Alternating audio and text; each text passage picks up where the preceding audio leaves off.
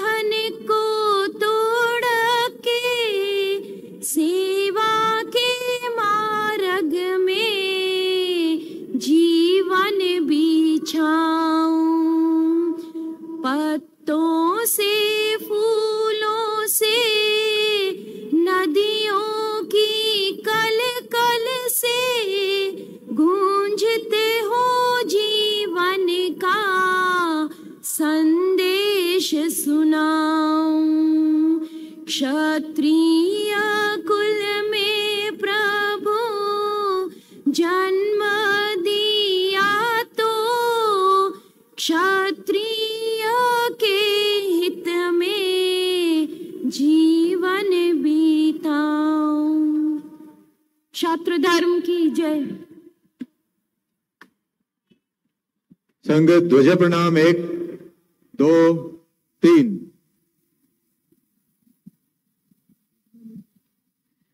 असीम प्रेरणा स्रोत का सत्कीर्तन कर रहे हैं। जो स्वयं फरमाते थे गीत द्वारा प्रस्तुत हो रहा है। मैं निर्जर निवेदन है रेवत सिंह धीरा। हूँ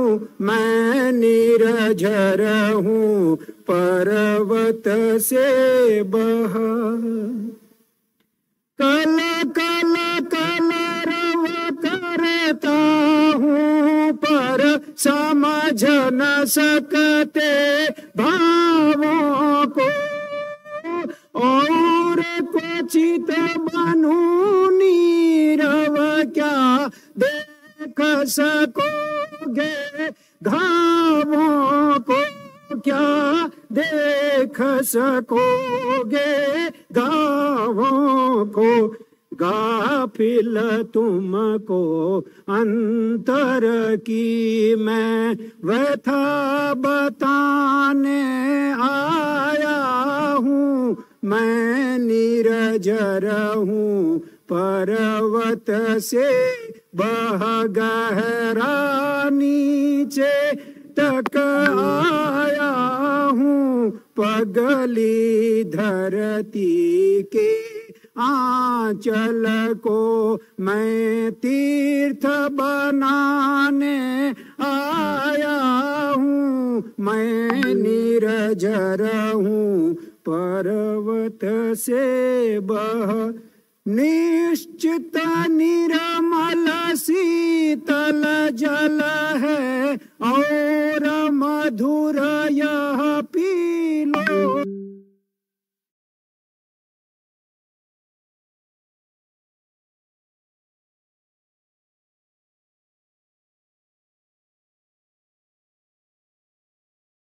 तुम जिज्ञासा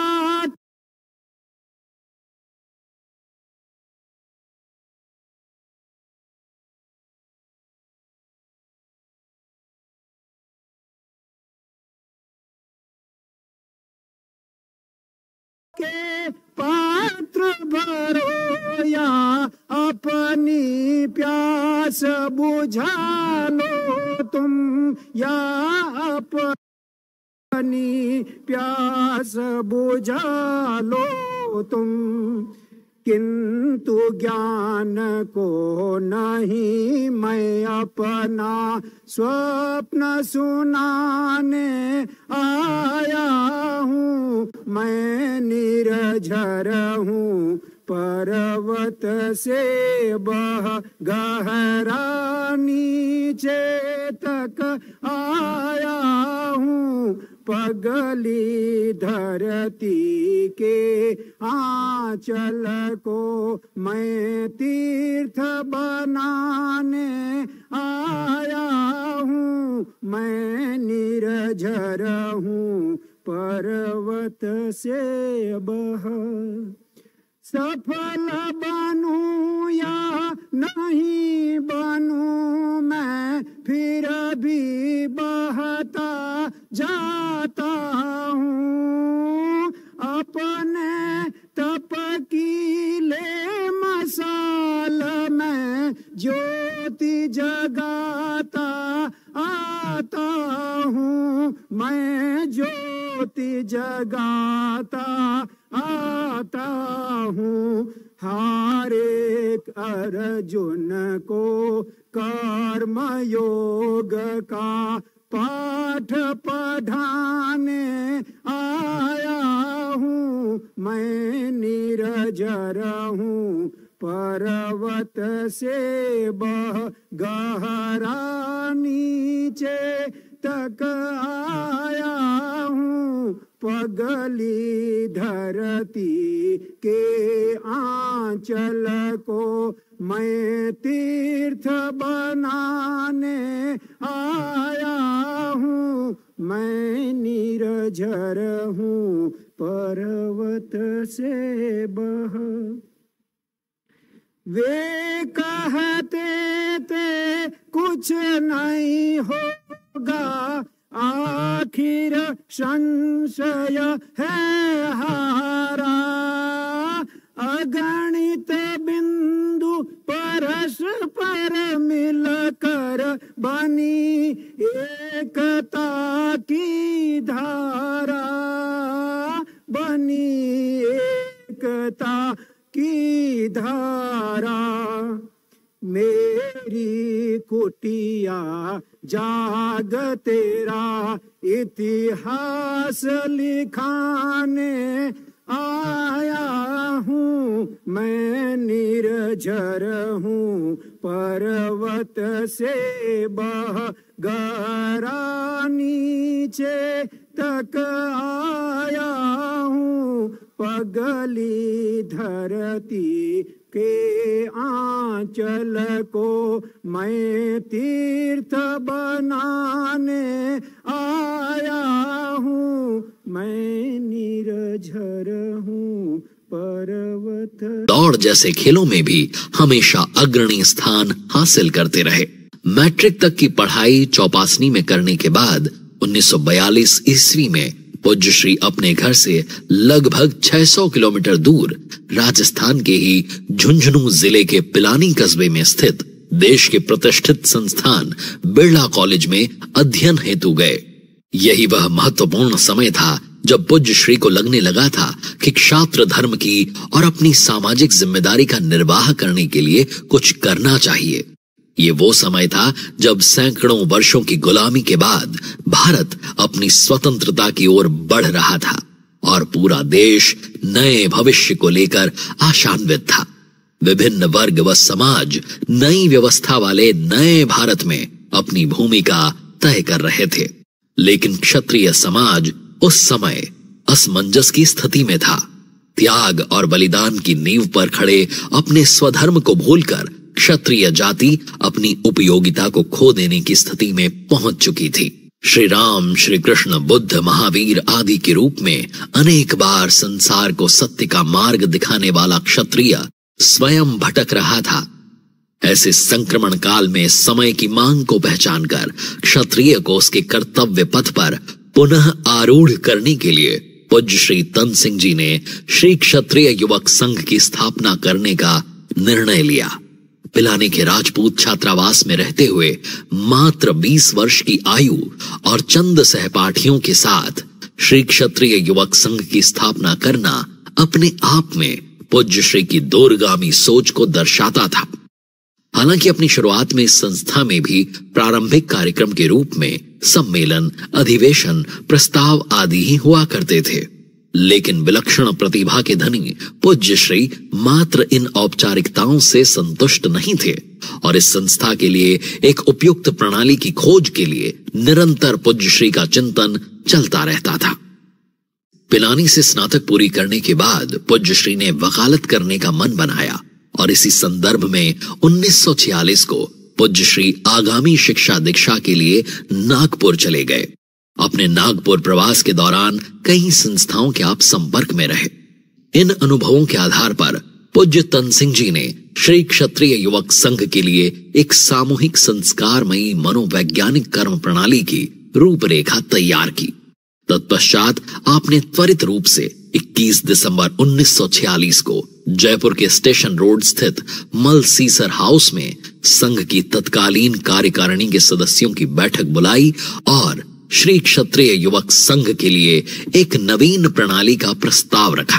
पूज्य तन सिंह जी ने अपने साथियों को अपनी विचारधारा, उद्देश्य और प्रस्तावित प्रणाली के बारे में विस्तार से समझाया और सभी के द्वारा सहमति प्रदान करने पर अगले ही दिन, अर्थात 22 दिसंबर 1946 के शुभ दिन श्री क्षत्रिय युवक संघ की अपने वर्तमान स्वरूप में स्थापना हुई। और जिस संकल्प और उद्देश्य से पूज्य श्री ने संघ की स्थापना की थी, उसको साकार करने की संघ की यात्रा तब से निरंतर जारी है।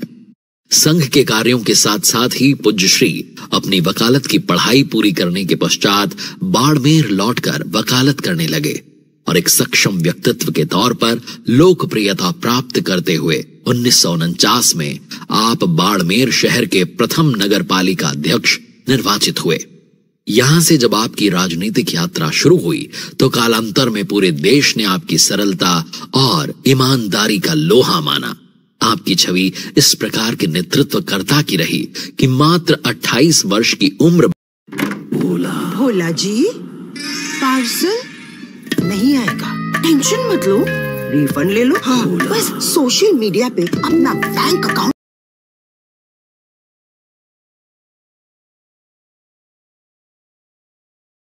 आपने अनेकों आंदोलनों की अगुवाई भी की। उन्नीस में चौपासनी विद्यालय के अधिग्रहण के खिलाफ आंदोलन। 1948 में ही गांधी जी की हत्या के बाद राष्ट्रीय स्वयंसेवक संघ पर प्रतिबंध के विरुद्ध हुए आंदोलन में स्वैच्छिक गिरफ्तारी, सरकार द्वारा दुर्भावना से प्रेरित होकर बनाए गए भूमि अधिग्रहण अधिनियम के विरुद्ध 1955-56 में तत्कालीन संघ प्रमुख श्रद्धे आयुवान सिंह जी उडील के नेतृत्व में हुए दोनों भूस्वामी आंदोलनों में आपने नेतृत्व की अग्रिम पंक्ति के रूप में भाग लिया एवं जेल गए। अंत में तत्कालीन प्रधानमंत्री पंडित नेहरू के साथ हुई समझौता वार्ता में समाज का पक्ष रखा। दो बार विधायक रहने के बाद उन्नीस सौ बासठ में आप संसार के सबसे बड़े निर्वाचन क्षेत्र बाड़मेर जैसलमेर से सांसद का चुनाव जीते। इस चुनाव की महत्वपूर्ण बात यह भी थी कि बुज श्री तन सिंह जी ने मात्र नौ हज़ार रुपए खर्च करके ये चुनाव जीता था। और यही उन अनेकों कारणों में से एक था जिनकी वजह से राष्ट्रीय राजनीति में पूज्य श्री को एक सरल और ईमानदार नेता के तौर पर देखा जाता था। पूज्य श्री तन सिंह जी ने हमेशा राजनीतिक विचारधारा पर राष्ट्रहित को वरीता दी। उन्नीस सौ बासठ के भारत चीन युद्ध के समय विपक्षी सदस्य रहते हुए भी संसद में दिए ऐतिहासिक वक्तव्य में सरकार और प्रधानमंत्री के प्रति आपने पूर्ण समर्थन और विश्वास जताया था। फिर एक समय आया उन्नीस सौ सड़सठ का, जब पूज्य श्री सांसद का चुनाव हार गए थे। ऐसे में हार के पश्चात जब आपके सामने आजीविका का संकट खड़ा हुआ तो आपने स्वयं खेती प्रारंभ की, साथ ही कृषि उपकरणों का व्यवसाय भी प्रारंभ किया।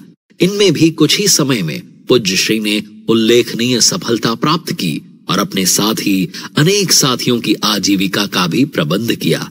आपकी नेतृत्व क्षमता कुछ इस तरह की थी कि आप खुद से पहले अपने आसपास के लोगों और आपके साथियों के लिए वित्तीय और कार्मिक प्रबंधन का ध्यान रखा करते थे। आपकी इसी विलक्षण नेतृत्व की वजह से जनता के अनुरोध पर आप पुनः 1977 में सांसद का चुनाव लड़े और विजयी हुए। राजनीतिक क्षेत्र में आप सरल, ईमानदार, स्पष्ट, पर मृदुभाषी और जिम्मेदार राजनेता के रूप में आज भी याद किए जाते हैं।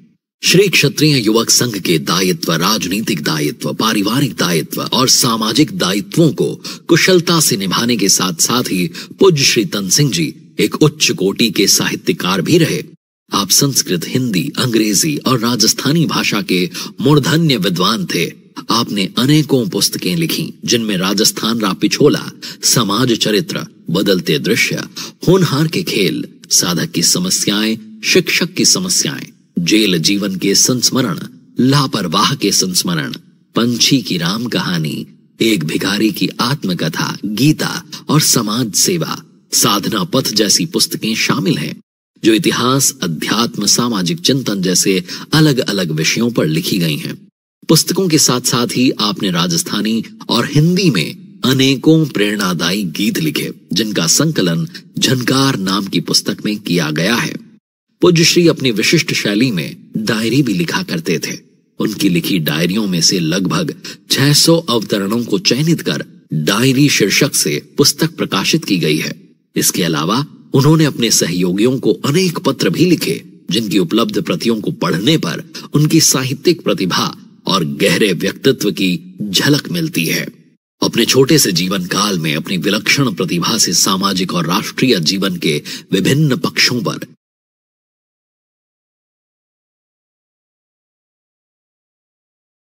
की आयु में देहावसान हो गया। छोटे से जीवन काल में उन्होंने श्री क्षत्रिय युवक संघ के रूप में क्षत्रिय समाज की युवा पीढ़ी को धर्म, संस्कृति, राष्ट्र और मानवता के कल्याण में नियोजित करने का जो मार्ग प्रशस्त किया है, उसके लिए आप केवल क्षत्रिय समाज ही नहीं, बल्कि भारतीय जीवन धारा में भी युग पुरुष के रूप में स्थापित हुए। हमारे प्रणेता पूज्य श्री तन सिंह जी वास्तविक अर्थों में सच्चे सामाजिक संत थे, जिनके प्रति समाज ने अपनी कृतज्ञता और विश्वास को श्री क्षत्रिय युवक संघ का निरंतर सहयोग करते हुए जताया है।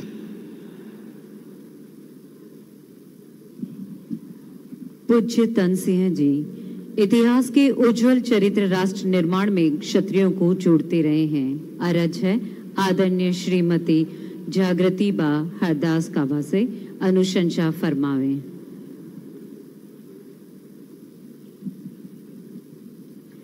यह कहते हुए सुखानुभूति हो रही है कि श्रीमती जागृति बा पूज्य तन सिंह जी की सुपुत्री हैं।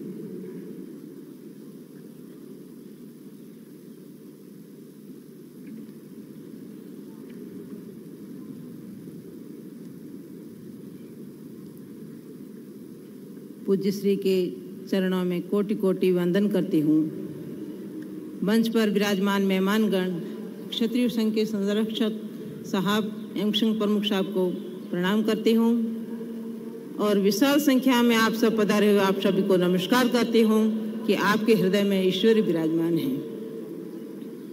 आज अपन सब पूज्य श्री की जन्म शताब्दी समारोह में एकत्रित हुए हैं।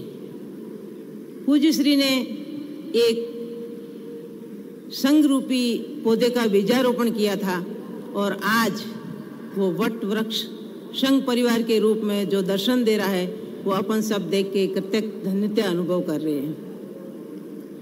कईयों के मन में प्रश्न उभरते होंगे कि ये युग पुरुष कैसे होंगे जिनकी जन्म शताब्दी में इतना जनसलाब इकट्ठा हुआ है, वो कैसे होंगे? कई उनको जानते थे, कई उनके साथ में भी रह चुके हैं, कई उनकी गोद में खेल के बड़े भी हुए लेकिन जिन्होंने देखा नहीं है तो उनके मन में ये उत्कृष्टता रहती है कि वो कैसे होंगे। तो उनको जानना हो, वो युग पुरुष कैसे हैं, कैसे थे, उनको जानना है तो हमें क्षत्रिय संघ से जुड़ना पड़ेगा। वो ही उनका विराट स्वरूप है। उनके लिखे हुए पुस्तकें हैं, संघ में, संघ से जुड़ना पड़ेगा। हर संघ के खेलों के मैदान में वो हमें मिलेंगे, या झनकार के गीतों में वो हमें मिलेंगे, या बौद्धिक के पाठ पढ़ाते हुए हमें उनके दर्शन होंगे, या हम यज्ञ की आहुति देते हैं, उसी तरह हमें वो युग पुरुष के दर्शन होंगे। लेकिन उसके लिए हमें संघ से जुड़ना पड़ेगा। यही उनका स्वरूप है। पूज्यश्री का। इस समारोह में महिलाओं की बहुत अच्छी सी संख्या देख के एक महिला होने के नाते विशेष अनुग्रह करूँगी माताओं से, बहनों से, बेटियों से, कि अपने जीवन में क्षत्रिय संघ को लाओ। जीवन में क्षत्रिय संघ को उतारो। माता निर्माता होती है। चाहे वो माता मतालसा हो, चाहे माता अनुषया हो, जीजाबाई हो जयवंताबाई हो या फिर माता मोती कंवर जी हो। सब चाहती है माताएँ कि मेरे भी राम जैसा पुत्र हो, शिवाजी दुर्गादास महाराणा प्रताप जैसे पुत्र हो। मीराबाई लक्ष्मीबाई, हाड़ी रानी या पद्मिनी जैसी पुत्रियाँ हो, हर एक माँ की इच्छा होती है। और ये शक्ति तो माँ में ईश्वर ने विशेष रूप से दी है। पर उसके पाठ पढ़ने के लिए क्षत्रिय संघ में अपन को जाना पड़ेगा। वो ही ऐसे संस्कार देता है कि माता निर्माता कैसे बनी जाती है। आप पुत्री के रूप में हो या पत्नी के रूप में हो, जो भी हो, लेकिन एक माँ सर्वश्रेष्ठ शक्तिमान होती है और नारी में शक्ति है, वो आप सबको पता है। माता अनुसुईया, जिसने ब्रह्मा, विष्णु, महेश को भी पुत्र बाल अवस्था में बना दिए थे, इतनी शक्ति नारी में ईश्वर ने विशेष रूप से दिए तो हम भी वो ही माँ हैं। लेकिन उसके लिए हमें वो संस्कार जीवन में लाने पड़ेंगे और वो संस्कार सिर्फ़ क्षत्रिय संघ की ही पाठशाला में पाए जाते हैं। वो संस्कारों का निर्माण करता है। तो कहते हैं ना, कोई बात नहीं, देर से, उठे तो ही सुबह मिली। जब से जगे तभी से उसमें लगे। तो आज से एक मन में ये संकल्प लेके जाए हम यहाँ से। कि मुझे भी वही माँ बनना है, मुझे भी वही पुत्र ऐसे प्राप्त हो, ऐसे संस्कार लेने, मुझे भी वही पुत्रियाँ प्राप्त हो, जो मेरी चाह है। तो आज से ही संकल्प लेके जाएँ और क्षत्रिय संघ से जुड़े। उसकी पाठशाला से ही हमें ये सब प्राप्त होगा। इसी के साथ जय संघ शक्ति। राष्ट्र व क्षत्रिय धर्म के प्रति समर्पित संपूर्ण जीवन श्री पूज्य तन सिंह जी का। पृथ्वी का हरेक क्षत्रिय आपका ऋणी रहेगा। निवेदन है। आदरणीय श्री भूपेंद्र सिंह जी चूड़ासमा पूर्व मंत्री गुजरात सरकार से अपने सारगर्भित विचार प्रकट करावे। आप बचपन से पूज्य तन सिंह जी के संपर्क में रहे हैं।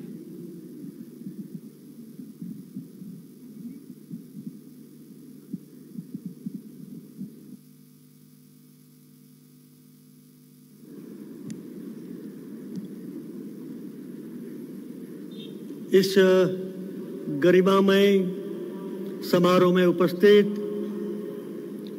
परम श्रद्धेय भगवान सिंह जी, परम श्रद्धेय लक्ष्मण सिंह जी, श्रीमान गजेंद्र सिंह, श्रीमान शक्ति सिंह,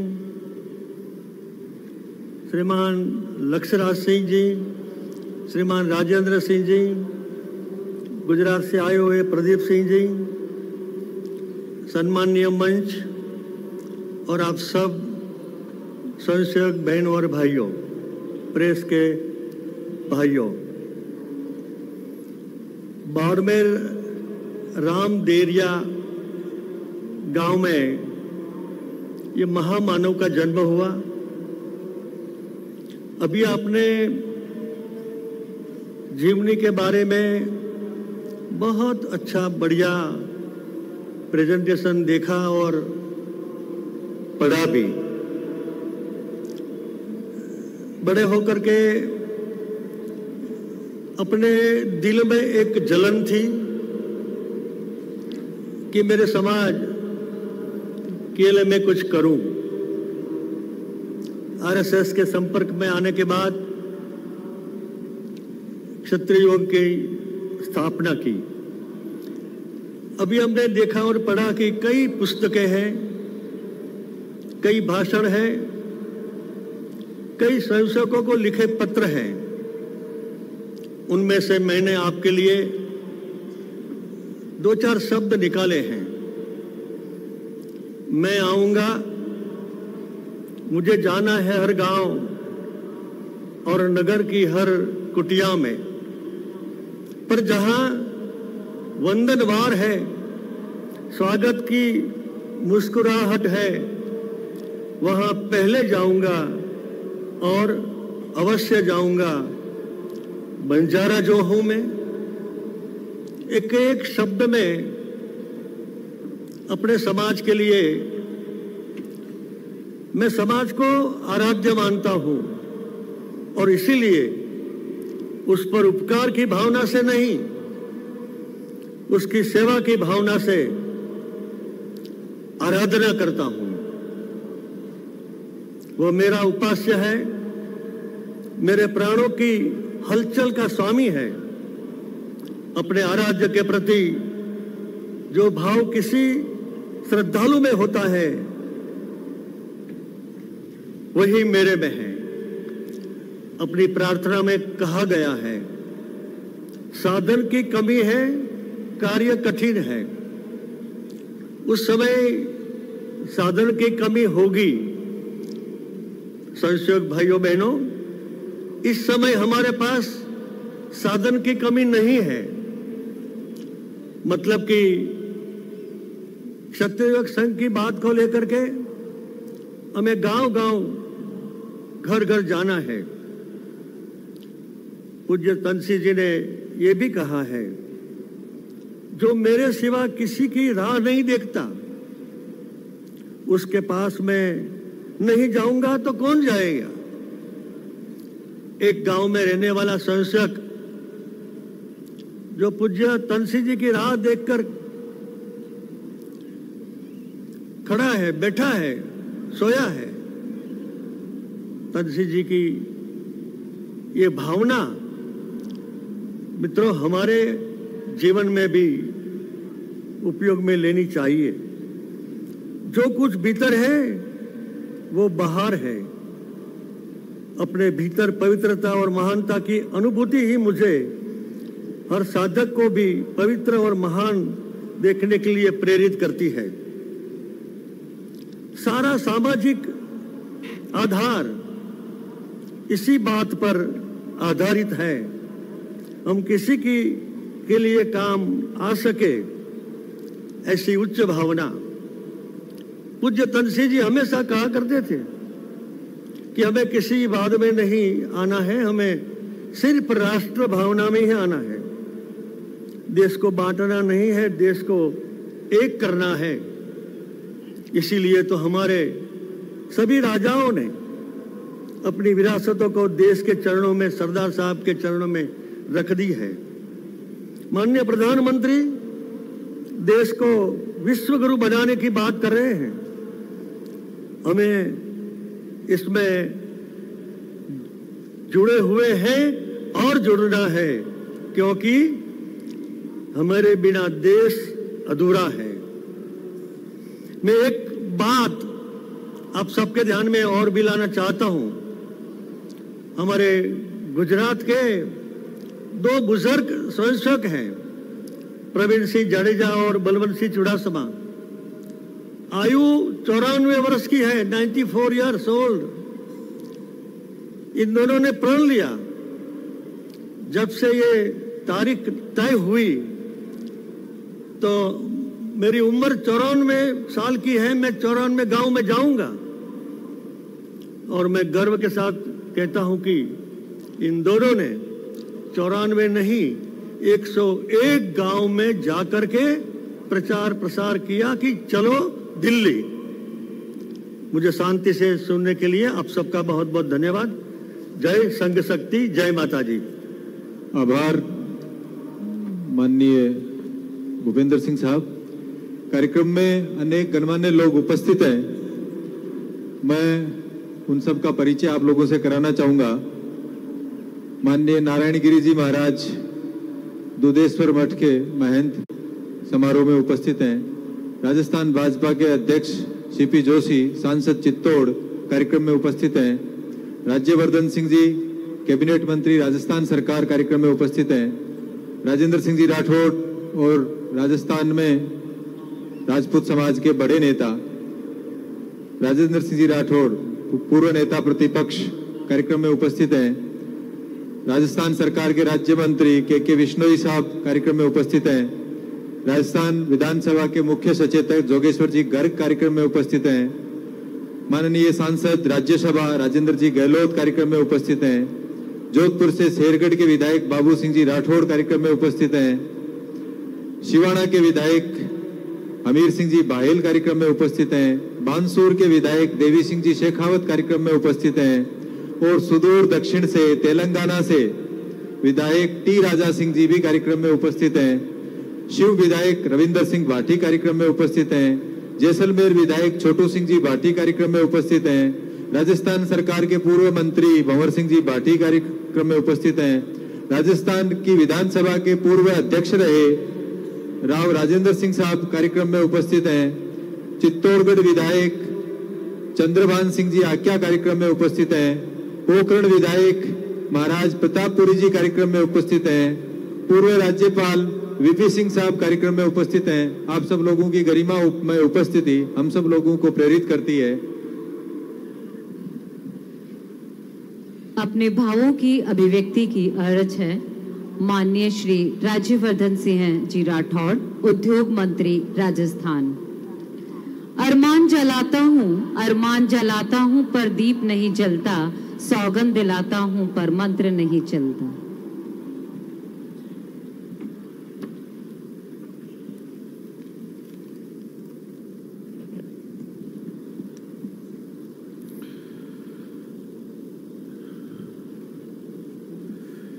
क्षत्रिय युवक संघ के आज इस कार्यक्रम में माननीय श्री तन सिंह जी की सौवीं जयंती मनाने के अवसर पर मंच पे श्री भगवान सिंह, रोल साहब सर संरक्षक श्री लक्ष्मण सिंह जी, संघ प्रमुख श्री महावीर सिंह जी, संरक्षक श्री प्रताप फाउंडेशन, श्री गजेंद्र सिंह जी, हमारे केंद्रीय मंत्री श्री शक्ति सिंह जी, प्रदेश अध्यक्ष कांग्रेस गुजरात, यहाँ पर उपस्थित सभी महानुभाव, पूरे देश से अलग अलग राज्यों से एक एक गाँव से यहाँ पर पधारे हुए सभी भाइयों और बहनों, युवाओं, हमारे मीडिया के साथी, सबसे पहले तो मैं आप सबको धन्यवाद देता हूँ आपकी उपस्थिति यहाँ पर होने से। एक संदेश पूरे देश में गया है, उसके लिए आप धन्यवाद के लायक हैं। मैं सभी युवाओं को, यहाँ पर उपस्थित सभी माताओं को, बेटियों को, बहनों को, यही कहना चाहूँगा कि पूज्य तन सिंह जी ने जो कई वर्ष पहले अपने भाव रखे, एक संगठन को तैयार करा। आपने देखा किस तरह से उन्होंने सबसे पहले अपने शरीर, अपने मन, अपने मस्तिष्क को तैयार करा और फिर उसके बाद समाज को तैयार करा? आज इसकी ज़रूरत है। हमें अपने आप को मज़बूत करना है और हम जहाँ जहाँ है, अपने आसपास के क्षेत्र को संगठित करना है, लीड करना है। हमें छत्तीस कौम को साथ में लेकर चलना है। आज ऐसा समय है पूरे देश के अंदर, जब दुनिया में सबसे अग्रणी राष्ट्र हम बन रहे हैं। आपके पूर्वज, उन्होंने इस धरती को, मातृभूमि को, धर्म को, अपने समाज के संरक्षण के लिए, रक्षा के लिए अपना बलिदान दिया है। आज वही बलिदान हमें एक अलग रूप में देना है। अपनी क्षमता से देना है। अपनी क्षमता को पहले बढ़ाना है। एक एक व्यक्ति को अपनी क्षमता को बढ़ाना है। जिस तरह से पूज्य तन सिंह जी ने सबसे पहले अपने आप को मज़बूत करा। जब तक हम अपने आप को मज़बूत नहीं करेंगे तन से, मन से, मस्तिष्क से, तब तक हम किसी और से आग्रह भी नहीं कर सकते, उससे, उसको प्रेरित भी नहीं कर सकते। तो यहाँ बैठा हर व्यक्ति और हर व्यक्ति जो सुन रहा है, सबसे पहले हमें अपने आप को मज़बूत करना है और उसके पास अपने आसपास क्षेत्र को लीड करना है। हमें छत्तीस कौम को साथ में लेकर चलना है और अगले 25 वर्ष में भारत जिस ऊंचाइयों तक पहुँचने वाला है उसके अंदर हमारे समाज को ज़रूर योगदान देना है। तभी हमारा भारत मज़बूत हो सकता है। हमने कई वर्ष पहले भी, सदियों पहले भी इस राष्ट्र को सुरक्षित रखा है। हमें आगे भी इस राष्ट्र को सुरक्षित और मज़बूत रखना है। अस्त्र शस्त्र बदली हो सकते हैं, लेकिन ज़िम्मेदारी वही है। आज तलवार नहीं, आज कलम की ज़रूरत है। आज हथियार नहीं, आज बुद्धि की ज़रूरत है। आज ज़रूरत है हम सबको एकजुट होकर काम करने की, एक दिशा में काम करने की। यहाँ पर जितने बैठे हैं, सभी शक्तिशाली हैं। लेकिन अगर ये शक्ति अलग अलग दिशाओं में खींचेगी तो ये शक्ति ज़ीरो है। ये शक्ति समाप्त हो जाएगी अगर ये अलग अलग दिशाओं में खींचेगी। यही शक्ति अगर एक दिशा में खींचेगी, तभी शक्तिवान बनेंगे, तभी बल बल, तभी हम इस राष्ट्र को एक ऊंचाई तक, प्रधानमंत्री मोदी जी की जो संकल्प है इस राष्ट्र को मज़बूत बनाने का, उसकी तरफ़ हम लेकर चल सकते हैं। आज जो मुझे यहाँ अवसर मिला आप सबके बीच में आकर बोलने का, उसके लिए मैं आप सबको धन्यवाद देता हूँ। भारत माता की जय। आज मौन शब्द अर्चना है। आज गौरव गरिमा का जीर्णोद्धार का एक विनम्र अनुष्ठान संपन्न कर रहे हैं। पूज्य श्री तनसिंह जी ने श्री क्षत्रिय युवक संघ की स्थापना की। आखिर क्यों की? प्रस्तुत है वीडियो विजुअल।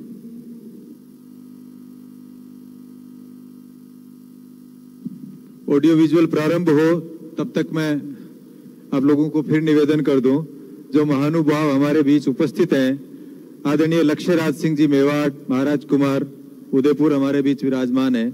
महाराज कुमार जन्मेजय सिंह जी हमारे बीच विराजमान है। जैसलमेर की राजमाता, राज, मुकुट राज्य लक्ष्मी राजे हमारे बीच विराजमान है। शक्ति सिंह जी परमार, पूर्व मंत्री, जम्मू कश्मीर हमारे बीच विराजमान है। विक्रम सिंह जी जाखल, विधायक नवलगढ़ हमारे बीच विराजमान है। उमा सिंह जी पूर्व चीफ कमिश्नर, इनकम टैक्स हमारे बीच विराजमान है। कुलपति महोदय वीके सिंह जी हमारे बीच विराजमान है। Sujeet Kumar Singh ji, chief commissioner income tax हमारे बीच विराजमान है। आप सभी की उपस्थिति हम सब लोगों को प्रेरित कर रही है। अगले कार्यक्रम ऑडियो विजुअल, श्री क्षत्रिय संघ का परिचय। पूज्य तन सिंह जी द्वारा 1944 में पिलानी के राजपूत छात्रावास में 1944 में पिलानी के राजपूत छात्रावास में रहते हुए अपने कुछ साथियों के साथ मिलकर श्री क्षत्रिय युवक संघ की स्थापना की थी। उस समय तन सिंह जी की उम्र मात्र 20 वर्ष थी। इस संस्था के प्रारंभिक कार्यक्रम, अन्य संस्थाओं की भांति, सम्मेलन, अधिवेशन, प्रस्ताव आदि तक सीमित रहे। संस्था का प्रथम अधिवेशन 5-6 मई 1945 को जोधपुर राजस्थान में हुआ। तथा द्वितीय अधिवेशन राजस्थान के झुंझुनू ज़िले के काली पहाड़ी गाँव में 11-12 मई 1946 को आयोजित हुआ। किंतु तन सिंह जी ने जिस उद्देश्य से श्री क्षत्रिय युवक संघ की स्थापना की थी, उसकी प्राप्ति इस प्रकार की औपचारिक और सीमित प्रणाली से संभव नहीं थी। इसीलिए वे इससे संतुष्ट नहीं थे। इसी बीच कानून की पढ़ाई के लिए तन सिंह जी नागपुर चले गए। वहाँ कई अन्य संस्थाओं के संपर्क में रहते हुए अपने उद्देश्य के अनुरूप उपयुक्त प्रणाली हेतु पूज्य श्री का चिंतन चलता रहा। अपने अनुभव व चिंतन से उन्होंने श्री क्षत्रिय युवक संघ के लिए एक सामूहिक संस्कारमयी कर्म प्रणाली की रूपरेखा तैयार की। 21 दिसंबर 1946 को जयपुर लौटे और स्टेशन रोड स्थित मल सीसर हाउस में संघ की तत्कालीन कार्यकारिणी के सदस्यों की बैठक बुलाई। बैठक में श्री क्षत्रिय युवक संघ के स्वयं द्वारा तैयार प्रणाली की रूपरेखा प्रस्तुत की। सभी की सहमति से अगले ही दिन, अर्थात 22 दिसंबर 1946 के शुभ दिन, श्री क्षत्रिय युवक संघ की अपने वर्तमान स्वरूप में स्थापना हुई। जयपुर में ही 25 से 31 दिसंबर तक श्री क्षत्रिय युवक संघ के पहले शिविर का आयोजन हुआ। तभी से श्री क्षत्रिय युवक संघ निरंतर अपनी सामूहिक संस्कारमयी कर्म प्रणाली के माध्यम से सुप्त क्षात्र शक्ति की जागृति हेतु कार्य कर रहा है। संघ की इस प्रणाली का आधार गीतोक्त अभ्यास और वैराग्य है, जिसके सर्वाधिक महत्वपूर्ण अंग शाखा और शिविर हैं। शाखा में प्रतिदिन एक निश्चित स्थान एवं समय पर एक घंटे के लिए एकत्रित होकर संघ के स्वयं सेवक संघ साधना का अभ्यास करते हैं। बालकों, बालिकाओं, प्रौढ़ों आदि सभी वर्गों के लिए अलग अलग लगने वाली इन शाखाओं में नियमितता एवं निरंतरता मुख्य तत्व है। शाखा स्वयं सेवक के शारीरिक, मानसिक, वैचारिक एवं आध्यात्मिक व्यक्तित्व के गठन की पाठशाला है। प्रार्थना, सहगीत, खेल, व्यायाम, चर्चा, शाखा के प्रमुख एवं अनिवार्य घटक हैं। शाखा का मुख्य स्वरूप दैनिक व मैदानी शाखा ही है। परंतु आवश्यकता एवं परिस्थिति के अनुसार घरेलू वर्चुअल साप्ताहिक आदि अनेक प्रकार की शाखाएँ भी लगती हैं। प्रत्येक शाखा में शाखा प्रमुख, शिक्षण प्रमुख और विस्तार प्रमुख के रूप में तीन सहयोगी होते हैं, जो शाखाओं को सुचारू रूप से संचालित करने का दायित्व निभाते हैं। सांघिक प्रणाली में शाखा के बाद अगला चरण है, शिविर, जो श्री क्षत्रिय युवक संघ के विचार दर्शन की व्यवहारिक प्रयोगशाला है। श्री क्षत्रिय युवक संघ की साधना, ऊर्ध्वगामी साधना है जो वर्तमान युग के विस्मय वातावरण में अत्यंत कठिन है। इसलिए हमारे दैनिक जीवन से अलग ले जाकर, एक कृत्रिम वातावरण का सृजन कर, उसमें संघ के सिद्धांतों का अभ्यास करवाने के लिए शिविरों का आयोजन किया जाता है। ऐसे शिविरों के स्थान यथा संभव कोलाहल से दूर, एकांत एवं नीरव होते हैं। शिविरों का आयोजन स्थानीय समाज बंधुओं के सहयोग से किया जाता है।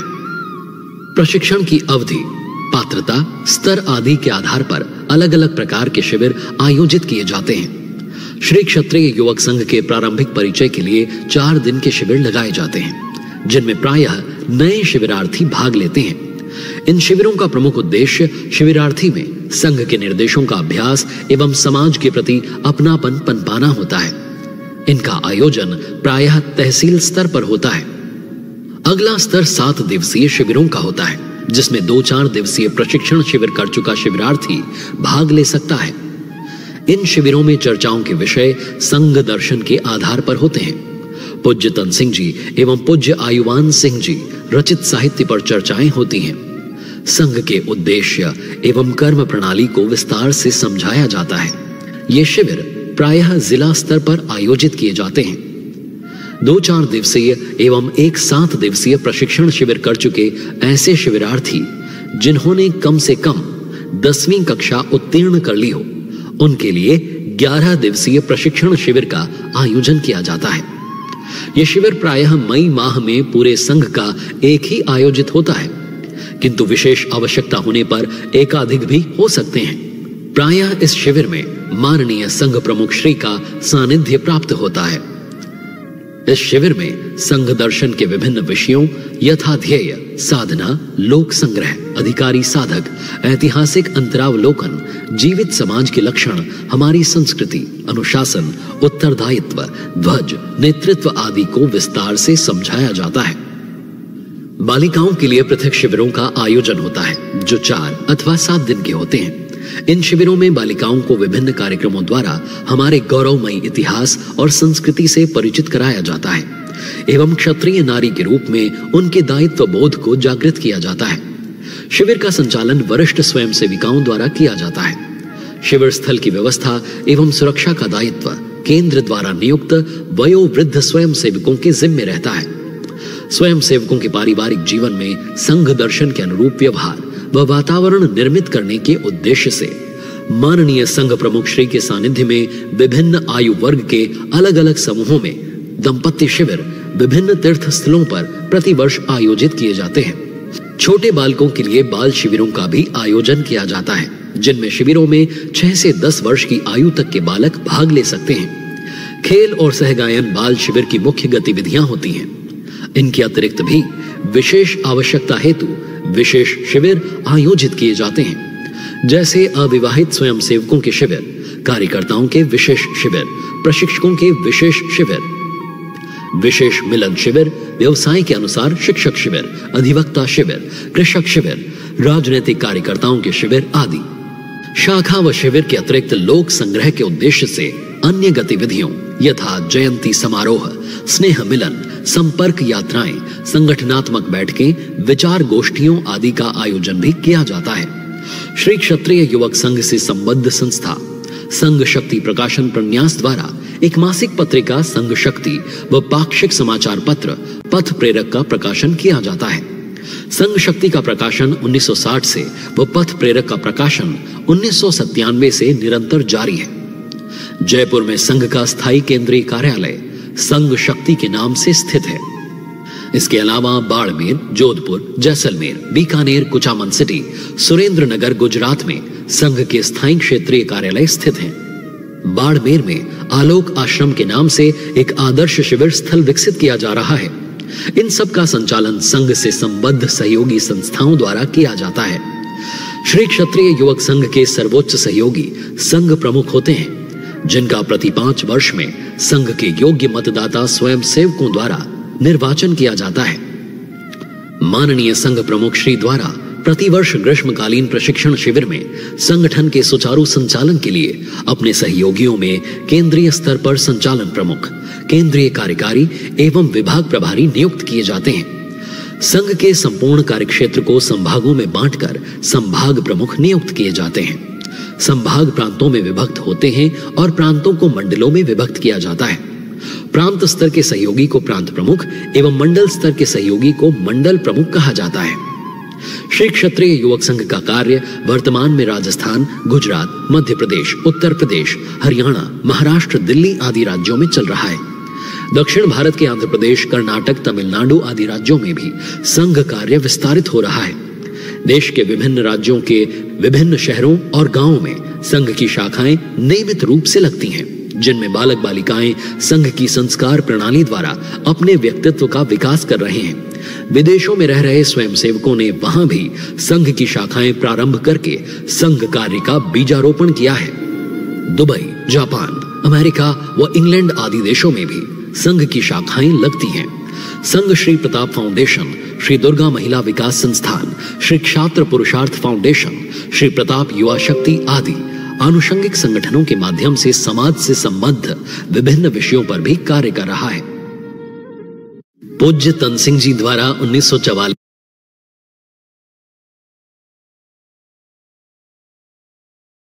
हैं, अभिनंदन करते हैं।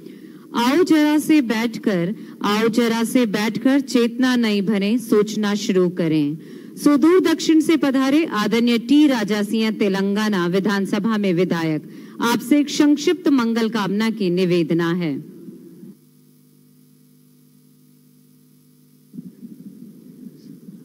विशिष्ट जो लोग पधारे हैं, हम लोगों को प्रेरित करने के लिए, उनमें मोतीराम जी कोहली विधायक रेउदर भी हमारे साथ। ये सभी लोग, विशेषता ये है कि जो रेले आई हैं, उनके साथ, सब साथियों के साथ बैठकर आए हैं। आदरणीय टी राजा जी।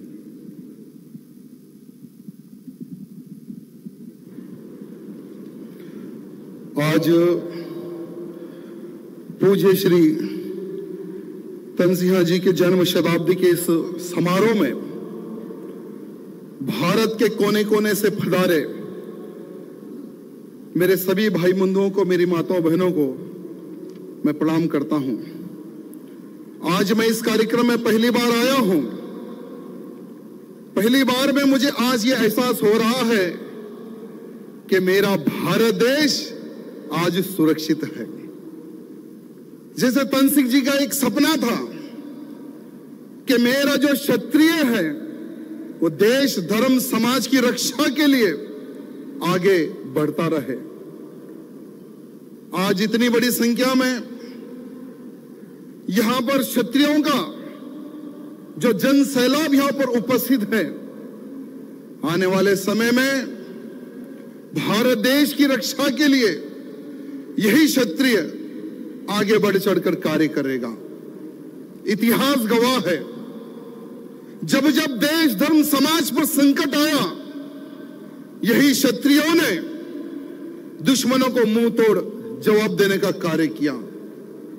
दुश्मनों के सर लेने का भी कार्य किया और देश, धर्म, समाज के लिए सर देने का भी कार्य किया। आज मैं इस मंच के माध्यम से सभी भाई बंधुओं से यह निवेदन करना चाहूँगा कि हर घर से क्षत्रिय युवा संघ का एक कार्यकर्ता होना चाहिए। आने वाले समय में भारत देश के हर कोने से क्षेत्रीय युवा संघ के एक सैलाब निकलने की आज आवश्यकता है।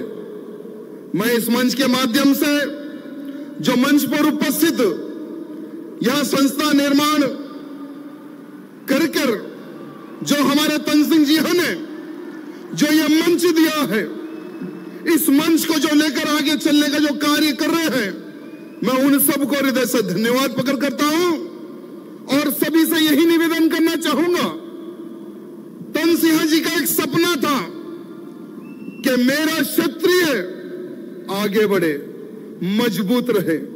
तो इस मंच के माध्यम से मैं आप सबसे हाथ जोड़ के यह निवेदन करना चाहूँगा कि एक समय पहले हमारे क्षत्रियों के पूर्वकों ने, अकबर हो या औरंगज़ेब हो, उन सबसे लोहा लिया।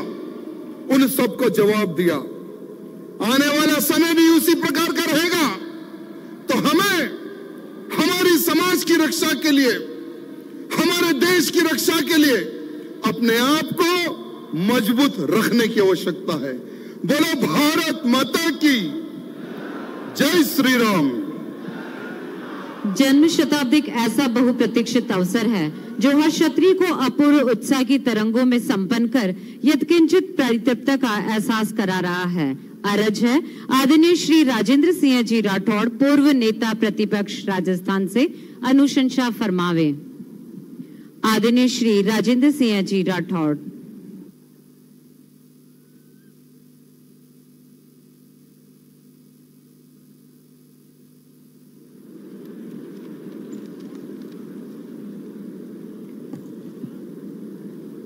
परम पूज्य तन सिंह जी के जन्म शताब्दी समारोह में इस गरिमापूर्ण मंच को सुशोभित कर रहे मेरे जैसे कई लोगों के मार्ग पर तर्जक संघ संरक्षक, प्रातः स्मरणीय भगवान सिंह साहब बरसों बरसों से क्षत्रिय युवक संघ, हमारी पीढ़ी में जो संस्कार दे रहा है, पूरे देश भर के ऐसे संस्कारित स्वयं सेवकों का नेतृत्व कर रहे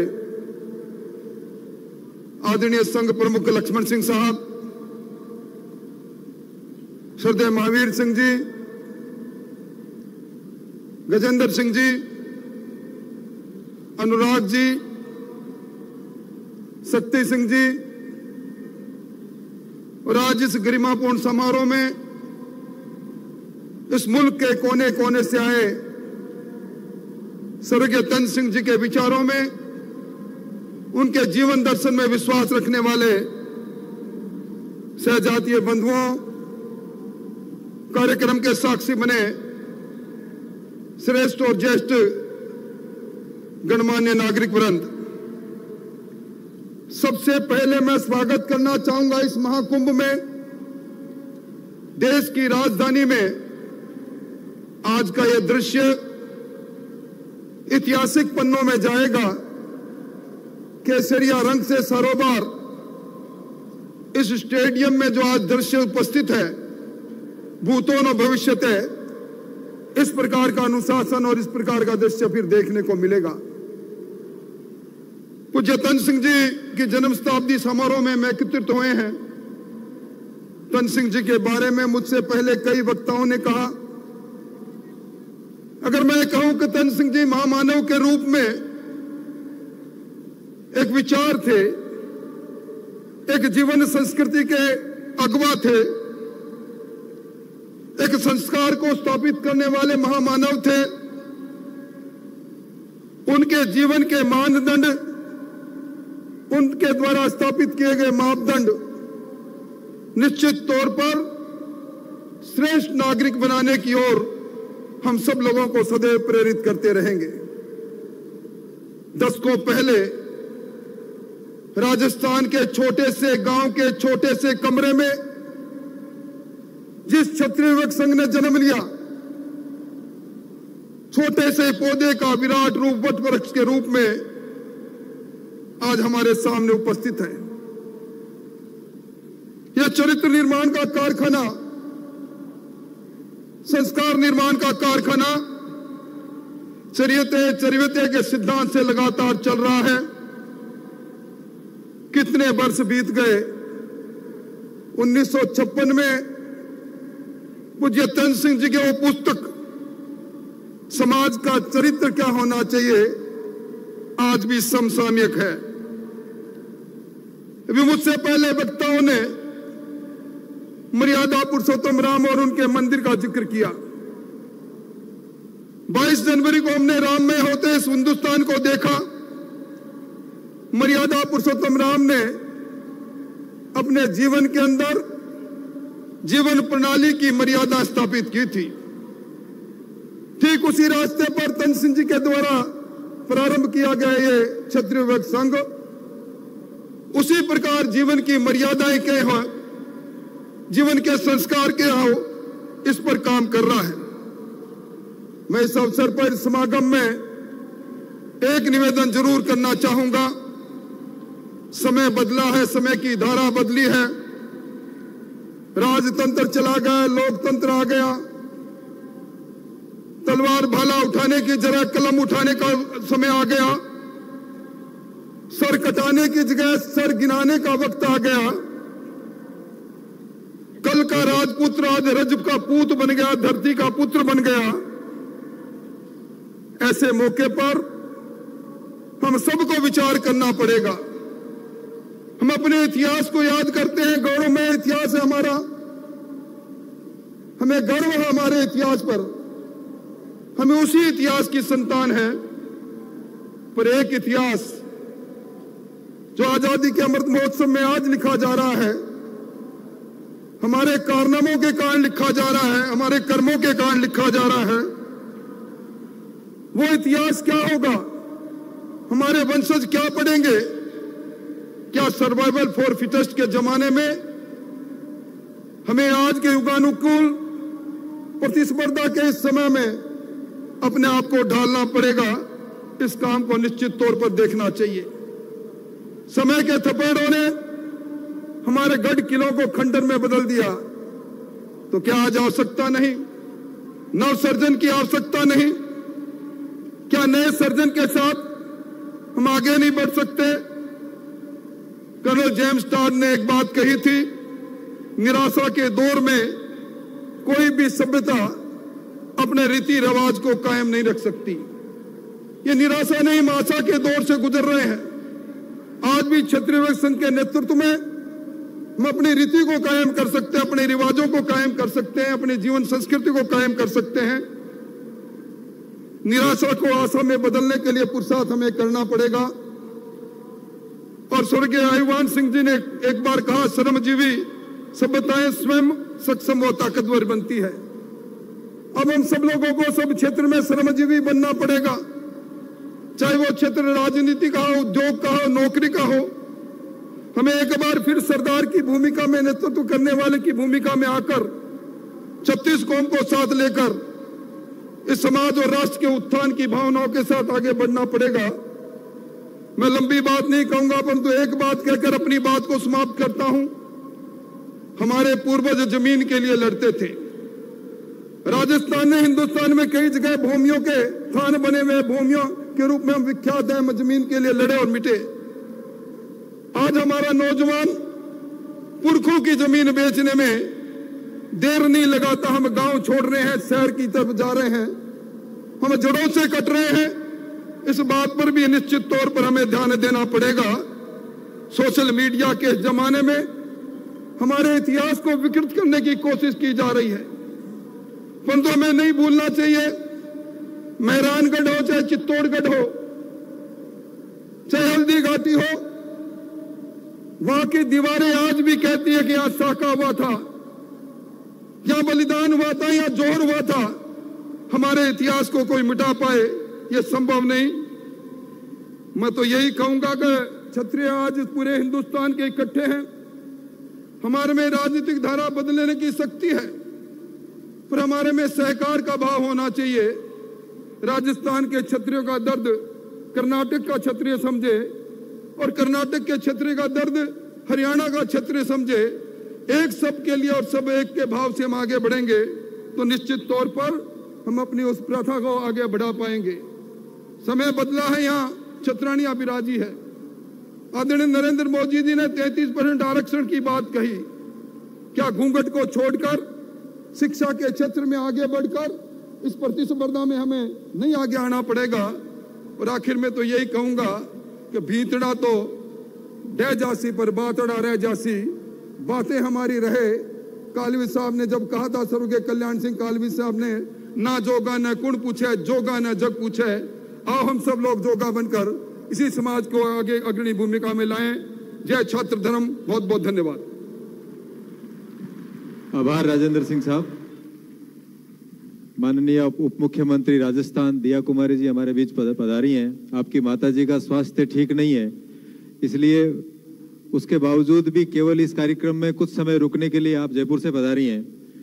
इस कार्यक्रम में प्रताप सिंह जी जिला प्रमुख जैसलमेर, क्षत्रिय संघ के वरिष्ठ स्वयंसेवक पद्म भूषण, पूर्व सांसद नारायण सिंह जी मानकलाव, लाडपुरा विधायक कल्पना राजे जी, राजस्थान, भारत में पुलिस सुधारों के पुरोधा और पूर्व डीजी प्रकाश सिंह जी श्री सुनयन सिंह कुलपति नालंदा विश्वविद्यालय, श्री जगसी राम जी कोहली पूर्व विधायक रेवदर, श्री राम सिंह जी चंदलाई राजपूत अध्यक्ष राजपूत सभा सांचौर, हनुमान सिंह जी खांगटा मारवाड़ राजपूत सभा अध्यक्ष, मदन चौहान विधायक एवं पूर्व मंत्री यूपी सरकार, ठाकुर पूरण सिंह अध्यक्ष, किसान मजदूर यूनियन उत्तर प्रदेश, अजय शंकर सिंह जी वित्त सलाहकार भारत सरकार, भागीरथ सिंह जी सचिव, संचार मंगलम भारत सरकार श्री शिव सिंह सारंग देवोत कुलपति राजस्थान विद्यापीठ विश्वविद्यालय।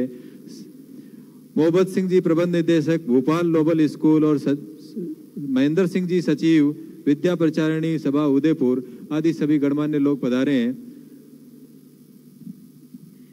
पूज्य तन सिंह जी फरमाते थे, जीवन के अंतस्थल में खिली है फुलवारी, जागी भवरों की वाणी कल्याणी हितकारी। सुविनय आग्रह है आदरणीय श्री शक्ति सिंह जी गोहिल, प्रदेशाध्यक्ष गुजरात कांग्रेस, अपना उद्बोधन दिरावें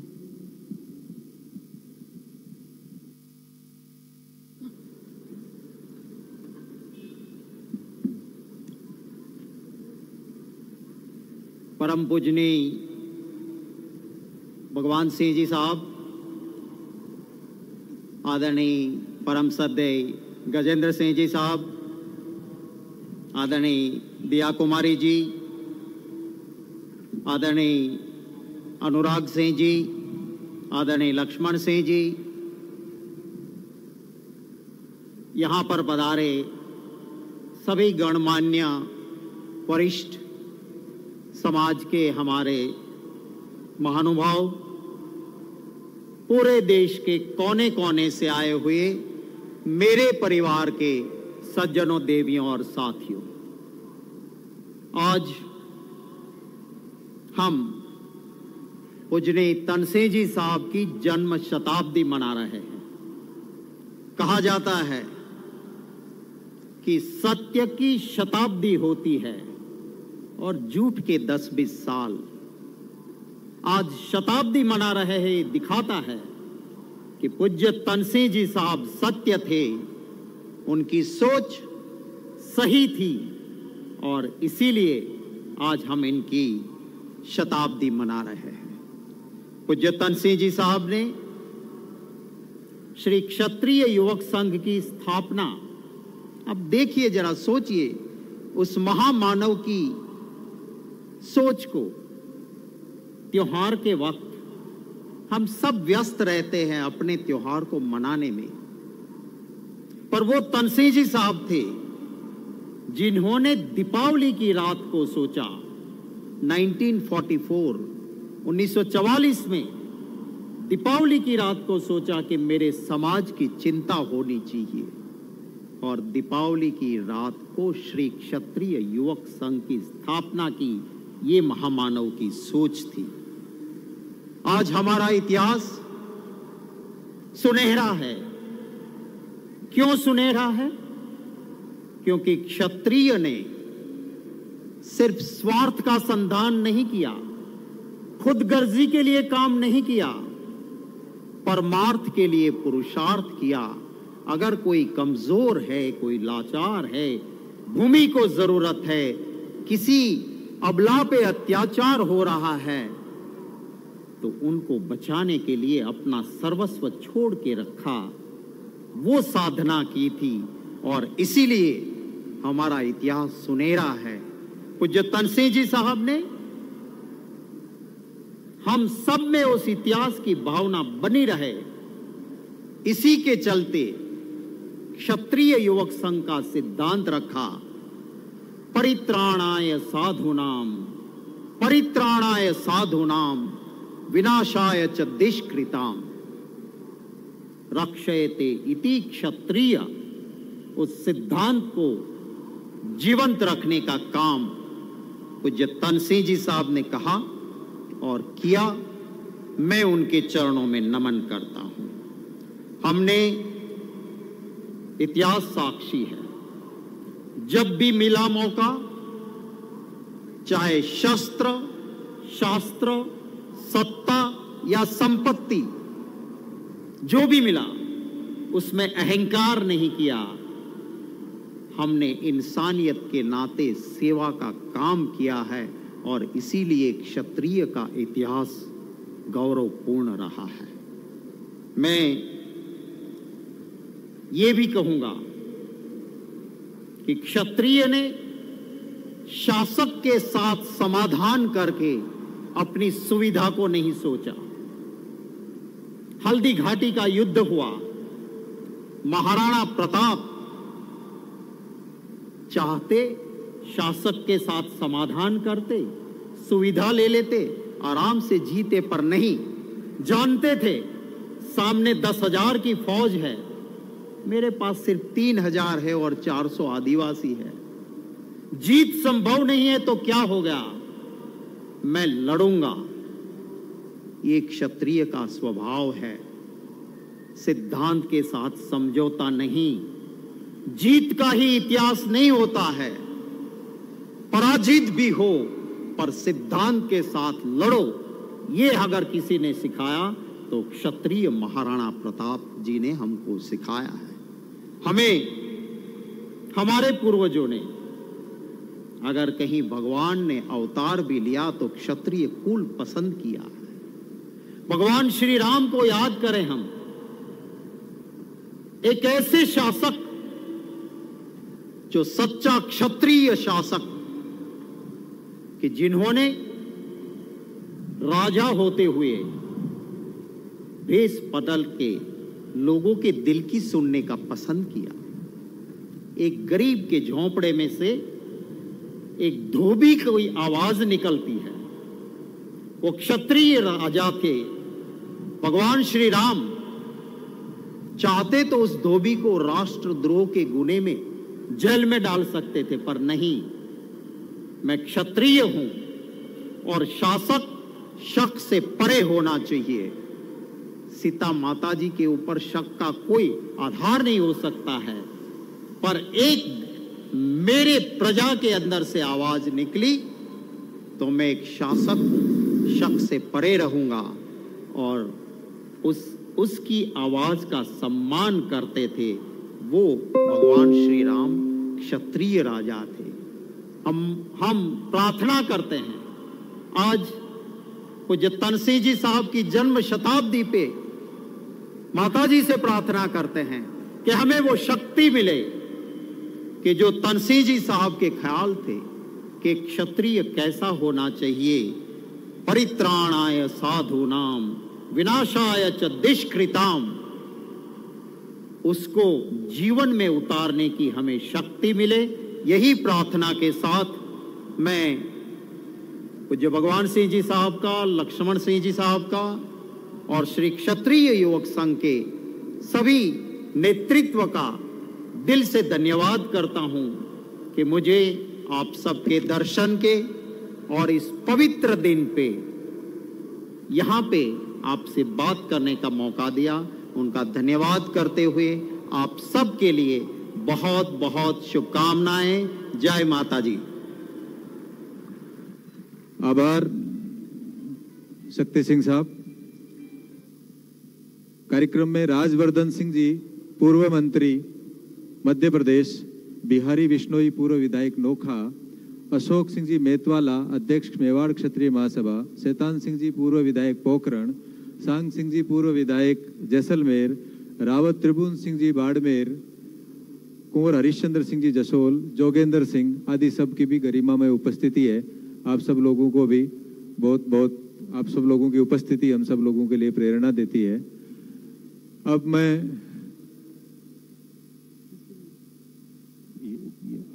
राम सिंह जी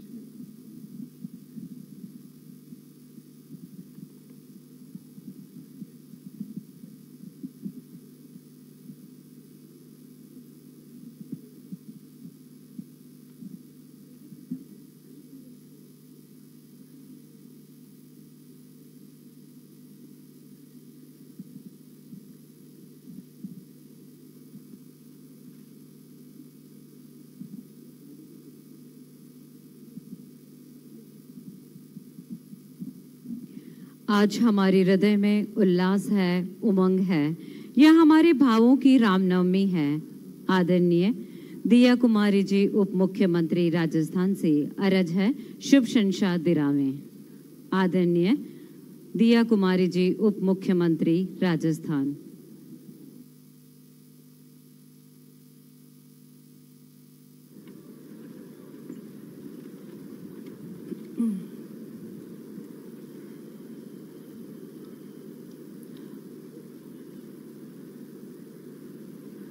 पूज्य श्री तन सिंह जी जन्म शताब्दी समारोह में मंच पर विराजमान क्षत्रिय युवक संघ के संरक्षक श्री भगवान सिंह जी,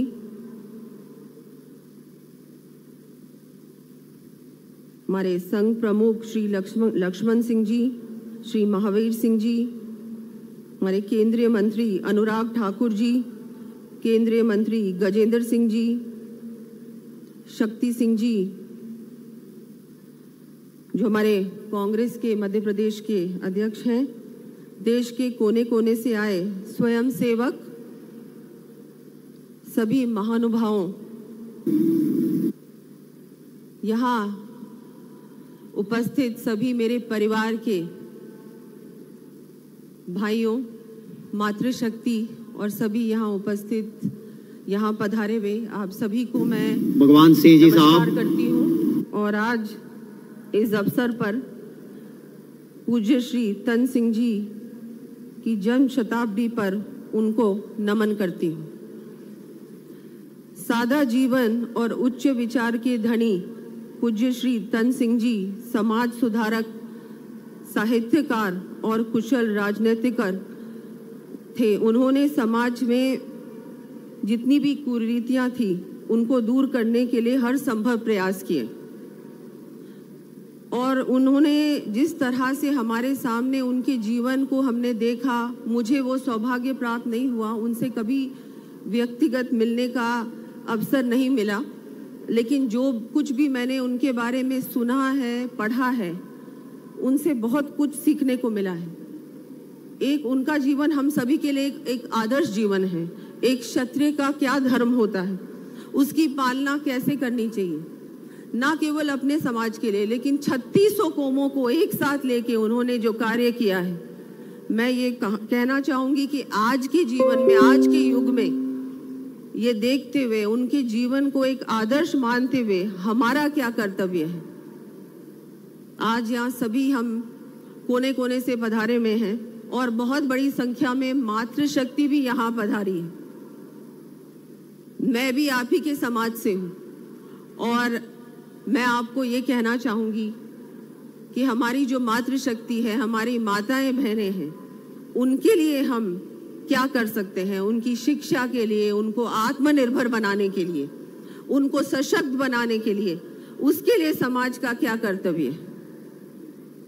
मुझसे पहले वक्ताओं ने आपके सामने बहुत सारे उदाहरण रखे। प्रभु श्री राम के बारे में बताया, महाराणा प्रताप के बारे में बताया। हमारे समाज में बहुत सारे वीर, वीरांगनाएँ हुई हैं। उनसे भी हमको बहुत कुछ सीखने को मिलता है। लेकिन क्या हम उस धर्म को आज भी निभा रहे हैं? ये सोचने की आवश्यकता है। मैं धन्यवाद देना चाहूँगी आज इस मंच के माध्यम से हमारे माननीय प्रधानमंत्री जी को, जिन्होंने आज आप ही की बेटी को ये अवसर दिया। आज राजस्थान की उप मुख्य मुख्यमंत्री बनाया मुझे, ये आप ही की बेटी है, आप ही की बहन और आज हमारा सभी का कर्तव्य है कि जैसा कि वो एक विकसित राष्ट्र बनाना चाहते हैं, हम सब चाहते हैं हमारे भारत को फिर से विश्व गुरु बनाना, उसमें हमारी भी भागीदारी आवश्यक है। एक राष्ट्र निर्माण के लिए, हमारे राष्ट्र को मज़बूत बनाने के लिए, एक विकसित राष्ट्र बनाने के लिए।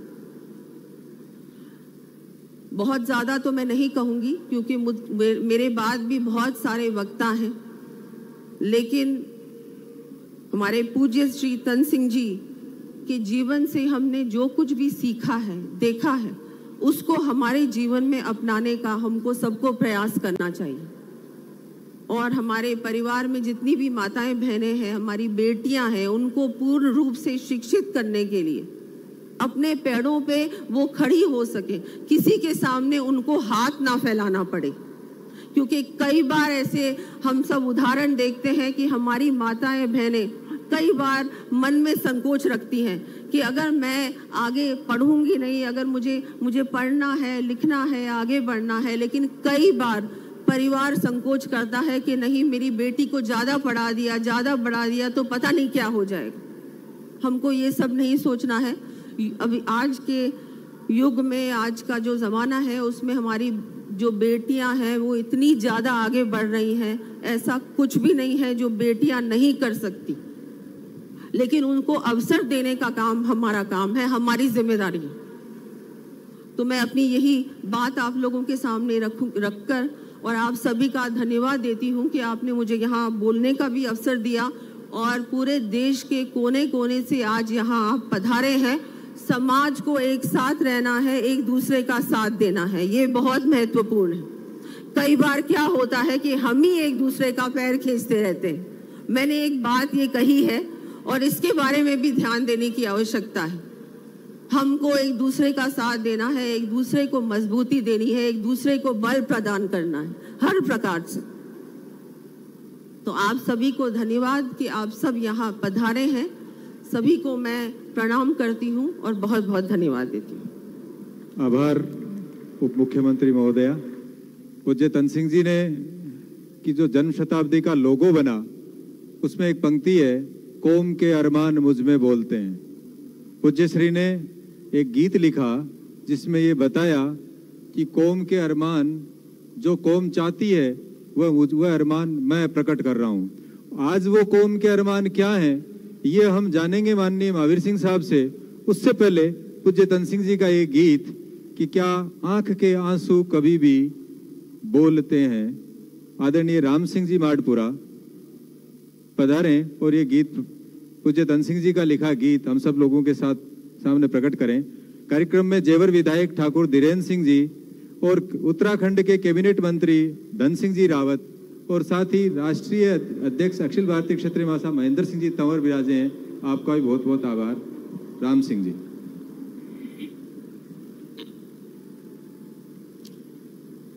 क्या आँख के आँसू कभी भी बोलते हैं? जो साथ देवे, साथ को क्या तोलते हैं? क्या आँख के आँसू कभी भी बोलते हैं? हर गीत के थोड़े भाव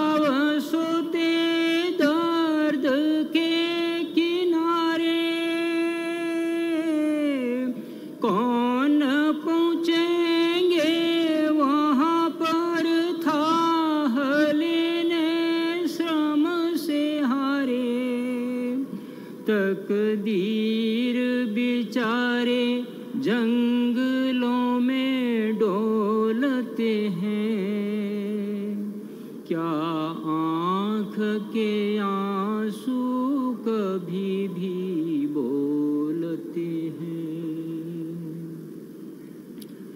ज्योति में क्यों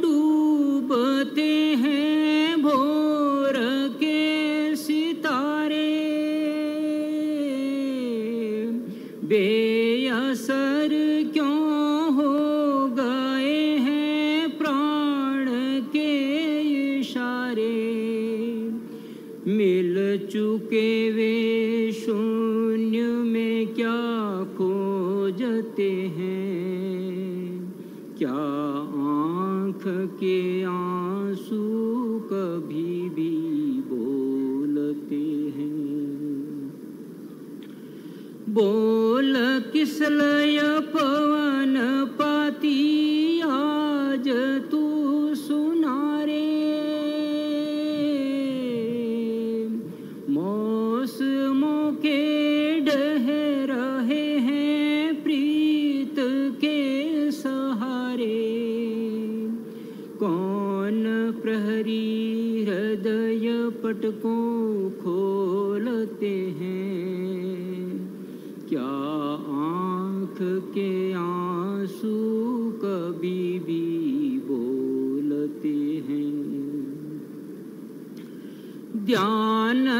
रखना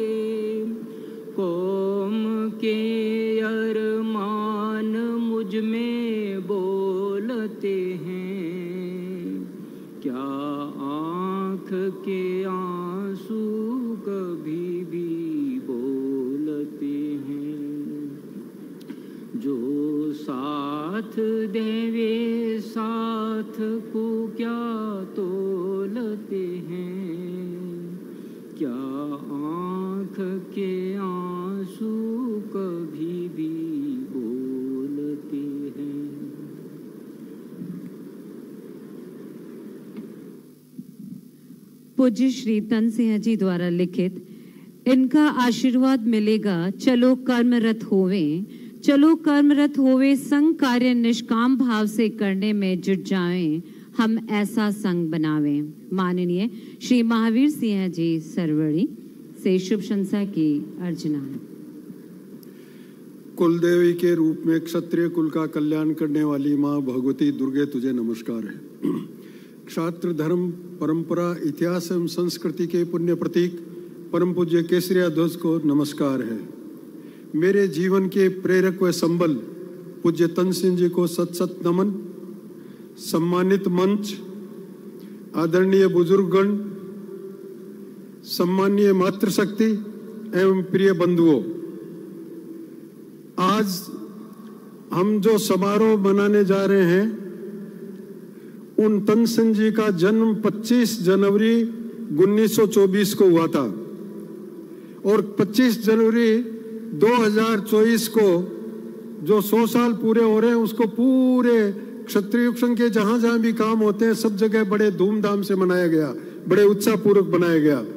लेकिन 2023 में 25 तारीख को जब जयंती बनाई उस समय यह निर्णय लिया गया कि इस एक शताब्दी वर्ष को, इस वर्ष को जो सोवा साल है, उस शताब्दी वर्ष को वर्ष भर मनाना है। समारोह पूर्वक मनाना है शताब्दी वर्ष को। और इसलिए तभी से अनेकों कार्यक्रम हुए हैं।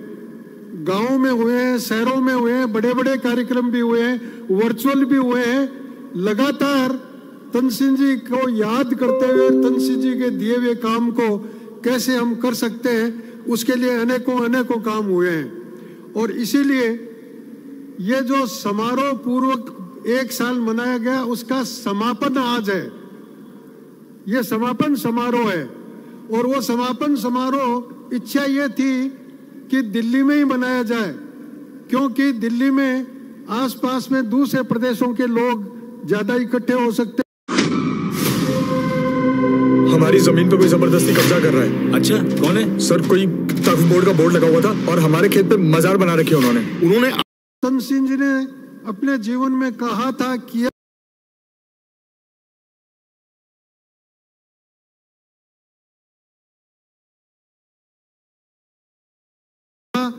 वो बात पहुंचनी चाहिए।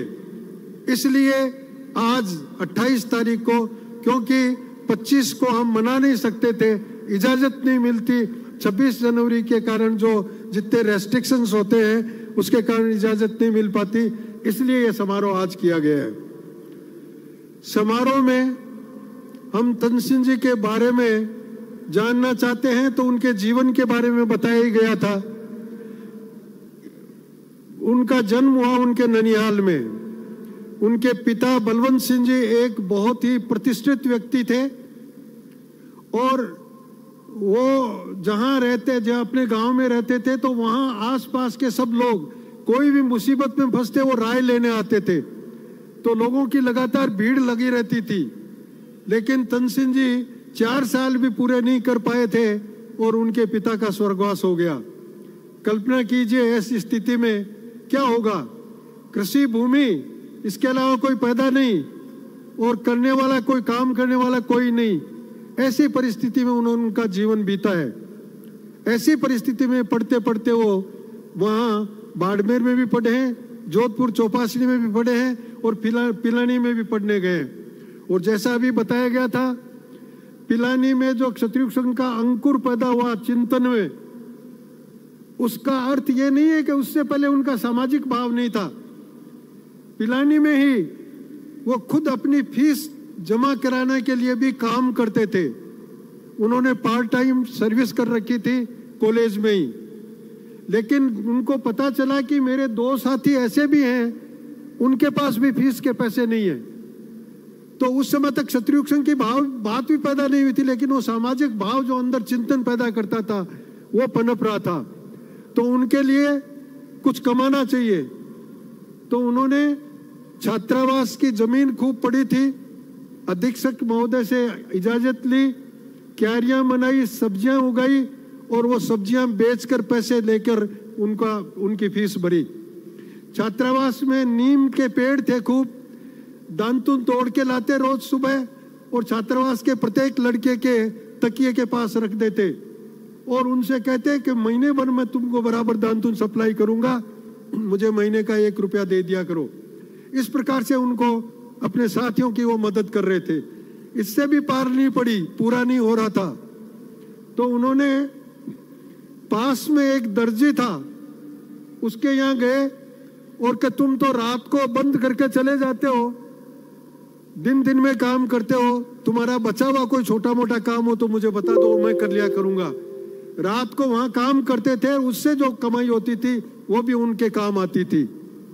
और फाइनल परीक्षा जब होने वाली थी उस समय फ़ीस की फिर दिक्कत हो गई तो उन्होंने पत्र लिखा बिड़ला जी को, जिनकी कॉलेज थी, कि मुझे साठ रुपए भेजिए, मैं जब नौकरी करूँगा या पैसा कमाऊँगा, उस समय आपको लौटा दूँगा। बिड़ला जी को बड़ा आश्चर्य हुआ कि ऐसा आदमी है जो पैसा भी मांग रहा है और वापस लौटाने की भी बात कर रहा है। आज तक मुझे ऐसा कोई आदमी नहीं मिला। उन्होंने संदेश भेजा कि इनको तुरंत पैसा दे दिया जाए। इस तरह से वो सामाजिक भाव तो पहले से ही था। और वो पैसे फिर उन्होंने लौटाए। लेकिन उन्नीस की दीपावली के दिन जो अंकुर पैदा हुआ, उसके कारण उन्होंने कार्य करना प्रारंभ किया।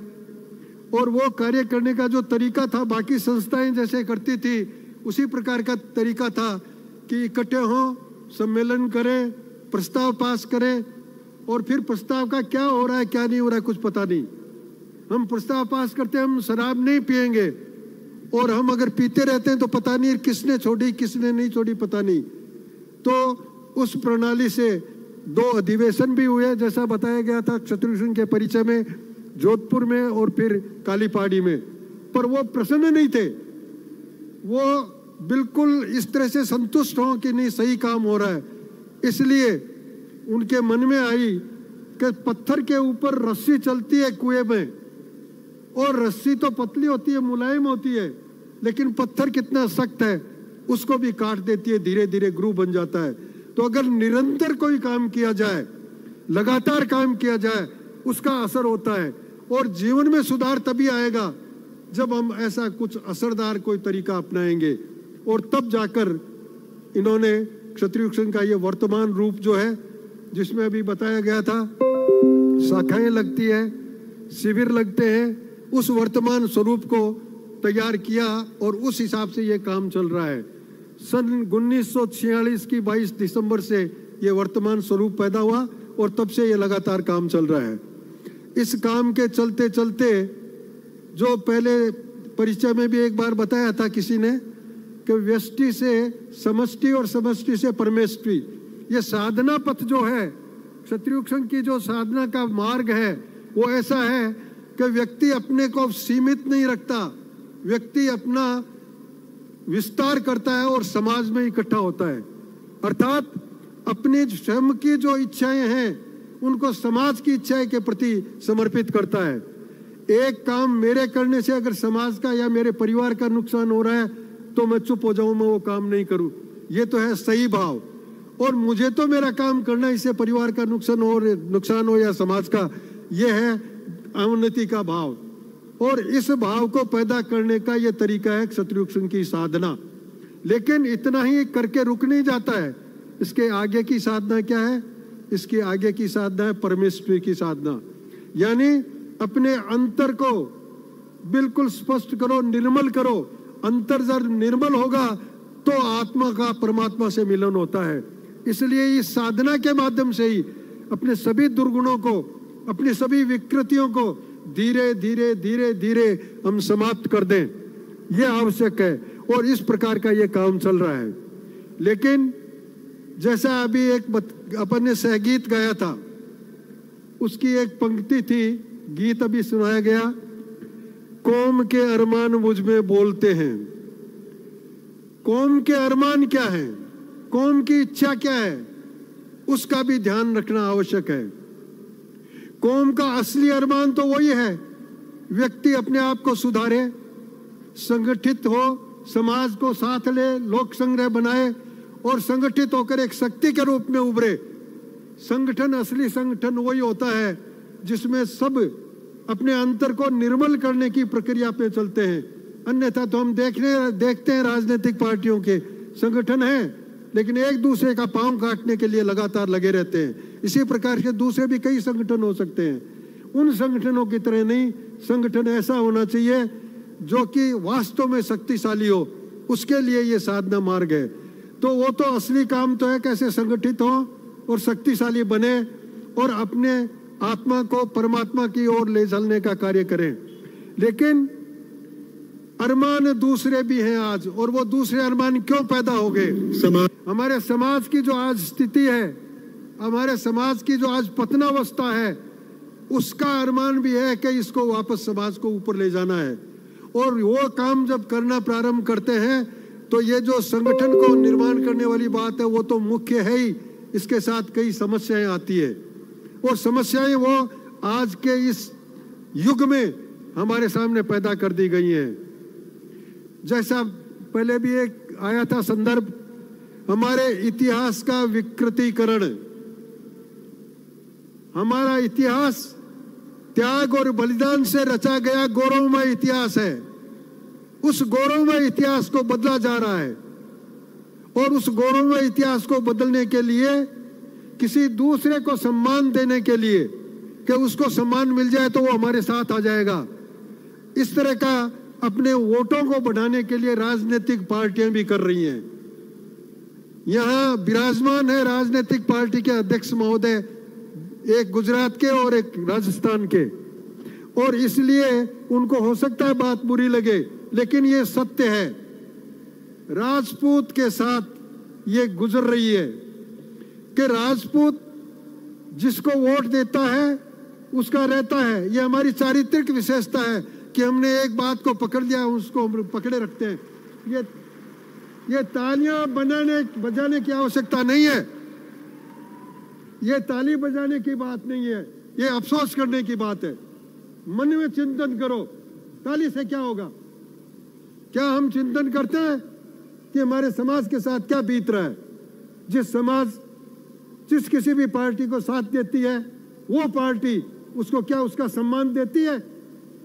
गौर कीजिए, गुजरात में एक भी राजपूत को लोकसभा का सीट नहीं मिला। क्यों भाई? वो वोट नहीं देते हैं क्या आपको? राजस्थान में जितना हम किसी को वोट देते हैं, उसके हिसाब से हमारा कोई रिप्रेजेंटेशन नहीं होता। हमारे अधिकारियों को डाल रखा है अलग अलग उनको कोई सम्मानजनक जगह नहीं मिलती। ये क्या हो रहा है हमारे साथ? ये भी इस समाज का अरमान है। और उस अरमान को पूरा करने के लिए हम सब की आवश्यकता है कि हम एक एक एक संगठन में एकत्रित हो जाएँ। अगर हम एक नहीं होंगे तो हमारे साथ ऐसा ही बीतेगा। हमारी चारित्रिक विशेषता आज के इस बिगड़े हुए लोकतंत्र में दोष बन गई। हम किसी एक का पल्ला पकड़ लेते हैं, अब मेरा एक का पल्ला पकड़ लिया, अब छोड़ेंगे तो अच्छा नहीं लगेगा, ये बुरा है। हम, हमारे हित का सो काम करने वाला है, उसके साथ रहेंगे। ये विचार जब तक नहीं पनपेगा तब तक हमारी पूछ नहीं होगी। और ये अगर विचार अपन पनपा लेंगे तो हमारी पूछ होगी। एक छोटी सी बात थी, सबको आरक्षण मिल रहा था। हमने भी आरक्षण के लिए प्रयास किया। हमने उसमें वाजपेयी जी की सरकार थी, तब आयोग बैठाया। पहले तो हमारी मज़ाक उड़ाई गई, कि आप लोगों को आरक्षण मिलेगा। लेकिन जब हमने कहा नहीं मिलेगा तो हम उठ के जाते हैं। तो हमको वापस बैठाया गया, बात सुनी गई, और आयोग गठित किया गया। लेकिन आयोग की रिपोर्ट आने से पहले सरकार गिर चुकी, दूसरी सरकार आ गई, पार नहीं पड़ी। दूसरी सरकार आई, मनमोहन सिंह की सरकार, उसमें भी हमने प्रयास किया और एक आयोग बैठाया गया। उस आयोग ने भी रिपोर्ट दी, लेकिन वो भी लागू नहीं हुई। राजस्थान सरकार ने भी एक आयोग बैठाया राजस्थान में, उसने भी रिपोर्ट दी, लेकिन लागू नहीं हुई। लेकिन ये जो सब बातें चल रही थी वर्तमान सरकार जब पिछली बार थी तो उन्होंने इस बात को माना और उन्होंने ईडब्ल्यूएस का आरक्षण दिया। बहुत अच्छा काम किया कि कम से कम आरक्षण तो दिया, लेकिन उसके साथ जो शर्तें लगा दी, वो बड़ी अजीब लगा की, तरह की लगा दी। आरक्षण में आपके पास सौ गज से बड़ा मकान है तो आपको नहीं मिलेगा। हमारे तो बुज़ुर्गों ने पीढ़ियों में पहले बड़े बड़े मकान बना दिए आज उनकी मरम्मत नहीं होती, पत्थर भी कर रहे हैं। और फिर भी हमको इसलिए आरक्षण नहीं मिलेगा क्योंकि वो बड़ा मकान है। ये कोई तरीका हुआ? अगर हमारे इसी तरह के जो दूसरी शर्तें हैं को उन शर्तों के ऊपर अगर हम चलते रहे तो हम उसमें जा नहीं सकते। जब इसकी रिपोर्ट की गई, राजस्थान सरकार ने उन सब जो इस तरह के जो प्रतिबंध थे, उनको कम करके केवल ये रख दिया कि साल भर में आठ लाख से ज़्यादा अगर किसी की इनकम है किसी परिवार की तो नहीं मिलेगा, वरना मिलेगा। हम चाहते हैं केंद्र सरकार भी ऐसा करे। हम चारों तरफ़ से प्रयास भी कर रहे हैं। अनेक ज्ञापन भी दिए गए हैं। हो सकता है वहाँ विचार भी हो रहा हो। हम राजस्थान सरकार, वर्तमान सरकार से भी चाहते हैं कि वो भी अपनी तरफ़ से बोले कि इस तरह का लागू होना चाहिए। तब जाके हमारे फ़ायदे होंगे। वरना कोई हमारा रिप्रेजेंटेशन बनता ही नहीं है उसमें। हमारे लोग वहाँ जा ही नहीं सकते। क्यों नहीं जा सकते? क्या हम भारत के नागरिक नहीं है? क्या हम किसी पॉलिटिकल पार्टी को वोट नहीं देते हैं? क्या हमारे मताधिकार का हम प्रयोग नहीं करते हैं? हम करते हैं लेकिन फिर भी हमारी कीमत इसलिए नहीं होती कि हम हमारी पुरानी परंपराओं को भी तो छोड़ के एक नहीं बन पा रहे हैं पा रहे हैं। हम पुरा, पुरानी परंपराओं को छोड़े। आज हमारी जो विकृतियाँ हैं हमारी खुद की दूसरों को दोष देने के लिए तो आज अपन ज़ोर ज़ोर से बोल रहे हैं। लेकिन अपने आप को देखा है क्या? हर परिवार में क्यों झगड़ा हो रहा है? क्यों भाई भाई लड़ रहे हैं? क्यों बहन भाई लड़ रहे हैं? क्या ये हमारी गलती नहीं है? हम परिवार में एक नहीं रह सकते तो इतने बड़े समाज में एक कैसे रहेंगे? इस समाज में भी एक बड़ा रहना है। यह भी समाज का अरमान है। ये समाज का अरमान है कि हम परिवार में शांति से रहें, सौहार्दपूर्ण व्यवहार करें, और केवल हमारे परिवार की या हमारे समाज की बात नहीं है। हम हर मानव मात्र के लिए रहें। हमारे पूर्वजों ने तो पशुओं के लिए जान दी है, मानव मात्र के लिए जान दी है, और हम क्या साथ रहकर एक साथ मिलकर देश की तरक्की की बात नहीं कर सकते, राष्ट्र की तरक्की की बात नहीं कर सकते, और इसीलिए ये जो कमियाँ थी, उनको दूर करने के लिए क्षत्रिय संघ ने भी प्रयास किया है। क्षत्रिय संघ ने जो अनुसूचित जातियों के नेता लोग हैं, चिंतक लोग हैं, उन लोगों को बैठाकर बुलाया। बुलाकर बैठाकर बातचीत की। क्या तरीका है? क्या आपकी शिकायत है? और छोटी छोटी शिकायत से आपको आश्चर्य होगा। उन्होंने बताया कि हमने आठ जिलों का सर्वे किया था। और उस सर्वे के हिसाब से हमारे खिलाफ जो अपराध हो रहे हैं, शेड्यूल्ड कास्ट के खिलाफ, उनमें से राजपूत सिर्फ़ आठ परसेंट है। और वो आठ परसेंट भी अपराध क्या करते हैं कि जब किसी की बनोरी निकल रही है, घोड़ी पे बैठा है तो उसको उतार देते हैं और जाके घर में बैठ जाते हैं, मुँह तान लेते हैं। बाकी कोई अपराध नहीं, बस इतना सा अपराध। और बदनाम सबसे ज़्यादा वही होते हैं। बाकी जो दूसरे लोग अपराध करते हैं, हमारी बच्चियों को उठा ले जाते हैं। लेकिन उन्हीं के समाज का कोई आदमी आएगा, उसका कान पकड़ के लाएगा, मारो इसके जूते। देखो कितना बेईमान है। ये कोई काम करने का है और बात खत्म हो गई। कोर्ट में मुकदमा केवल हमारे खिलाफ होता है, मुँह ताड़ने वालों के खिलाफ। क्या तरीका है ये? क्या हम जानते नहीं, उसमें भी भगवान बैठा है। हर मानव ईश्वर की संतान है। और उसमें जो भगवान बैठा है, क्या उसके साथ ऐसा दुर्व्यवहार करेंगे हम? एक छोटी सी बात है। होना तो ये चाहिए कि जब उसकी बिनौरी जा रही है तो आप पाँच रुपए सही उसकी निचरावल करके देखिए। देखिए आपके साथ कैसे लोग बैठते हैं। और कब ये बिगड़ा है? मैं तो कहता हूँ, इस लोकतंत्र के, इस भारत में आने के बाद बिगड़ा है। मेरे बचपन की मुझे बातें याद है। हम परिवार में जब रहते थे तो सब साथ मिलके शेड्यूल्ड कास्ट के लोग भी हमारे साथ मिलके रहते थे। हम साथ खेलते थे। एक दूसरे को उम्र के हिसाब से, भाई, दादा, छोटा भाई ऐसा इस तरह से करते थे। कोई भेद नहीं था। उनके यहाँ की महिलाएँ हमारे घरों में झाड़ू लगाने आती तो हमारे घर की जो छोटी महिलाएँ होती थी, वो उनके पगे लगती थी। इतना सम्मान था। उसको किसने बिगाड़ा? इस लोकतंत्र ने। इस लोकतंत्र ने डिवीज़न करने की कोशिश की है। और उस डिवीज़न को दूर करने में हमको भी अग्रणी बनना चाहिए कि नहीं, हम सबके साथ बराबर अच्छा व्यवहार रखेंगे। हमने तो मुसलमानों तक को बुलाया है। साथ में बैठ के भोजन किया है। साथ में बैठ के विचार किया है कि हम नागरिक हैं। हम ईश्वर की संतान हैं। धर्म का कोई तरीका दूसरा हो सकता है। समुदाय दूसरा हो सकता है। लेकिन जाना तो आखिर सभी को उसी जगह है। क्यों नहीं हम एक हो सकते? ये सब बातें करने की ज़रूरत पड़ी है। ये भी इस कौम का अरमान है। कि हम ऐसा करें? लेकिन कौम का अरमान ये भी है कि हमारे साथ अगर अन्याय हो रहा है तो उसी जो अभी गीत गाया था, उसकी पंक्ति फिर सुन लीजिए। ध्यान रखना मौन मेरा टूट ना जाए।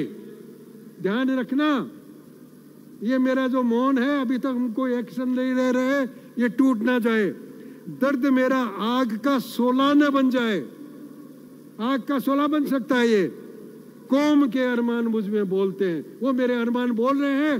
अगर आवश्यकता पड़ी तो ये दर्द का आग जो है, वो सोला भी बन जाएगी।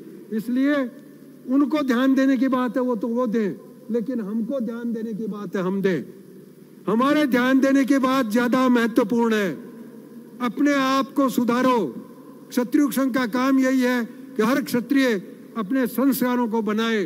अपने आप को सुधारो और सुधरे हुए लोगों की संगठित शक्ति होगी। उस समय अपने को किसी को अपने अरमान बताने की भी आवश्यकता नहीं। हम खुद पूर्ति कर लेंगे। इसलिए आज के इस समारोह को हम इसलिए याद करते रहेंगे कि ये तनसिंह जी के सौ साल पूरे हो रहे हैं और तनसिंह जी ने हमको ये शिक्षा दी है कि राजपूत समाज अपनी वर्तमान से इस बुरी, गिरी हुई स्थिति से कैसे ऊपर उठ सकता है? उसके लिए साधना करनी पड़ेगी। सबसे महत्वपूर्ण काम हमारा है। उनको तो अपन दोष देते हैं। वो हो सकता है वो सुधर भी जाएँगे, लेकिन हमारे वाला काम एक दो साल में नहीं, एक दो पीढ़ी में नहीं, बहुत लंबा समय चाहिएगा। एक मकान को तोड़ने में थोड़ा सा समय लगता है। जैसे भी मंगाओ और तोड़ दो, और वैसे भी तोड़ना चाहो, बिना जैसे भी तोड़ दो, लेकिन मकान निर्माण करने में बहुत समय लगता है। तो हमको तो ये निर्माण करना है, हमारी विकृतियाँ। भगवान राम और भरत भी आपस में लड़ रहे थे, कह रहे थे, ये गद्दी तुम्हारी है। और भरत कह रहा था, आपकी है, मेरी नहीं है। और क्या हो गया आगे जाके? कौरव कहते हैं, हमारी संपत्ति है, वो तो है ही। पांडवों वाली संपत्ति भी हमारी है। उस विकृति को धीरे धीरे धीरे धीरे हमारे अंदर जो आती जा रही है, उसको दूर करें और आज अपने परिवार से, अपने व्यक्तिगत रूप से, अपने परिवार के रूप से, अपने समाज के रूप से और मानवता के रूप से लगातार अपनी इन भावनाओं को विस्तारित करके और हम सब जगह जितने भी मानव मात्र हैं, उन सब में एकता पैदा हो, ऐसा प्रयास करने का प्रयास करेंगे। जय सिंह आभार माननीय महावीर सिंह साहब। बाहर से लगातार ऐसे संदेश आ रहे हैं कि लगभग दस हज़ार लोग बाहर चारों तरफ़ घूम रहे हैं।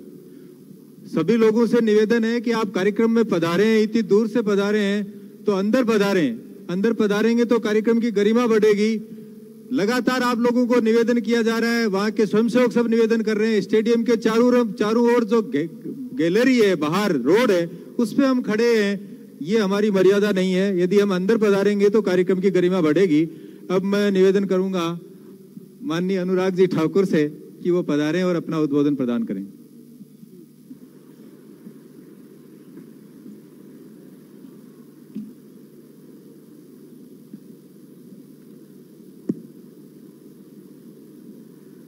न जाने कितने सर कटे और कितने कटवाए हैं, तब जाकर हम क्षत्रिय कहलाए हैं।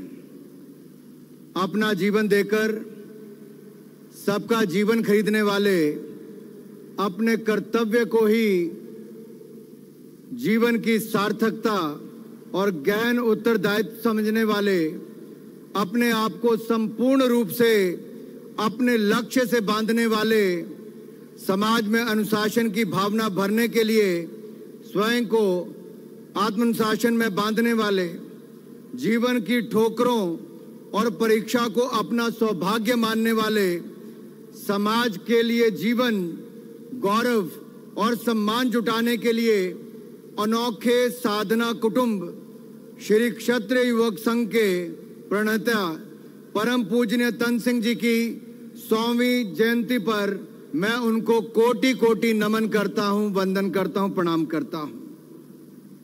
श्री क्षत्रिय युवक संघ के संरक्षक माननीय भगवान सिंह जी और संघ प्रमुख श्री लक्ष्मण सिंह जी मंच पर उपस्थित बड़े भाई केंद्र सरकार में मंत्री आदरणीय गजेंद्र सिंह जी, राजस्थान की माननीय उप मुख्यमंत्री आदरणीय दिया, कुमारी जी। राज्यसभा के माननीय सांसद शक्ति सिंह गोहिल जी,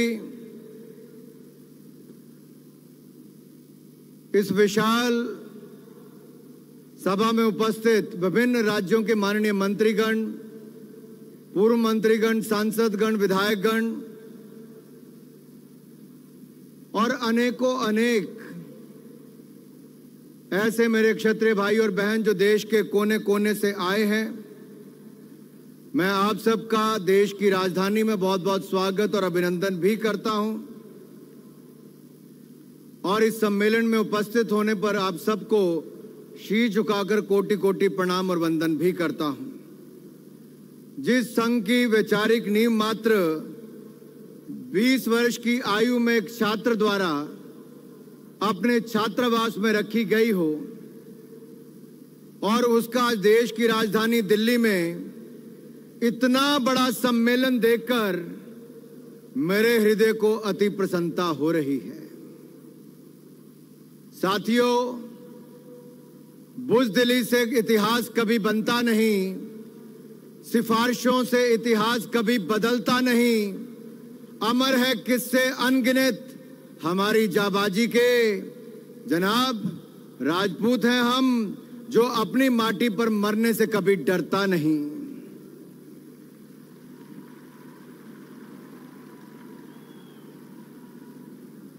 क्षत्रिय समाज वास्तव में देश और समाज की रक्षा करने के लिए सदैव समर्पित रहा है। यही कारण है कि जब क्षत्रिय शस्त्र उठाते हैं तो केवल अपनी रक्षा करने के लिए नहीं, वर्ण देश और समाज की रक्षा करने के लिए उठाते हैं। महाराणा प्रताप ने अपनी लड़ाई क्षत्रियों की रक्षा के लिए नहीं, वर्ण समाज की रक्षा हेतु लड़ाई लड़ी थी। न्याय और धर्म की रक्षा करना ही क्षत्रिय धर्म है। महलों को छोड़ रणभूमि में जीवन बिताया है, तब जाकर क्षत्रिय होने का गर्व पाया है, गौरव पाया है।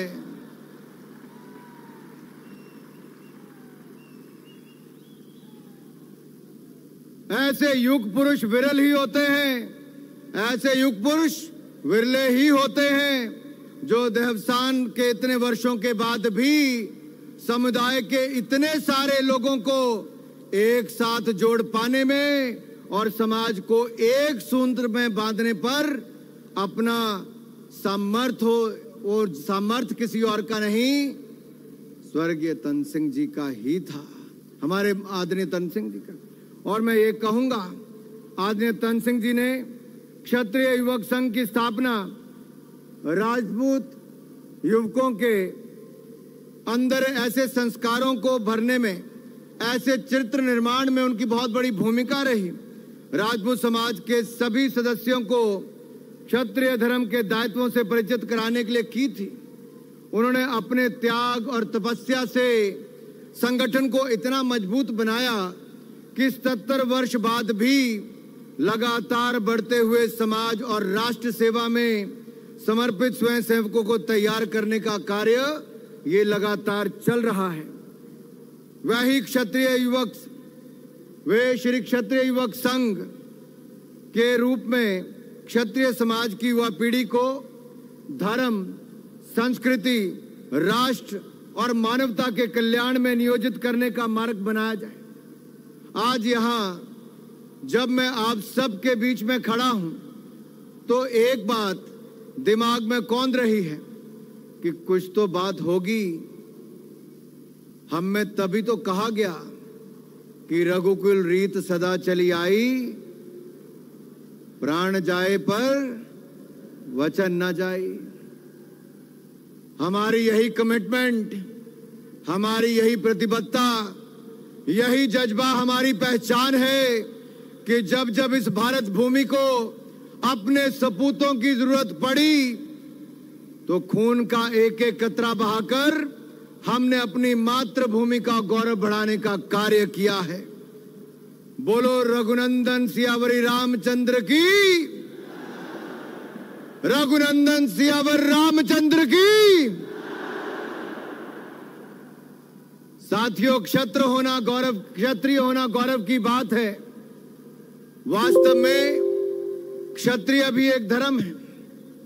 हमारा इतिहास रहा है कि देश और समाज की रक्षा करने के लिए अपना सर्वस्व न्यौछावर कर दिया। शौर्य और साहस के प्रतीक होने के साथ ही दया, क्षमा, करुणा, न्याय और धर्म का सदैव पालन किया है और आगे भी करते रहेंगे। श्री तन सिंह जी, आधुनिक युग के अग्रणी विचारकों में से एक हैं, जिनके आदर्शों को अपनाकर आज अनेकों क्षत्रिय युवा समाज और राष्ट्र की सेवा में अपनी भूमिका निभा रहे हैं। श्री क्षत्रिय युवक संघ के संरक्षक माननीय भगवान सिंह जी का संघ में योगदान अत्यंत महत्वपूर्ण रहा है और मुझे पूर्ण विश्वास है, आप आगे भी अपना आशीर्वचन, मार्गदर्शन हमें सदा देते रहेंगे। किसी भी समुदाय और समाज का पूर्ण विकास तब तक संभव नहीं है जब तक महिलाओं और पुरुषों दोनों का समान रूप से अवसर ना प्रदान किया जाए। हाल ही में देश ने अपना पचहत्तरवा गणतंत्र दिवस बहुत ही धूमधाम के साथ मनाया और इस गणतंत्र दिवस में धूम किसी की रही तो भारत की नारी शक्ति की रही है। केवल भारत की नहीं, पूरे विश्व के लोगों ने यह देखा कि किस तरह से भारत की बेटियों ने थल, जल, नभ और अंतरिक्ष में लोहा मनवा रही हैं। हमारी तीनों सेनाओं के अग्रिम मोर्चों पर देश की बेटियाँ हैं। नारी सशक्तिकरण के इस अहम पहलू की गूढ़ता को समझते हुए श्री भगवान सिंह जी ने संघ के प्रशिक्षण और मूल्यों को महिला और बालिकाओं तक पहुँचाने का कार्य किया है। बालिकाओं के बीच आपने जाकर जो चौमुखी विकास के लिए प्रशिक्षण शिविर लगाने शुरू किए, वो अत्यंत प्रशंसनीय है। क्षत्रिय धर्म क्या है? श्री राम और गौतम बुद्ध जैसे क्षत्रिय वर्ण के वीरों ने कौन से धर्म का पालन किया था? वह धर्म था सत्य के मार्ग को सदैव प्रकाशित करने का, न्याय पथ को सदैव जाज्वल्यमान रखने का, समाज और राष्ट्र हित में अपनी क्षमताओं का सकारात्मक उपयोग करना ही क्षत्र धर्म है। और क्षत्रिय युवक संघ द्वारा युवकों को ऐसे पथ पर चलने के लिए प्रेरित करने का कार्य अत्यंत सराहनीय और प्रशंसनीय है। अपने लक्ष्य की प्राप्ति के लिए कर्म करते रहना ही क्षत्रिय धर्म है। महाभारत के रण में जब अर्जुन ने अपने परिजनों के समक्ष युद्ध करने में असहज प्रतीत हुए, तब भगवान श्री कृष्ण ने उन्हें केवल कर्म करने की सलाह दी थी। कर्म करना देश के युवाओं के लिए इसलिए ही अत्यंत महत्वपूर्ण है। और युवाओं की राष्ट्र निर्माण में योगदान और भी महत्वपूर्ण आज के समय है। जब हम अमृत काल से स्वर्णिम काल की यात्रा में जाएँगे, अगले 25 वर्षों में भारत को विकसित भारत बनाने का लक्ष्य लेकर जाएँगे तो श्री तन सिंह जी ने इसे इतने वर्षों पूर्व ही पहचान लिया था। भारत, जिसे युवाओं का देश कहा जाता है जिसकी शक्ति देश के युवाओं में निवास करती है, उसके उज्जवल भविष्य और भारत को लक्ष्य प्राप्ति के लिए ये कार्यभार भी उन्होंने देश के युवाओं पर ही डाला था। और श्री तन सिंह जी ने अगर इतने वर्ष पहले ये जान लिया था तो आज के युवाओं को आज ये जान लेना चाहिए कि भारत को अगर विकसित भारत बनाना है तो तन सिंह जी के दिखाए रास्ते पर हम सबको अगले 25 वर्षों तक एक अहम भूमिका निभानी है। और माननीय प्रधानमंत्री नरेंद्र मोदी जी ने भी बार बार राष्ट्र निर्माण के लिए युवाओं के सशक्तिकरण पर बल दिया है। उन्होंने कहा है, युवा शक्ति परिवर्तन की वाहक है और परिवर्तन की लाभार्थी भी है। युवा सशक्तिकरण सदैव मोदी सरकार की प्राथमिकता रही है और इसीलिए 31 अक्टूबर 2023 को सरदार पटेल की जयंती पर प्रधानमंत्री नरेंद्र मोदी जी ने माई भारत संस्था को देश के सामने रखा। ये माई भारत एक फिजिटल प्लेटफॉर्म है। स्वयं सेवा के भाव को आगे बढ़ाने के लिए और आप में नेतृत्व निर्माण की क्षमता इसको बढ़ाने के लिए इस संस्था को बनाया समारोह में मात्र तीन महीने के अंदर डेढ़ करोड़ से ज़्यादा युवाओं ने माई भारत पर ऑनलाइन जाकर सदस्यता ग्रहण की। आज वो राष्ट्र निर्माण में एक अहम भूमिका निभा रहे हैं। मेरे युवा साथियों, युवा विकास और युवाओं के नेतृत्व में विकास के लिए हर तरह से प्रयास हम लोग केंद्र से लेकर राज्यों में कर रहे हैं। आज भारत के सामने एक ऐसा अवसर है कि हम अपने भारत को जहाँ स्वामी विवेकानंद जी से लेकर तन सिंह जी के सपनों को साकार कर सकते हैं और नरेंद्र मोदी जी के नेतृत्व में हम लगातार उस दिशा में काम कर रहे हैं। आज भारत जब अपने स्वर्णिम काल के पद पर अग्रसर है तो मैं ये कह सकता हूँ, आज आवश्यकता है ऐसे संगठनों की, जो दक्षिण से लेकर उत्तर तक, पूर्व से लेकर पश्चिम तक, सभी क्षेत्रों से आप सब लोग चलकर दो दो दिनों में ट्रेनों में बैठकर दिल्ली की इस कड़कती ठंड में भी आप अनुशासित होकर सुबह से यहाँ पर बैठे हैं। ये दिखाता है तन सिंह जी ने कैसी सेना तैयार की थी और कैसे विचार सबके बीच में भरे हैं। सत्तर वर्षों में जो उन्होंने किया है, आज वो हम सबको आगे बढ़ा रहा है। आज जब भारत आगे बढ़ रहा तो मैं इतना ही अंत में कहूँगा, ज़्यादा समय नहीं लूँगा। मैं उन युग प्रवर्तक पूज्य तन सिंह जी को उनकी सौवीं जयंती पर पुनः नमन करता हूँ, जिनके नाम मात्र से ऊर्जा का प्रसार हो जाता है, उनके स्मरण से कर्तव्य बोध हो जाता है, और जिन्होंने श्री क्षत्रिय युवक संघ के रूप में समुदायों को एक साथ जोड़कर रखने के लिए एक मंत्र दिया है। और मंत्र क्या है? डर उन्हें लगे, डर उन्हें लगे जिनके कर्मों में दाग है। हम तो राजपूत हैं, हम तो क्षत्रिय हैं, हमारे तो खून में भी आग है। आप सबने मुझे यहाँ पर निमंत्रण दिया। बोलने का अवसर दिया। मैं अपनी ओर से एक बार फिर आप सबका आभार करते हुए आप सबका धन्यवाद करता हूँ और तन सिंह जी को कोटि कोटि प्रणाम करता हूँ। जय हिंद, जय भारत, जय क्षत्रिय। आभार, माननीय अनुराग जी ठाकुर। समारोह में सत्यम गिरी जी महाराज, परीक्षित सिंह जी सोलंकी, राणा पूंजा जी के वंशज, राणा पूंजा जी सोलंकी के वंशज स्वरूप सिंह जी खारा और महावीर यति जी महाराज आदि भी उपस्थित हैं। उन सब का भी बहुत बहुत वंदन।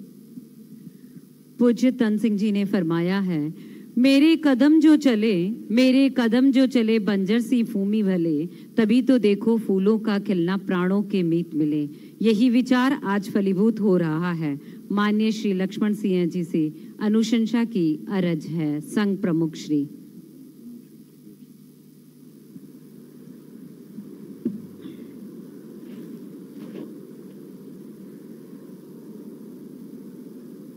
क्षत्रिय युवक संघ के संस्थापक व मेरे जीवन के संबल एवं प्रेरक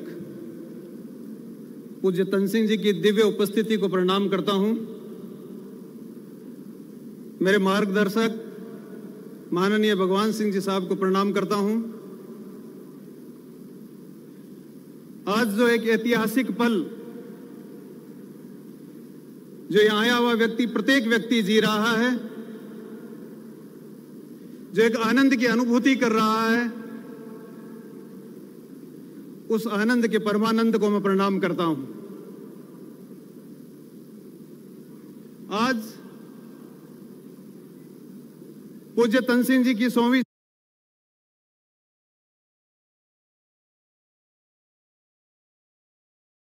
जयंती मना रहे हैं और शताब्दी समारोह के रूप में राष्ट्र के कोने कोने से लोग आए हैं। किसी व्यक्ति की जन्म जयंती इतने वर्षों बाद भी मनाई जाए, उसका क्या कारण हो सकता है? अभी एक शब्द आया था, युग पुरुष। और युग पुरुष किसे कहा जाता है? जो युग की आवश्यकता को पूर्ति करने के लिए आता है और अपना पूरा जीवन, संपूर्ण जीवन उस युग की मांग को पूरा करने के लिए लगा जाता है, ऐसा युग पुरुष कहलाता है। हम युग पुरुष के रूप में अभी अनुराग जी ठाकुर जय लगवा रहे थे, राम की और हमको जोश आया। जोश तो आता है क्योंकि राम हमारे पूर्वज थे। और राम की संतान होना हमारा अपने आप में एक गौरव प्राप्त है हमको। उस गौरव की अनुभूति हमें होती है। लेकिन वो भी युग पुरुष थे। उन्होंने अपने तात्कालिक युग की मांग की पूर्ति की। इसलिए आज हमको उनको युग पुरुष के रूप से जाना जाता है। और जब उनके जयकारी लगाते हैं तो हमको भी जोश आ जाता है। अनेकों अनेकों युगों में इस प्रकार के युग पुरुष आते रहे। चाहे वो राम के रूप में हो, चाहे वो भगवान कृष्ण के रूप में हो, चाहे वो बुद्ध के रूप में हो, चाहे वो महावीर के रूप में हो। और ऐसे ही एक युग पुरुष के रूप में आज हम समारोह मना रहे हैं। उनकी जन्म शताब्दी समारोह मना रहे हैं, वो पूज्य तन सिंह जी क्योंकि तात्कालिक इस वर्तमान युग की जो मांग थी, उस उस मांग को उन्होंने पूरा करने का प्रयास किया, इसलिए हम उनको युग पुरुष की संज्ञा दे सकते हैं। युग पुरुष वही हो सकता है, जो अपने जन्म के बाद में ही उस युग की मांग को पूरा करने के लिए तत्पर हो जाता है। हमने उनके जीवन का वृत्तांत सुना एक 21 साल का युवक, जिसके सामने पूरा का पूरा अपना जीवन पड़ा है, कमाई करनी है, पढ़ाई करनी है, ऐसे व्यक्ति के बीच को दीपावली की रात इस प्रकार का एक चिंतन होता है। हम सब लोग दीपावली मनाते हैं। क्या दीपावली के दिन हमारे इस प्रकार का चिंतन आरंभ होता है, चिंतन मन में आता है? नहीं आता है, इसलिए हम युग पुरुष नहीं बन पाते हैं। और जिसके इस प्रकार का चिंतन उत्पन्न होता है, वो युग पुरुष के रूप में माना जाता है। कौन व्यक्ति है जो दीपावली की रात में अकेला बैठकर ये चिंतन करता होगा कि मेरे समाज का क्या होगा? आज जो ये दीपावली की रोशनियाँ मनाई जा रही है, मिठाइयाँ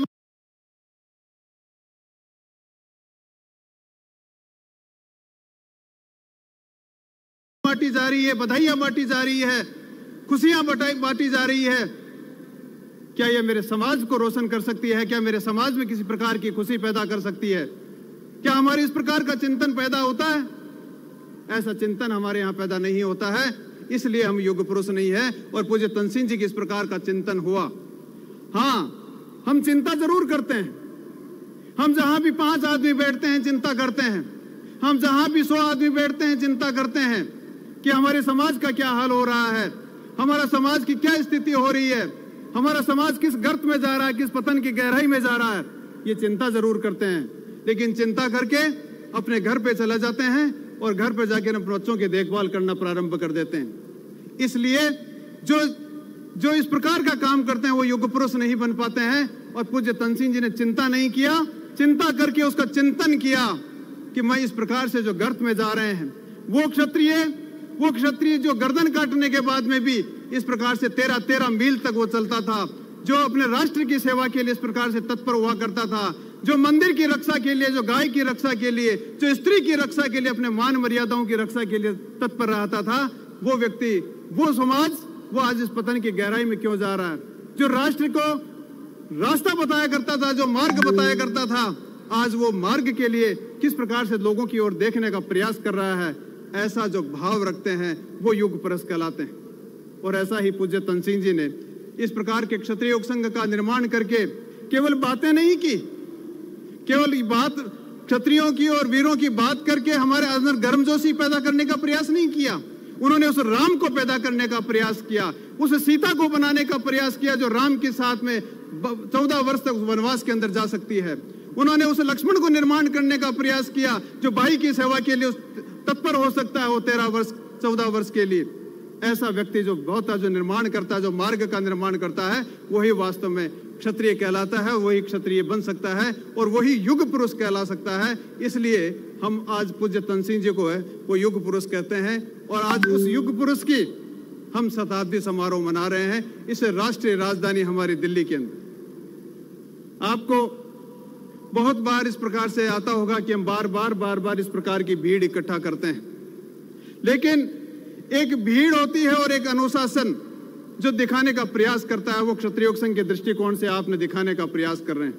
हम हम जब भी कहीं जाते हैं और इस प्रकार के समारोह में प्रकट होते हैं तो हम हमारा अनुशासन नहीं दिखा पाते हैं और उस अनुशासन को नहीं दिखा पाने के कारण हम जो एकत्रित होते हैं, वो जो संगठन बनता है, वो संगठन का निर्माण हम नहीं कर पाते हैं, संगठन का भाव है, वो हम नहीं दिखा पाते हैं। और क्षत्रियोग संघ आपको इस प्रकार की एक प्रणाली देता है, इस प्रकार का एक मार्ग देता है कि यहाँ आकर प्रत्येक व्यक्ति अपने आप के अंदर एक क्षत्रियत्व का निर्वहन करता है, क्षत्रियत्व बनने का प्रयास करता है और क्षत्रिय बन, बनकर दिखाने का प्रयास करता है और यही अनुशासन है। हम सभी लोग आए, मैं ज़्यादा न बोलते हुए एक छोटा सा दृष्टांत आपको कहता हूँ। उस दृष्टांत के बाद मैं अपनी बात को समाप्त करता हूँ। एक जंगल में आग लगी और उस जंगल में आग लगने के बाद में सारे सारे के सारे जो पशु पक्षी थे, वो उस आग को बुझाने में लग गए। कोई कुछ काम कर रहा था, कोई मिट्टी डाल रहा था, कोई पानी डालने का प्रयास कर रहा था। कुछ उस आग से दूर जाने का भी प्रयास कर रहे थे। एक छोटी सी पक्षी था, वो छोटा सा पक्षी अपने चोंच के अंदर पानी भरकर नदी से और उस आग में डालने का प्रयास करती थी। वो चिड़िया जब वहाँ से पानी लेकर आती थी, कुछ तो वो पानी गिर जाता था और कुछ पानी वो वाष्प में, वाष्प बनकर उड़ जाता था। एक हाथी था, उस हाथी ने कहा कि चिड़िया, तेरे इस छोटे से चौंच के अंदर तू तो पानी लाकर इस आग को बुझाने का प्रयास कर रही है, इस आग से को तू किस प्रकार से बुझा पाएगी? और उसका मज़ाक उड़ाया। उस चिड़िया का जो जवाब था वो हमको आज के इस समारोह से वो प्रेरणादायी वो संदेश हमको लेकर जाना चाहिए सभी को। उस चिड़िया का जो संदेश था, उस चिड़िया का जो जवाब था, वो चिड़िया का जवाब ये था कि मेरी इस चोंच में जो पानी भरकर मैं ले जा रही हूँ, इससे चाहे ये आग बुझे या न बुझे, इससे कोई इस आग पर कोई फ़र्क पड़े या न पड़े, लेकिन जब कभी इस इतिहास, इस जंगल का इतिहास लिखा जाएगा, उस दिन मेरा नाम इस आग को बुझाने वालों में नाम आएगा, आग लगाने वालों में नाम नहीं आएगा। हम आज के इस समारोह से यही संदेश लेकर जाएँ कि हम जहाँ कहीं भी रहें, जिस किसी राज्य में रहें, जिस किसी क्षेत्र में रहें, जहाँ भी हम काम करें, हम आज जो इतिहास लिखा जा रहा है हमारी कौम का उस कौम के इतिहास में भागीदार बनने के लिए उस इतिहास को मिटाने वालों में हमारा नाम नहीं हो, उस आग लगाने वालों में हमारा नाम नहीं हो, हम उस आग बुझाने वाले में हो। यही प्रार्थना और इसी के साथ जय संघ शक्ति। आभार महोदय। शास्त्र धर्म के पालन के हित शक्ति खूब बढ़ावे, निज शरीर को लोह बनाकर कड़ी से कड़ी झुक जावे। इन्हीं भावों के उद्गार की अरज है। आदरणीय श्री गजेंद्र सिंह जी महरोली केंद्रीय मंत्री भारत सरकार।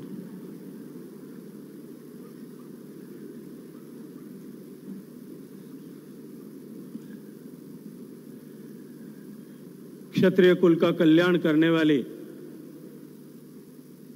माँ भगवती दुर्गे को नमस्कार है। क्षात धर्म के प्रतीक पूज्य केसरिया ध्वज को सम नमस्कार है। मेरे जीवन के संबल और प्रेरक और मेरे जैसे लाखों लोगों के जीवन का निर्माण करने वाले श्री तन सिंह जी को बारंबार प्रणाम है। तन सिंह जी के जीव जन्म शताब्दी वर्ष के समापन के कार्यक्रम में हम सब के बीच में अपना आशीर्वाद देने के लिए पधारे हुए श्री क्षत्रिय संघ के माननीय संरक्षक श्रद्धेय भगवान सिंह जी के श्री चरणों में प्रणाम करता हूँ। मंच पर उपस्थित श्री क्षत्रिय संघ के माननीय संघ प्रमुख श्री लक्ष्मण सिंह जी, राज्यसभा के सांसद श्री शक्ति सिंह जी, और आज इस महनीय कार्यक्रम में देश भर से आए हुए सभी सम्माननीय अतिथिगण, स्वयंसेवक बंधुओं, बहनों, आप सबको भी मैं प्रणाम करता हूँ, आप सबका अभिनंदन करता हूँ, आप सबका अभिवादन करता हूँ। मित्रों, हम एक ऐसे महामना की जन्म शताब्दी वर्ष के कार्यक्रमों के समापन के अवसर पर सम्मिलित हुए। जिनके जीवन के बारे में अनेक प्रेरक बातें, पहले उनके जीवन पर आधारित वृत्त चित्र के माध्यम से, और उसके बाद में अनेक वक्ताओं ने अपने वक्तव्य में जो चर्चा की है, उसके माध्यम से हम सबके संज्ञान में आया होगा। एक ऐसा व्यक्ति जिसने अभाव के से ग्रसित एक परिवार में जन्म लिया। और जन्म के साथ ही परिस्थिति जो दुर्भाग्य जिसका सहोदर था, जिसके साथ में दुर्भाग्य पैदा हुआ था कि चार साल की छोटी सी आयु में उस 1924 के साल में पैदा हुआ व्यक्ति जब 2028 में अपने पिता को खो दे और उसके बाद में बनने वाले, आने वाली चुनौतियों को दुर्गादास की भांति उन सारी चुनौतियों को अपने लिए एक सौभाग्य मान करके जो आगे बढ़े ऐसे जीवन, एक ऐसे आदर्श जीवन के प्रणेता, श्रद्धेय तन सिंह जी को हम सब लोग स्मरण करके के लिए, उनके जीवन से प्रेरणा लेने के लिए आज यहाँ एकत्रित आए। मित्रों, कल्पना कीजिए कि एक ऐसा बालक जिसके पिता का साया सर से उठ गया हो और ऐसी कठिन परिस्थिति में अपनी माँ से दूर रह करके अकेले बाड़मेर जैसे शहर, नगर में आकर के रहना और अपनी प्राथमिक शिक्षा को वहाँ पूरा करना और अपना आधा कच्चा पक्का भोजन बना करके उन सारी चुनौतियों को पार करते हुए बाद में चौपासनी स्कूल और वहाँ से निकल करके कॉलेज की शिक्षा के लिए पिलानी तक पहुँचना। श्रद्धे महावीर सिंह जी जब अभी चर्चा कर रहे थे, अपने व्याख्यान में उन्होंने किन कष्टों के साथ में उन्होंने अपने अध्ययन को वहाँ पूरा किया, लेकिन केवल अपनी ही चिंता नहीं, अपने समाज के अन्य लोगों की चिंता जो पंक्ति में मेरे से पीछे खड़ा है उसकी चिंता करना और उसकी चिंता के लिए परिश्रम की पराकाष्ठा पुरुषार्थ की पराकाष्ठा करना। मैंने पढ़ा है बातों बा, बा, अनेक बार सुना भी है कि वो परिश्रम करते हुए उनका शारीरिक स्वास्थ्य जो है वो गंभीर संकट में पहुँच गया लेकिन उसके बाद में भी जो मेरा है उसके लिए करना मेरा दायित्व है मेरा कर्तव्य है मेरी ज़िम्मेदारी है। इस बोध के साथ में जो व्यक्ति आगे बढ़ा आज उसका परिणाम है कि सौ साल बाद में भी हम सब लोग आज एकत्रित होकर के उनको श्रद्धांजलि अर्पित कर रहे हैं। मित्रों, अपने जीवन में जब क्षत्रिय संघ की स्थापना की और स्थापना के बाद में नागपुर के अपने प्रवास के समय जो लॉ की पढ़ाई के निमित्त वहाँ हुआ, उस समय राष्ट्रीय स्वयंसेवक संघ के संपर्क में आकर के इस संस्कार में इस शिक्षा प्रणाली के माध्यम से किस तरह से समाज को परिवर्तित किया जा सकता है? इस भाव को लेकर के कि व्यष्टि के निर्माण से, व्यक्ति के निर्माण से, परिवार का निर्माण, परिवार के निर्माण से, समाज का निर्माण, समाज के निर्माण से, राष्ट्र का निर्माण और राष्ट्र के निर्माण से विश्व का कल्याण, जगत का कल्याण। जगत के कल्याण के उद्देश्य के लिए व्यक्ति का निर्माण करने की इस प्रक्रिया का जो सूत्रपात उन्होंने किया आज सतोगुणी शक्तियों को एकत्रित कर, संगठित कर, सतोगुणी शक्ति की ताकत को बढ़ाने के लिए जो उन्होंने काम किया, आज मैं विश्वास के साथ में कह सकता हूँ कि देश भर में ऐसे लाखों लोग होंगे जिनके जीवन में कहीं न कहीं सतोगुण के इस बीज को जो है, वो स्थापित करके, उस सतोगुणी भाव को विकास करके, उद्विकास करके, समाज में ऐसे सतोगुणी शक्ति का का सजन करने का काम श्री तन सिंह जी की उस पाठशाला के माध्यम से हुआ है। मित्रों, जिस तरह की विपरीत परिस्थितियाँ आज हैं, जिन विपरीत परिस्थितियों की चर्चा आदरणीय अनुराग जी ने की, जिन विपरीत परिस्थितियों की चर्चा चर्चा आदरणीय महावीर सिंह जी ने की, आदरणीय राजेंद्र सिंह साहब ने की, आज जिस तरह की परिस्थितियाँ समाज में और जिस तरह से समाज में मूल्यों का क्षरण हो रहा है, ऐसी परिस्थिति में, क्योंकि उन मूल्यों के स्थापन की की ज़िम्मेदारी ईश्वरीय भाव से, ईश्वरीय कृपा से, डीएनए के बाद जो अगर अध्ययन किया जाए तो क्षत्रिय समाज की है। इसलिए हम सब की ज़िम्मेदारी इन विषम परिस्थितियों में और भी अधिक बढ़ जाती। अभी भगवान श्री राम का नारा आदरणीय अनुराग जी ने लगाया। अभी अभी हाल ही में भगवान श्री राम का मंदिर बनाया और हम सब लोगों ने मर्यादा पुरुषोत्तम भगवान श्री राम का स्मरण किया। भगवान श्री राम निश्चित रूप से मर्यादा पुरुषोत्तम है, वो आदर्श है। वो लेकिन सबके लिए आदर्श है, लेकिन हमारे लिए गर्व है कि वो हमारे पूर्वज भी हैं। और वो हमारे पूर्वज हैं। इसलिए उनके आदर्शों के अनुरूप आचरण करने की, व्यवहार करने की और समाज उनके आदर्श के अनुरूप आचरण और व्यवहार करे, ये ज़िम्मेदारी अगर पहली किसी की है तो क्षत्रिय समाज के लोगों की है। और हमको उसके अनुरूप आचरण करते हुए हमें अपने जीवन को जीने की आवश्यकता है। मैं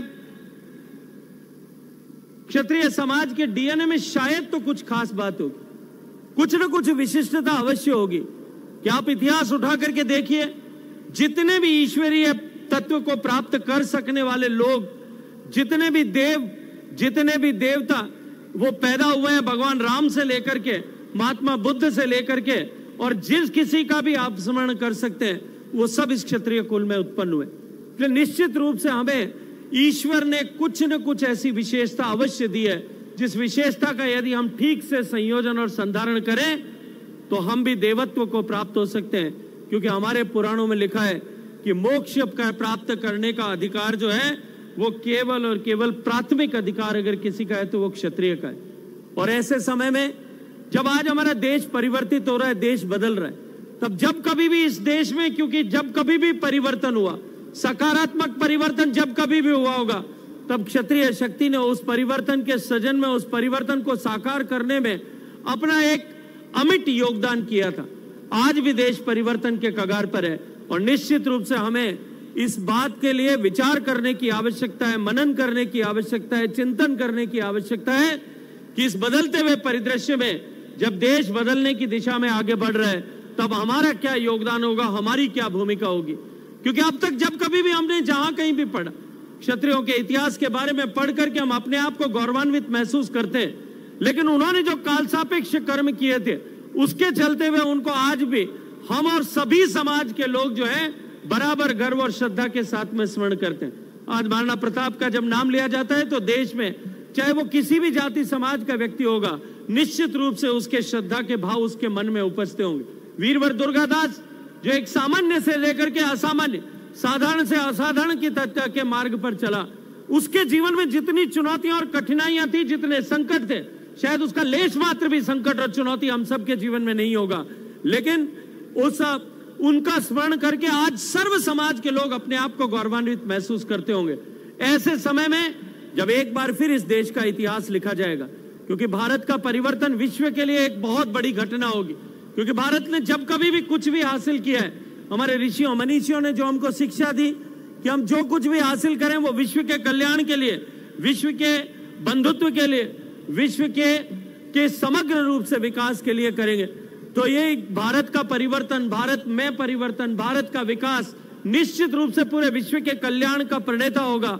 ऐसे समय में इस महत्वपूर्ण घटना का जब इतिहास लिखा जाए मित्रों, तब उस इतिहास में हम क्षत्रिय समाज के संततियों का भी एक बार फिर उल्लेख हो, ताकि आने वाली पीढ़ियाँ ये न कह सकें कि ये जो बीच की पीढ़ी का, बीच का कालखंड था, इस कालखंड ने केवल उस पुराने पूर्वजों के जो यश था, जो पुण्य था, उस संचित पुण्य को केवल उपभोग करने का काम किया, उसमें कहीं भी किसी तरह से अपनी तरफ़ से योगदान नहीं किया।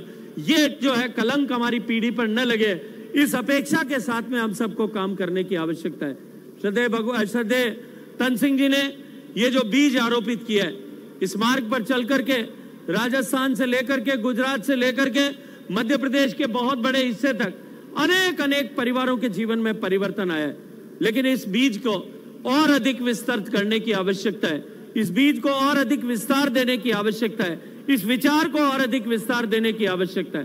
श्रद्धेतन सिंह जी ने जिस तरह से अपने जीवन में जो कुछ भी किया, एक विद्यार्थी के नाते काम का पढ़ते हुए, एक बालक के नाते पढ़ते हुए, जब अपने आप को प्रथम स्थान पर रखा, व्यवसायी के रूप में काम किया व्यवसायी के रूप में भी अपने आप को एक सफल व्यवसायी के रूप में स्थापित किया।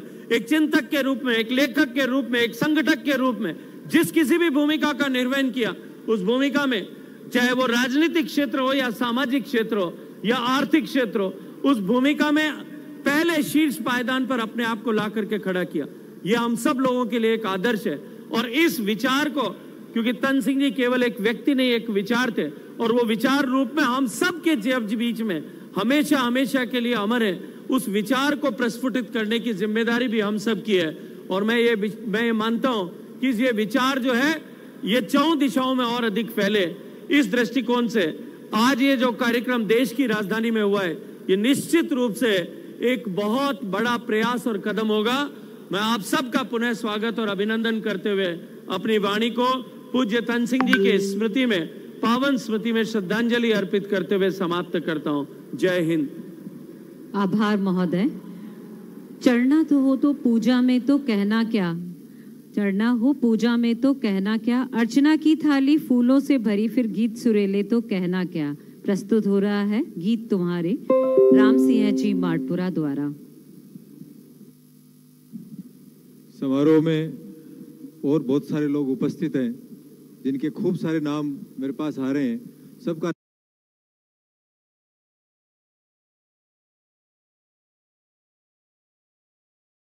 नाम पढ़ने की स्थिति में नहीं है, लेकिन जो भी पधारे हैं उन सब का आभार। जालम सिंह जी रावलोत एक्स एमएलए समुद्र सिंह नोसर, इसके अलावा बहुत सारे लोग। आदरणीय राम सिंह जी।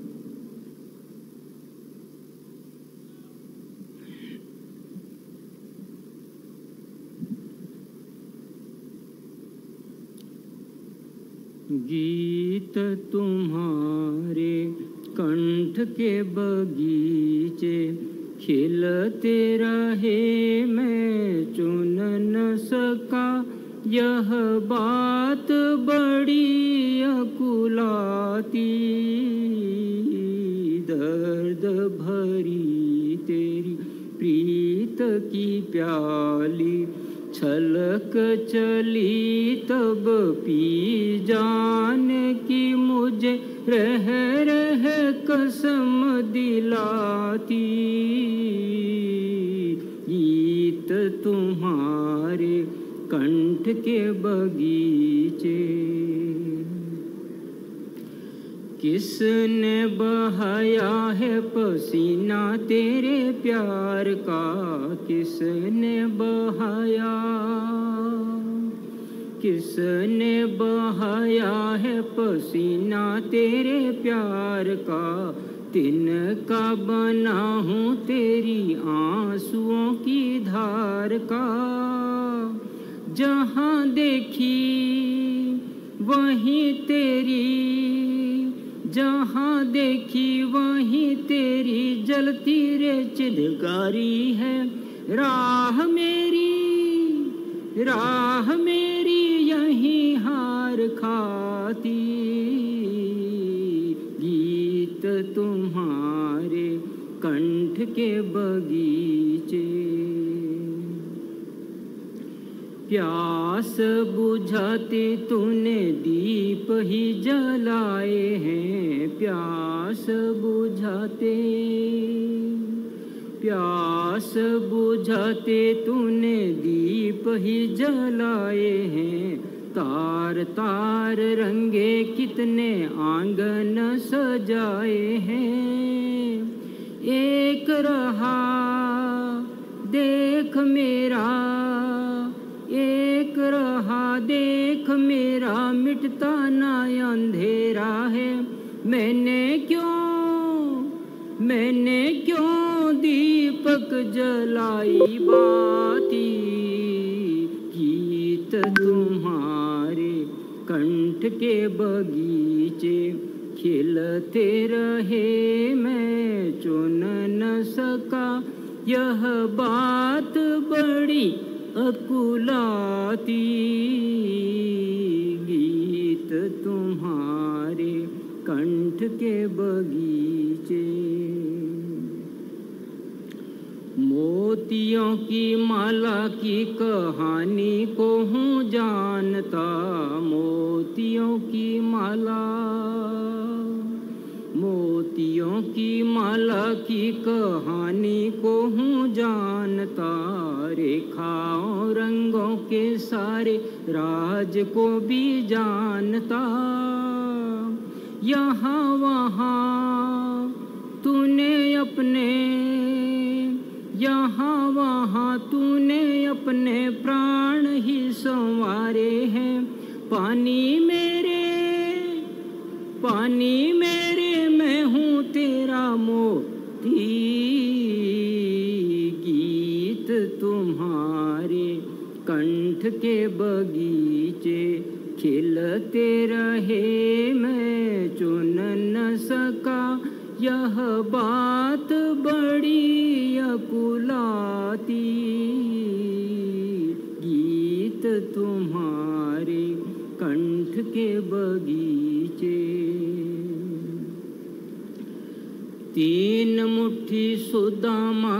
चावल भी तो कहाँ है? तीन मुट्ठी तीन मुट्ठी सुदामा के चावल भी तो कहाँ है?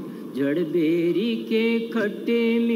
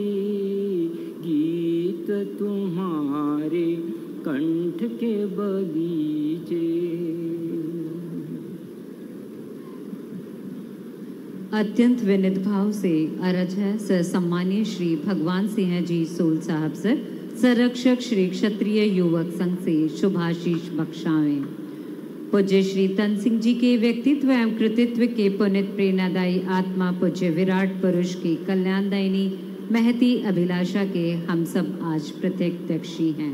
संरक्षक महोदय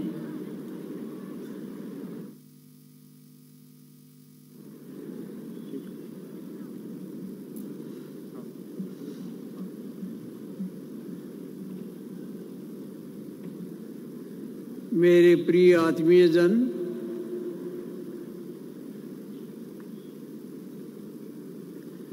पूज्य तन सिंह जी की शताब्दी समारोह का अब समापन हो रहा है। सर्दी भी बढ़ गई है, मैदान भी खाली हो गया है, टीवी वाले भी भग गए हैं। लेकिन सुनने और सुनाने की बात क्या है? बहुत कुछ बात हो गई है। मैं कुछ इन बातों को रिपीट करूँ, इसकी बजाय कोई मेरे पास और कोई स्मरणीय बात हो तो मैं कहना चाहूँगा, मुझे एक महाभारत का किस्सा याद आता है।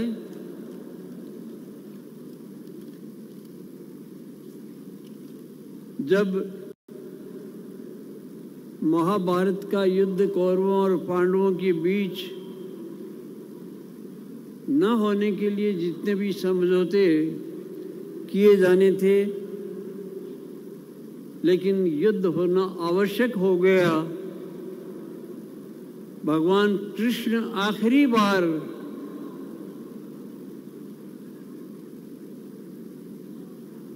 हस्तिनापुर गए। और वहाँ भी उनका अपमान हुआ। लेकिन युद्ध कोई अच्छी चीज़ नहीं है। लेकिन होना आवश्यक था तो वो हुआ। उस समय वो अपनी बुआ कुंती सिख के पास मिलने के लिए गए। और बुआ से कहा, अपने पुत्रों के लिए कोई संदेश हो तो वो मैं उनको जाके बता दूँ।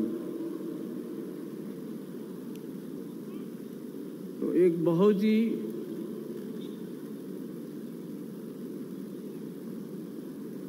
प्रेरणादायक भी और दुखदाई भी बात कुंती ने कही कहा कि जिस दिन के लिए क्षत्राणियाँ पुत्रों को जन्म देती है, वो दिन आज आ गया है।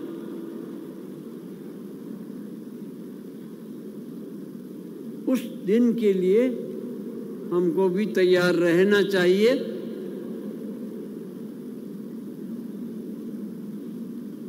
हमको भी सबूत की, सपूत की मौत मरने के लिए तैयार रहना चाहिए। और हमने भगवान भगवान ने हमको जन्म दिया है जिस काम को किए बिना कभी भी नहीं मरना है, ये हमारा संकल्प होना चाहिए। और पूज्य तन सिंह जी ने कहा कि दीप की विशेषता इसी में है कि बुझने से पहले हज़ारों दीपक जला दे तो तन सिंह जी ने तो ये काम कर दिया, जो उनको प्रेरणा मिली, जो इस कौम को, जो इस राष्ट्र को, जो इस संस्कृति को बचाने के लिए किया जा सकता था, उसकी पूरी विरासत हमको सौंप के गए हैं। अब हम उसको संभाल सकें या नहीं, ये कौन सिद्ध करेगा? हम अपनी आत्मा से पूछें, कोई कमेटी बैठा करके तय नहीं करना है? आत्मचिंतन करें कि क्या भगवान ने जिस सुकार्य करने के लिए, सुकर्म करने के लिए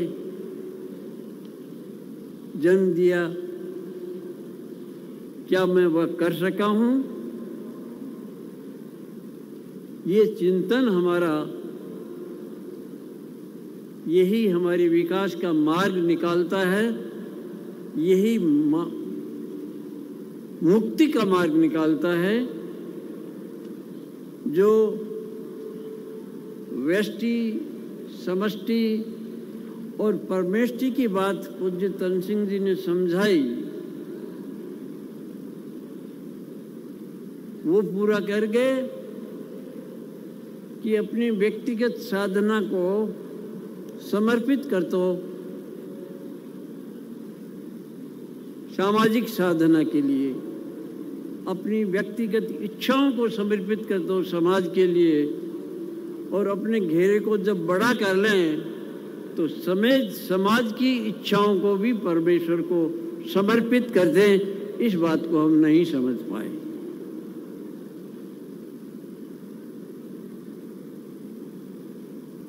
अभी तो मैं दो तीन दिन से यहाँ दिल्ली में ये बातें सुन रहा हूँ कि हमारे लोग बहुत डरपोक हो गए हैं। डरने लग गए हैं कि राजपूत इकट्ठे हो रहे हैं तो कहीं हम छावा नहीं हो जाए। लोग कोई हमको जान नहीं जाए कि ये इकट्ठे क्यों हो रहे हैं।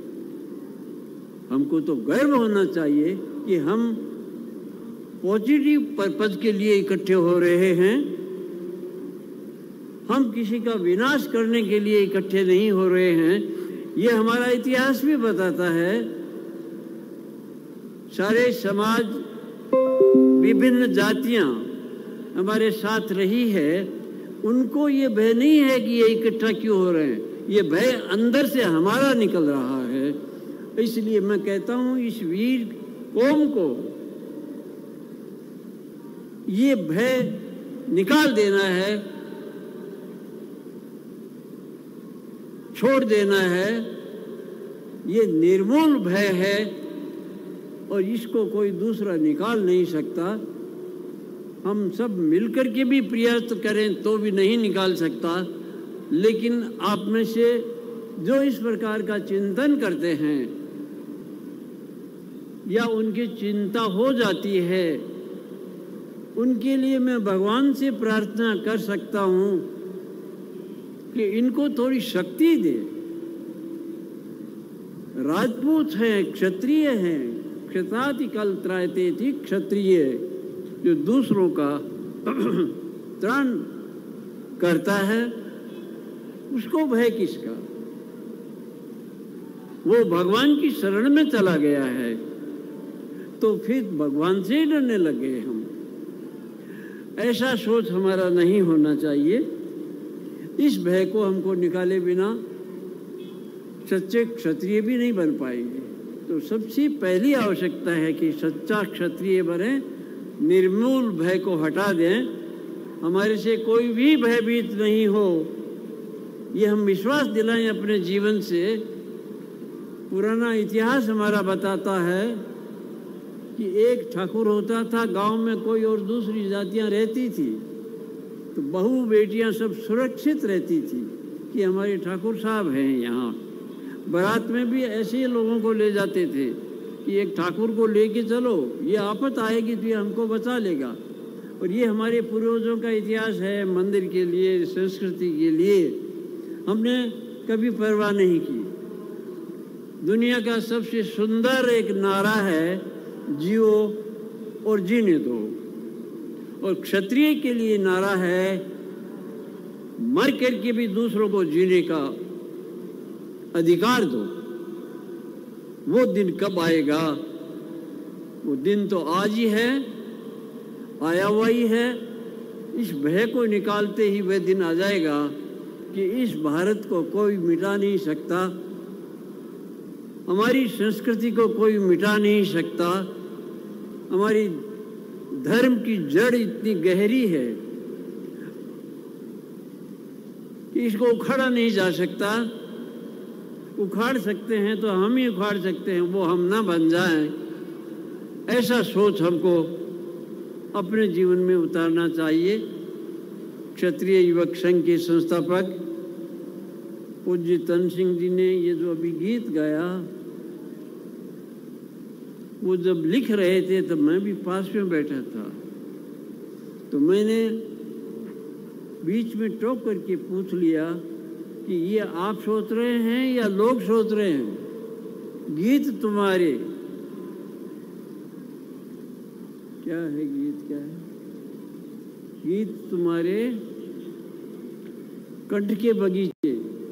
खिलते रहे, मैं चुन न सका।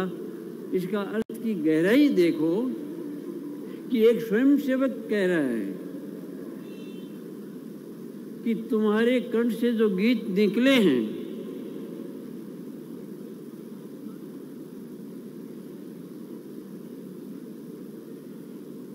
तो मैंने जब ये टोका, तब उन्होंने कहा, तुम्हारे समझ में आएगा, लेकिन मेरे रहते नहीं आएगा। आज मुझे समझ में आ रहा है कि ये गीत उन्होंने क्यों लिखे? ये क्षत्रिय युवक संघ उन्होंने क्यों प्रारंभ किया? क्यों इतने अधिक लोगों को जोड़ा? और भविष्य में जुड़ते रहने का एक मार्ग छोड़ गए? आप लोगों ने सबके सहयोग से पूरे भारतवर्ष में इस जयंती को राष्ट्रीय राजधानी में बनाने के लिए जो प्रयत्न किए हैं, मैं तो निकल नहीं सका। बीमार रहा, लेकिन समाचार लगातार मिल रहे थे और मैंने सोचा भी यही था कि मैं कोई प्रचार नहीं करूँगा। लोग दुबई गए, लोग लंदन जाके आ गए, लोग अमेरिका जाकर के आ गए और सारा प्रचार करके आ गए। अब वहाँ से कितने आए हैं, कितने नहीं आए हैं, इसकी कोई जानकारी नहीं। लेकिन आज के कार्यक्रम की आवाज़ पूरी दुनिया में फैल गई है। बस यही इसकी सफलता है। जय संघ शक्ति।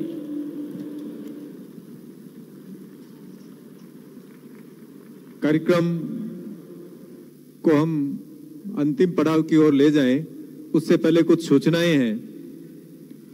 ये जो मुख्य स्टेडियम है, ये हमें आज रात को खाली करना है। इसलिए जो लोग आए हुए हैं, हमारे स्वयंसेवक आए हैं, सहयोगी आए हैं, उन सबसे निवेदन रहेगा कि वो इसको खाली करने में हमारा सहयोग करे।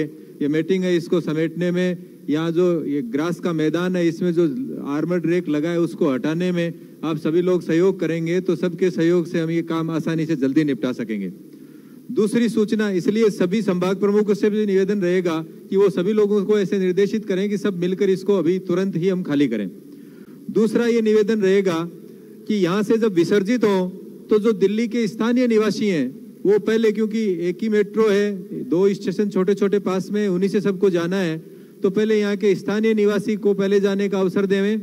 उसके बाद में जो बसों से और व्यक्तिगत साधनों से आए, उनको जाने का अवसर दें। रेलें हमारी शाम को सात बजे के बाद है, इसलिए हम सब लोग उसके बाद रवाना हो तब तक हम यहाँ व्यवस्थापकों का सहयोग करें।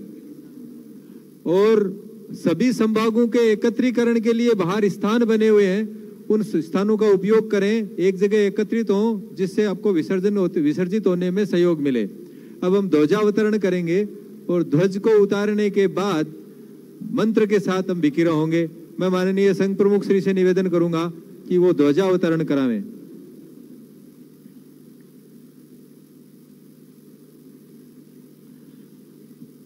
थोड़ी देर रुके, मंत्र के बाद बिकी होंगे अपने स्थान पर ही खड़े रहें।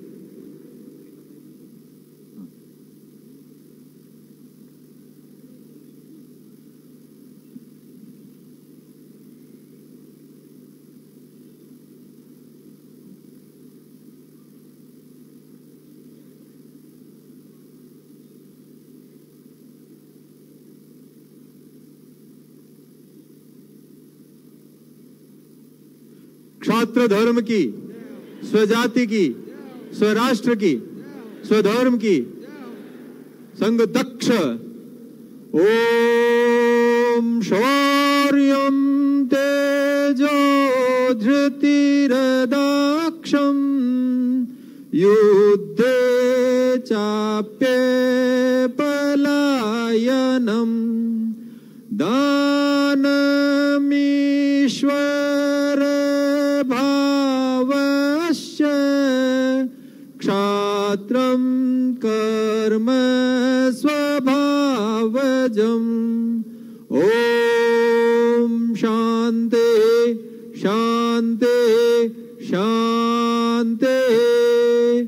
संघ ध्वज प्रणाम एक, दो, तीन। संघ विकिर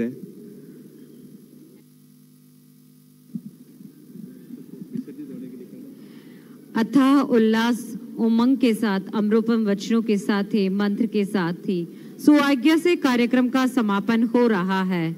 जय संशक्ति, जय हिंद।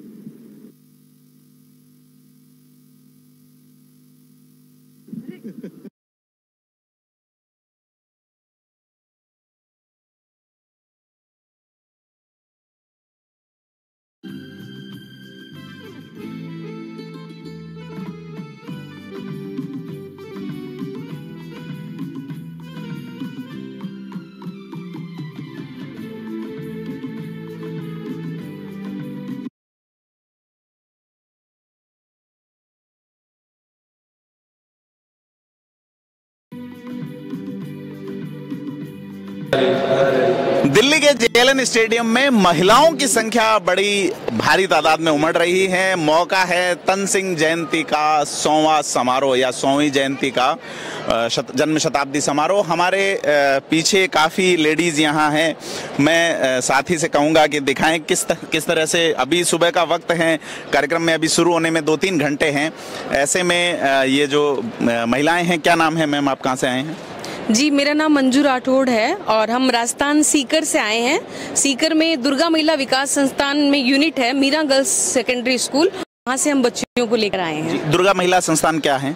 ये क्षेत्रीय युवक संघ के द्वारा संचालित एक विद्यालय है जी। क्षेत्रीय युवक संघ के द्वारा संचालित होता है और क्षेत्रीय युवक संघ की विचारधारा पर ही ये विद्यालय कार्य करता है। जी। क्या विचारधारा है? थोड़ा सा आप एलोबरेट करेंगे प्लीज़ जी बिल्कुल।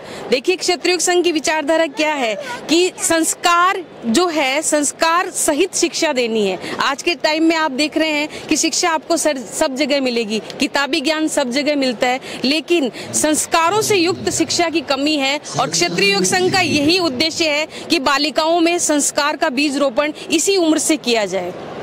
सुमन जी बता रहे हैं संस्कार निर्माण और उनकी बात।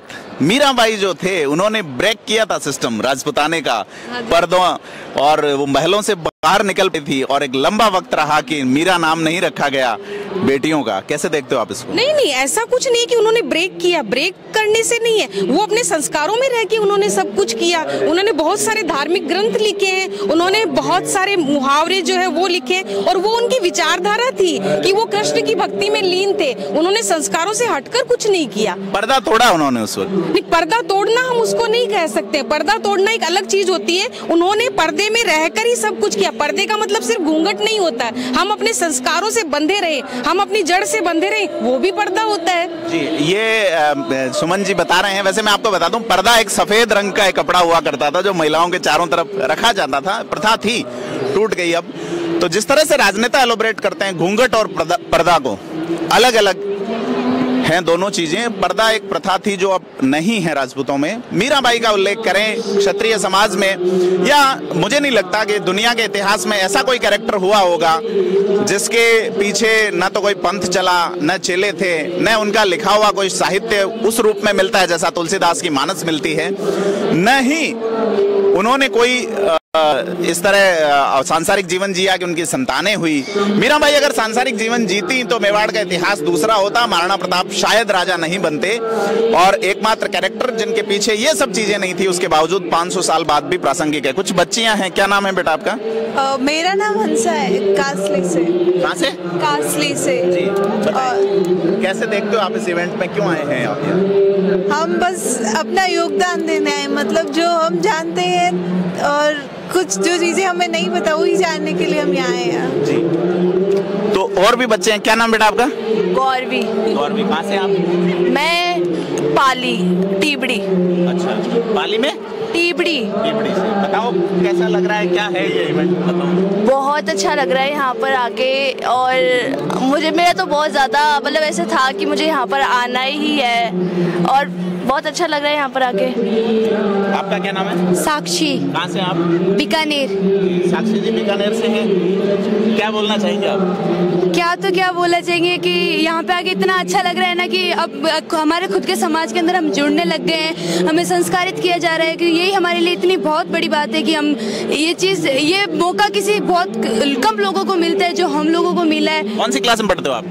Class tenth. आपका क्या नाम है? अल्पिता। अर्पिता बताओ अपने बारे में बताओ कहाँ से आए हो? हाँ मैं जा मैं शिरोई से हूँ और मुझे यहाँ पे आके बहुत अच्छा लग रहा है। सिरोही में कहाँ रहने वाले हैं आप? सिरोड की। अच्छा सिरोड कौन सी क्लास में पढ़ते हो? सिक्स आप सीकर में ही पढ़ते हो? यस तो और भी बच्चे यहाँ हैं? क्या नाम है मैम आपका? सरोज। सरोज। बाड़मेर से।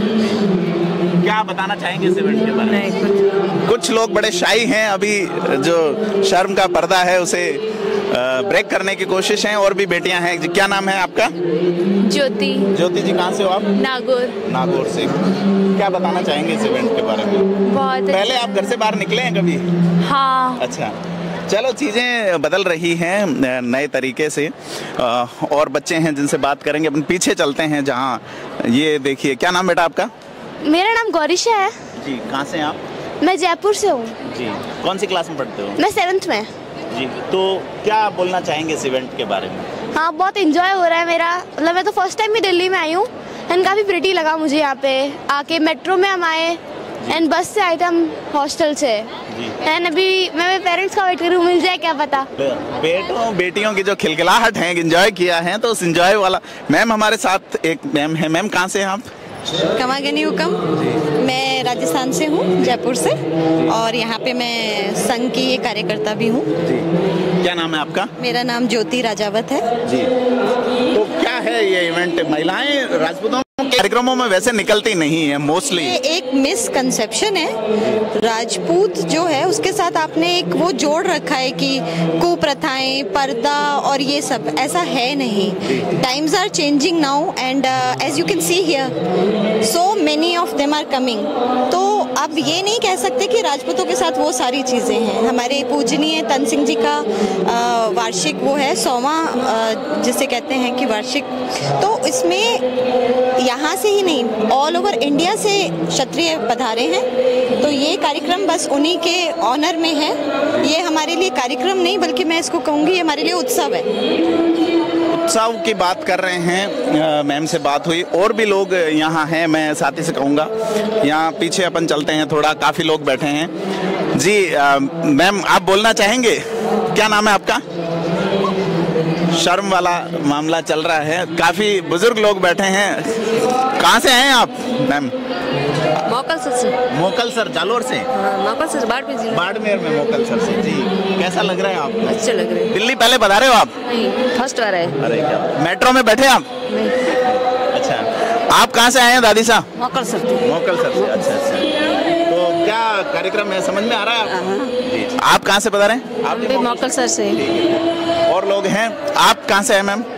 हम लोग बाड़मेर ज़िले से और गाँव हमारा इंद्राना है, नाम सागर कंवर है और हम मतलब पहली बार आए हैं तो बहुत अच्छा लग रहा है और कम से कम हमें बाहर जाने का मौका मिल रहा है तो बहुत खुशी की बात है कि आज राजपूत समाज की लड़ी से बाहर निकल पा रही है।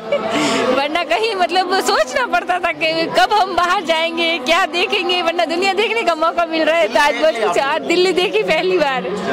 हाँ तो। बच्चों को मौका दो फिर। हाँ बच्चों को भी तो देंगे हमें मौका मिला है तो बच्चों को तो पहले देंगे और बच्चे भी हमारे साथ हैं और बच्चे भी आए देखें तो बच्चों को भी पता चले कि हमारा समाज क्या है हमारा मतलब हमारा संघर्ष ये क्षत्रिय समाज के बारे में क्या क्या है इसकी जानकारी भी उन्हें भी पता चले हमें भी पता चले तो बहुत अच्छा लगा यहाँ के।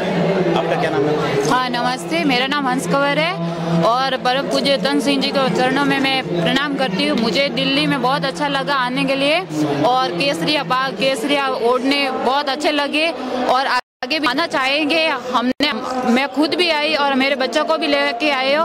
और हम यहाँ छोटे बड़े यहीं हुए। हैं इसलिए दिल्ली में ही बड़े हुए हैं छोटे बड़े।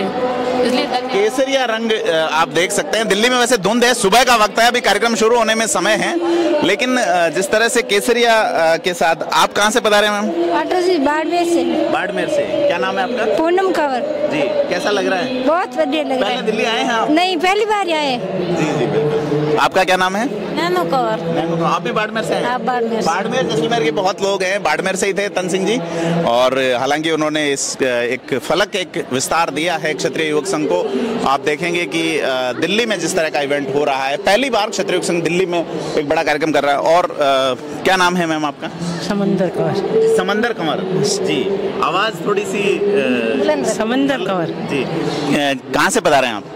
कालेवास कालेवा बाड़मेर से। बाड़मेर कैसा लग रहा है? बहुत अच्छा लग रहा है। जी। तो आप परंपरा के साथ हैं घूंघट वाली के साथ। मैम आपका क्या नाम है? प्रेम कंवर। प्रेम कंवर आप भी बाड़मेर से हाँ? बाड़मेर से। जी, बाड़मेर वाले लोग हैं। कैसा पहले आए हैं आप इस तरह पहली बार आए दिल्ली। जी जी। हाँ, पहली बार आए दिल्ली। आप? मेरा नाम रेखा चौहान है और मेरा पियर ही दिल्ली है। अच्छा अच्छा। और बाड़मेर बालोतरा से ही आई हूँ। ससुराल में आए आप? हाँ जी। क्या करते हैं प्रेम जी आप? मेरे हस्बैंड वहाँ मेडिकल डिपार्टमेंट में हैं। हाँ जी। और हम लोग यहाँ जो हमारे क्षत्रिय युवक संघ के संस्थापक हैं थे मतलब अपने तन सिंह जी, उनके जन्म शताब्दी समारोह मनाने आए हैं। जन्म शताब्दी समारोह मनाने आए हैं, और भी कई लोग हैं, यहाँ संख्या काफ़ी अच्छी और लगातार लोग आते जा रहे हैं, कार्यक्रम शुरू होने में अभी वक्त है तो हम रेंडमली बात कर रहे हैं, कई लोगों का नंबर नहीं आ पाएगा तो यह जो इवेंट है, इसमें जैसे मीरा गर्ल्स स्कूल जो है, उनकी बच्चियों से हमने बात की, सीकर में क्षत्रिय युवक संघ का एक दुर्गा बालिका छात्रावास नाम से एक चलता है, वहाँ पे मीरा गर्ल्स स्कूल है तो मीराबाई को आप जानते होंगे और मीराबाई वो है जिनके हरजस से लगभग दुनिया की लगभग सभी भाषाओं में ट्रांसलेट हुए हैं। और दर्शन के लिहाज से बात करें तो भारत में ऐसा कैरेक्टर बहुत कम है कि अपने होने के 500 साल बाद भी याद रखा जाए सिर्फ़ और सिर्फ़ अपने कृतित्व की वजह से। जबकि पीछे कोई पंथ, चेला, चपाटी जो है वो संतानें नहीं हुई उनकी। और ये तमाम चीज़ें हैं। इनको लेके अपन देखते आ रहे हैं कि यह जेएलएन स्टेडियम है दिल्ली का जहाँ पे क्षेत्रीय योग संघ एक बड़ा इवेंट कर रहा है। और बेटियाँ हैं उनसे बात करेंगे। क्या नाम है बेटा आपका? पूजा कंवर। कहाँ से आए हो आप? काकराला। बा, बालोतरा। बालोतरा से। बाड़मेर से संख्या खासा है। कैसा लग रहा है आपको? बहुत अच्छा लग रहा है। पहले आए हो आप कभी घर से बाहर? नहीं नहीं पहले शिविर में तो जाती हूँ मैं। हाँ आपका क्या नाम है? तनु कंवर। कहाँ से आए आप? बालोतरा से आई हूँ लेकिन रहती हूँ एलाना जालोर ज़िले में। एलाना में? हाँ। एलाना जालोर। तो ये है लगभग राजस्थान के लोग हैं। हम सोचते हैं कि हम दूसरी तरफ़ चलते हैं जहाँ कुछ दूसरी जो है वो वहाँ से अगर लोग आए हैं तो महिलाओं का एक अलग ही उत्साह नज़र आ रहा है। बहुत सारी महिलाएँ जो पहली बार कह, कह रही हैं कि घर से बाहर निकली हैं। पहली बार क्षेत्रीय युवक संघ ने उनको मौका दिया। कई सारी महिलाएँ ऐसी हैं जो परंपरा और ट्रेडिशंस और उन चीज़ों को जो निभाती हैं जो महिलाएँ उनकी और अपन चलेंगे कि और भी लेडीज़ से बात करते हैं। आप कहाँ से आए मैम चेन्नई से? चेन्नई से। बाड़मेर से? हाँ जोधपुर से। अच्छा चेन्नई से? अच्छा। हाँ। कैसा लग रहा है आपको? अच्छा लग रहा है। पहले आए हैं आप करने नहीं पहली बार आए। आपका क्या नाम है? मोविस कंवर। कहाँ से? चेन्नई से चेन्नई से दक्षिण भारत से सुदूर दक्षिण भारत वाली टीम है जो कि मद्रास जो प्रेसिडेंसी हुआ करता था अंग्रेज़ों के राज में फिर मैसूर का इलाका और वहाँ अब चेन्नई है। तो आप कहाँ से आए हैं? हम सांचौर ज़िले से रतनपुर। जी रतनपुर सांचौर नया जिला बना है और उन्होंने बता भी दिया कि सांचौर ज़िले से है रतनपुर से। चेन्नई में आप क्या करते हैं? कुछ नहीं। जोधपुर वाली चेन्नई। अच्छा अच्छा अच्छा अच्छा। ठीक है ठीक है। तो यह जोधपुर ज़िले से भी कई लोग हैं। आप कहाँ से हैं?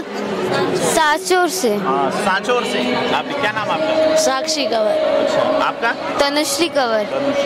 तो बच्चों में खासा उत्साह है। अपन चलते हैं महिला विंग की ओर कि और कितने लोग हैं जो कि इस इवेंट में अपनी एक अलग योग, योगदान के लिए लोग आए हैं। हम बाड़मेर के लोगों से बात कर चुके हैं जालोर सांचौर के लोगों से बात कर चुके अपन इधर आएँगे। क्या नाम है मैम आपका? कहाँ से आए हैं आप? मेरा नाम गुड़िया कंवर है और बाड़मेर डिस्ट्रिक्ट काटाड़ी से आए हैं। बाड़मेर काठाड़ी? काठाड़ी रमणिया? जी। पहले आए हैं आप कभी? नहीं पहली क्या है ये कार्यक्रम आपको पता है? तन सिंह जयंती के बारे में। धन सिंह जयंती कार्यक्रम। आप कहाँ से आए माता जी बाड़मेर। कहाँ से बाड़मेर से? क्या नाम है आपका? कोटली। आवाज़ थोड़ी सी कम हो रही है तो आपका क्या नाम है माता जी मेरा नाम सोनकार बुढ़ीवाड़ा से है। बूढ़ीवाड़ा बाड़मेर से? जी हाँ बूढ़ीवाड़ा वालों का जालो जयपुर में काफ़ी ओल्ड है। आपका क्या नाम है? ललिता कुंवर बालोत्रा बाड़मेर। ललिता कंवर जी और ये लोग वो लोग हैं जो कि ट्रेडिशनली लगभग कम बाहर निकलते हैं और क्षेत्रीय संघ ने एक मौका इनको दिया है। और हम उनसे बात करते हैं, जो क्षत्रिय युवक संघ के स्वयं सेवक हैं। तो मैं साथी को कहूँगा, नीचे की ओर जो है, वो अपन चलेंगे। तो यह दिल्ली का जेलन स्टेडियम है और जेलन स्टेडियम में हम इस वक्त बात कर रहे हैं तनसिंह जयंती पे जो आयोजन है और उस आयोजन में जिस तरह का माहौल बना हुआ है, कार्यक्रम अभी थोड़ी देर में शुरू होगा। इस माहौल को देखने के लिए कुछ बच्चियाँ और है। क्या नाम बेटा आपका? दीपिका कवर धीरा धीरा बाड़मेर हाँ। बाड़मेर का अलग ही माहौल है क्या ज़्यादा लोग बाड़मेर से क्यों हैं? बाड़मेर से इसलिए है क्योंकि पूज्यश्री जो थे उनका गाँव भी था राम देवरिया तो वो बाड़मेर से थे। ये गाँव से। हाँ आप क्या करते हो? मैं भी स्टडी करती हूँ मैं इलेवेंथ में हूँ। अच्छा बाड़मेर में? नहीं सिवाना आपका क्या नाम मैडम? मेरा नाम लोकेश कंवर है। मैं काठाड़ी से हूँ और जहाँ से पूज्यश्री रहते थे सिवाना वो हमारे 20 किलोमीटर ही दूर पड़ता है। तो बाड़मेर के रामदेरिया गाँव में और आपका क्या नाम है? सेम ही साथ में। साथ में ही है बाड़मेर से। अच्छा क्या नाम है आपका? नेतल का आप? अमिषा कंवर कुंडल लक्ष्मी गौरकुंड तो ये बच्चियों में एक अलग सा उत्साह नज़र आ रहा है। हम कुछ उन लोगों से बात करेंगे जो क्षेत्रीय संघ के स्वयंसेवक और व्यवस्थाओं में जुटे हैं। यहाँ आएँगे महिला वर्ग में।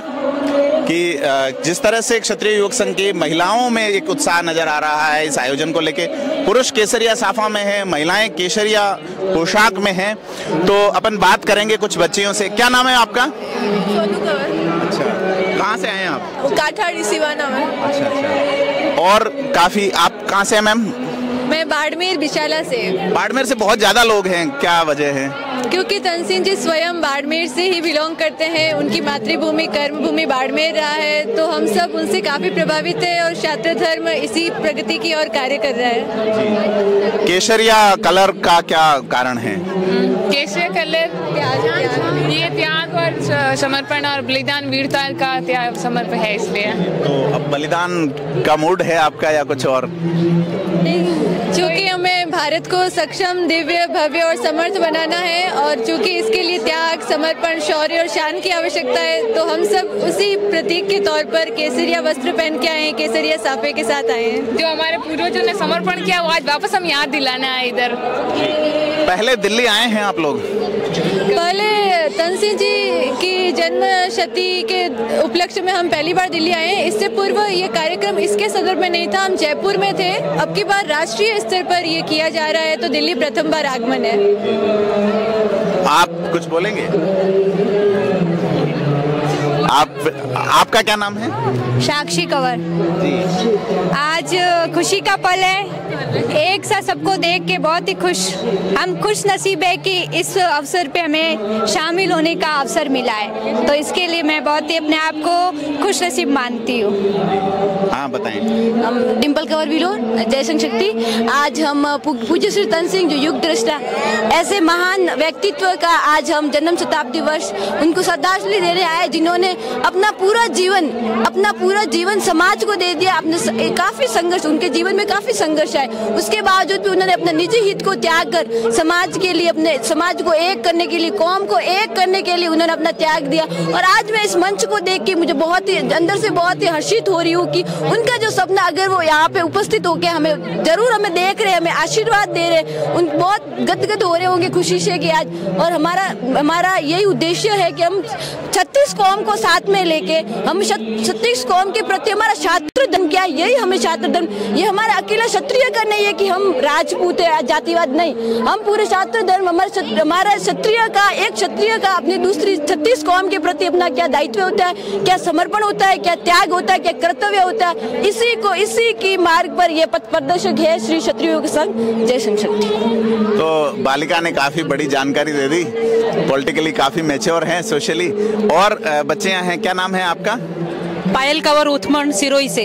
जी बताओ। हम क्षत्रिय युवक संघ के मैंने शिविर 23 कर रखे हैं। मेरा पर्सनल शिविर से यही है कि एक तो बालिकाओं से मतलब जुड़ना और क्षत्रिय युवक संघ का मतलब उद्देश्य यही रहता है कि अधिक से अधिक समाज की बालिकाओं को जोड़े और आने वाले समय में भावी माताएँ बनने वाली है तो वो अपने कौम के लिए ऐसी मतलब संतान की मतलब उत्पत्ति करे कि जैसे कि तन सिंह जी हुए और कई महाराणा प्रताप जैसे योद्धाओं जैसा संस्कार देके और एक अच्छी नींव का निर्माण करे ताकि आने वाले समय में कई युद्ध ऐसे हो जो हमारे समाज को एक एक रूप से चलाए रखे और धर्म को सर्वोपरि रखे। छत्र युवक संघ यही कहता है। तेईस शिविर आपने किए जैसा आप बता रहे हैं। क्या होता है इन शिविरों में? इन शिविरों में सबसे पहले तो संस्कार निर्माणों की बात की जाती है जो आजकल के समय में न तो विद्यालयों में मिलते हैं न कि कहीं परिवार में क्योंकि संयुक्त परिवार बिछड़ चुके हैं। और मतलब यहाँ पे जितनी भी बालिकाएँ आती है सबको एक समान रखा जाता है और सबको एक जैसी शिक्षाएँ दी जाती है, जो कि परिवार में अपन को वंचित है हम उससे। तो मैं यहाँ पे मतलब समय का, एक तो समय में पाबंद रहना सिखाते हैं, एक आप हर परिस्थिति में कैसे रह सकते हो? वो छत्री युवक संघ आपको अच्छे से, आपके परिवार में भले आप कैसे रहते हो, लेकिन वहाँ पे आपको जैसे रखा जाता है, वहाँ रहना पड़ता है। क्षत्रिय युवक संघ के शिविर प्रणाली के अलावा कुछ और इवेंट्स भी होते हैं। जैसे हमने कई इनसे बात की महिलाओं से तो यह आयोजन शुरू होने में अभी थोड़ा वक्त है, और इसी बीच हम आपको लाइव दिखाएँगे इवेंट जो है। तो अपन और भी लोगों से बात करते हैं। मैं साथी से कहूँगा कैमरा इधर फोकस करे। तो जो लोग बात करना चाहते हैं उनसे अपन रूबरू होंगे। कुछ लोग तो बात नहीं करना चाहते। तो अभी भी वो जो शाईनेस जो है वो देखने को मिल रही है। तो आप का क्या नाम है बेटा? विनीश कंवर। कहाँ से हो आप? सीनियर से सीनियर राजस्थान। सिनेर जा- बाड़मेर वाला जो हाँ। जी क्या लग रहा है आपको क्या है ये कार्यक्रम? कार्यक्रम से बहुत ही अच्छा है और यहाँ पे पहली बार दिल्ली आने का मौका भी मिला है। तो बहुत अच्छा लगा। वापस आओगे दिल्ली आप हाँ जी बिल्कुल। दिल्ली कैसी लगी आप? प्रदूषण वाला है बाड़मेर तो आपका बड़ा एनवायरमेंटल एक हब है अच्छा। हाँ जी है वो तो। प्रदूषण है फिर भी आने के दोबारा मन है। मेट्रो में बैठे आप? हाँ जी। जी। आपका क्या नाम है? आप आइए कंचन कंवर राठौड़ कहाँ से हो आप? बाड़मेर अ, कैसा लगा आपको ये? बहुत मतलब हम सौभाग्यशाली हैं जो हमारी किस्मत है हम यहाँ पे पधारे। और मेन ये है कि घर वालों को भी जाता है कि घर वालों ने परमिशन दी। वो खुद भी आए हैं। मेरे पापा सूरत रहते हैं वो भी आए हैं यहाँ पे फ़ंक्शन में। और हम बाकी गाँव वाले भी पधारे हैं। कौन सी क्लास में पढ़ते हो आप? बी ए फ़र्स्ट ईयर तो जो स्टूडेंट है उसमें ज़्यादातर लोग जो देखने को मिल रहे हैं वो बाड़मेर जैसलमेर के देखने को मिल रहे हैं। महिलाएँ महिलाओं से अपने लंबी बात की और और भी लेडीज़ हैं। मैम कहाँ से बता रहे हैं आप? हम उदयपुर से। क्या नाम है? लक्ष्मी कंवर खाड़ा। क्या करते हैं आप? हाउस वाइफ जी। तो अ, कैसा है ये इवेंट दिल्ली आप पहले आए हैं इस तरह के कार्यक्रमों में या? इस तरह के कार्यक्रमों में तो कभी नहीं आई दिल्ली। ये श्री क्षत्रिय युवक संघ के संस्थापक जो है उनका सौवीं जना जन्म शताब्दी वर्ष है। तो उस... आपका क्या नाम है? मैं गुजरात से आई हूँ उर्मिला बा बच्चे गाँव हमारे नाम है। उर्मिला स्वागत है आपका दिल्ली में। तो कैसा लग रहा है आपको? बहुत बढ़िया लग रहा है हमारे उषा की सौवीं शताब्दी मनाने यहाँ आए हैं हम। गुजरात में क्षत्रिय संघ का बड़ा काम है। हाँ वहाँ बड़ा काम है। और मैं संघ के स्वयं से का हूँ। आपका क्या नाम है कल्पना बा कल्पना बा आप भी गुजरात हाँ मैं भी गुजरात से हूँ भावनगर से। जी जी हम लोग जैसे यहाँ पे आए पहले बार आ गए थे लेकिन ऐसे माहौल में पहली बार आए जैसे जन्म शताब्दी है। जी जी। तो हीरक जयंती के बाद यहीं पे ऐसे जयपुर आए थे आप? जयपुर आए थे हीरक जयंती। आप कहाँ से? मैं जयपुर से निवाई से। जी क्या नाम है इंदू। पहले इस तरह का इवेंट या इस तरह का कुछ? इस तरीके के कई सारे क्षत्रिय युवक संघ के इवेंट हुए हैं लेकिन वो सभी जयपुर है, दिल्ली में ये पहली बार हो रहा है, ये इस बार दिल्ली का रखा है। इससे पहले हीरक जयंती हुई थी जो जयपुर में रखी थी। आपका क्या नाम है मैम? मेरा नाम नीतू है मैं उदयपुर से हूँ। और हमने ये सुन रखा था कि बहुत सर्दी है दिल्ली में बहुत सर्दी है लेकिन आज बहुत अच्छा मौसम लग रहा है यहाँ पे। ये एक तरह से हमारे जो ये आपके केशरिया अंगारों ने थो- थोड़ा कम कर दिया होगा इस सर्दी। शायद क्योंकि हमको यही लगता है कि हम जहाँ भी जाते हैं अच्छा सा माहौल हो जाता है। और यहाँ पे क्षत्रिय संघ के स्वयं सेविका है हमारे बीच क्या अदिति सुनारा। अदिति जी कहाँ से हो आप? सुनारा से हूँ। सुनारा सुनारा गाँव है मेरा। कौन सा जिला पड़ता है टोंक डिस्ट्रिक्ट से हूँ। अच्छा तो राजस्थान में बाड़मेर के अलावा भी लोग आए हैं मतलब? बाड़मेर के अलावा भी सब जगह है क्षत्रिय युवक संघ के समन सेवक और समन सेविका हर जगह से हिंदुस्तान के सब जगह से आए हैं। मैं साथी को कहूँगा एक बार ये ऊपर का जो पोर्शन है वहाँ पे जिस तरह से हाड़ी रानी के नाम से या माता मदालसा के नाम से जिस तरह से खंड बनाए गए हैं महिलाओं के देखने के लिए तो यह दिखाएँ, कार्यक्रम शुरू होने में भी काफ़ी वक्त है, लेकिन बड़ी संख्या में लोग इस स्टेडियम में आना शुरू हुए हैं। सत्तर हज़ार की इस स्टेडियम की कैपेसिटी है और देश भर के अलग अलग इलाकों से लोग आ रहे हैं। तो जो क्षत्राणियाँ हुई है, उनके नाम पे इन्होंने यह जो खंड तैयार किए हैं, जिसमें हाड़ी रानी सलेह कंवर जिन्होंने अपना शीश काट के निशानी दी थी अपने पति को और जी आ, ये कुछ बालिकाएँ हैं जिनमें से कईयों से तो हम बात कर चुके इनसे करिए सबसे आप कहाँ से कहाँ से हैं आप? कहाँ से हैं? हम बालोतरा डिस्ट्रिक्ट से आए हैं। तो कैसा क्या है माहौल? माहौल एकदम अभी तो शुरुआत है। सुबह की सवा बारह का समय है। उससे पहले इतना गर्म माहौल है तो लगता है स्टेडियम सर्दी नहीं लग रही? नहीं सर्दी नहीं लग रही तो कह रहे थे दिल्ली में बहुत सर्दी है। सुना था हमने भी पूरी तैयारी के साथ आए थे लेकिन यहाँ आकर बस सर्दी उड़ गई हमारी। जी जी जी। आपका क्या नाम है? पूजा जाखड़ी। कैसा क्या माहौल? है बढ़िया माहौल शानदार है। पूरा दिल्ली देखेगा इस बार। अच्छा दिल्ली देखेगा? चलो क्या दिखाएँगे आप दिल्ली को? केशरिया राजपूती? क्षत्रिय एकता? हुक्म तो ये अ, क्या नाम है आपका? राजलक्ष्मी। जी बताओ राजलक्ष्मी। कैसा क्या क्यों आप आए हो दिल्ली में? आपको क्या बताऊँ आपको खुद को दिख रहा है पूरी स्टेडियम केसरिया में हो गया है और कल न्यूज़पेपर में दिख ही जाएगा सबको कि क्या हुआ क्या नहीं हुआ? पूरा प्रश्न आपके सामने होगा। कहाँ से हैं आप? हम बाड़मेर से हैं। बाड़मेर से बहुत लोग आए हैं। हाँ सर। कितनी गाड़ियाँ आई है बाड़मेर से? बाड़मेर से ट्रेन आई है। दो स्पेशल ट्रेन है और एक बालोतरा से अलग है। तीन ट्रेनें जो है बाड़मेर इलाके से हुई है। और ये जैसा मैं बता रहा था कि जो क्षत्राणियाँ हुई है, उनके नाम से इन्होंने खंड बनाए हैं। और इस स्टेडियम, ये जेएलएन स्टेडियम जहाँ कॉमनवेल्थ हुआ था, जहाँ पे बहुत सारी भारत की बेटियों ने स्वर्ण पदक जीते थे। 101 स्वर्ण पदक 2010 के कॉमनवेल्थ गेम में होते, उसके बाद ये स्टेडियम बहुत शानदार तैयार हुआ। तो ऐसा माना जा रहा है कि बड़ी संख्या में क्षत्रिय संघ एक बड़ी संख्या में लोगों को जुटा के इस आयोजन में एक बड़ा मैसेज देना चाहता है राष्ट्रीय स्तर का। हम आपको लगातार रूबरू रखेंगे कि क्या आ, माहौल है और कैसे आ, इस चीज़ को लाइव हम लोग दिखाएँगे। तो आपसे अपील है कि आप थिंक 360 से जुड़े रहें और चैनल को सब्सक्राइब ज़रूर करें।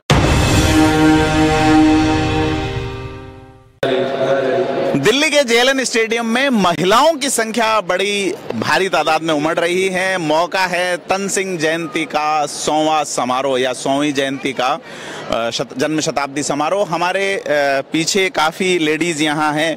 मैं साथी से कहूँगा कि दिखाएँ किस त, किस तरह से अभी सुबह का वक्त है। कार्यक्रम में अभी शुरू होने में दो तीन घंटे हैं। ऐसे में ये जो महिलाएँ हैं क्या नाम है मैम? आप कहाँ से आए हैं? दिल्ली के जेएलएन स्टेडियम में हम इस वक्त हैं और हमारे साथ राजपूत समाज के वरिष्ठ उद्यमी और राजनीतिक रूप से सक्रिय राम सिंह जी चारणी में राम सिंह जी आप इस आयोजन में हैदराबाद से आए हैं आंध्र प्रदेश से। कैसा लगता है आपको ये कार्यक्रम और क्या? बहुत ही अच्छा लगा। पहले तो मैं आपके पत्रिका के माध्यम से आपको बहुत बहुत धन्यवाद देता हूँ कि आपने हमको इस योग्य समझा। और आज हमारे दिल्ली के हेडक्वार्टर पर पूज्य तन सिंह जी की सौवीं जयंती मनाने के लिए, जो तन सिंह जी ने आज से पचास साठ साल पहले एक नींव रखी थी राज क्षत्रिय संघ की, जो गाँव गाँव ढाणी ढाणी शहर शहर होते होते राज्यों में फैल गई है। जहाँ गुजरात, उत्तर प्रदेश, मध्य प्रदेश और राजस्थान, काफ़ी राज्यों में जो शाखाएँ लगती है, शाखा के अंदर राजपूत को स्वावलंबी बनाना, राजपूत को कैसे ज़िंदगी जीना है और समाज के लिए क्या करना है, उसके हमारे को नेतृत्व दिया। उसका एक परिणाम है कि अगले साल एक साल पहले जयपुर में लाखों की तादाद में राजपूत इकट्ठे हुए थे और हमने इकट्ठे होकर के अभी तक कुछ सरकार से कुछ नहीं मांगा।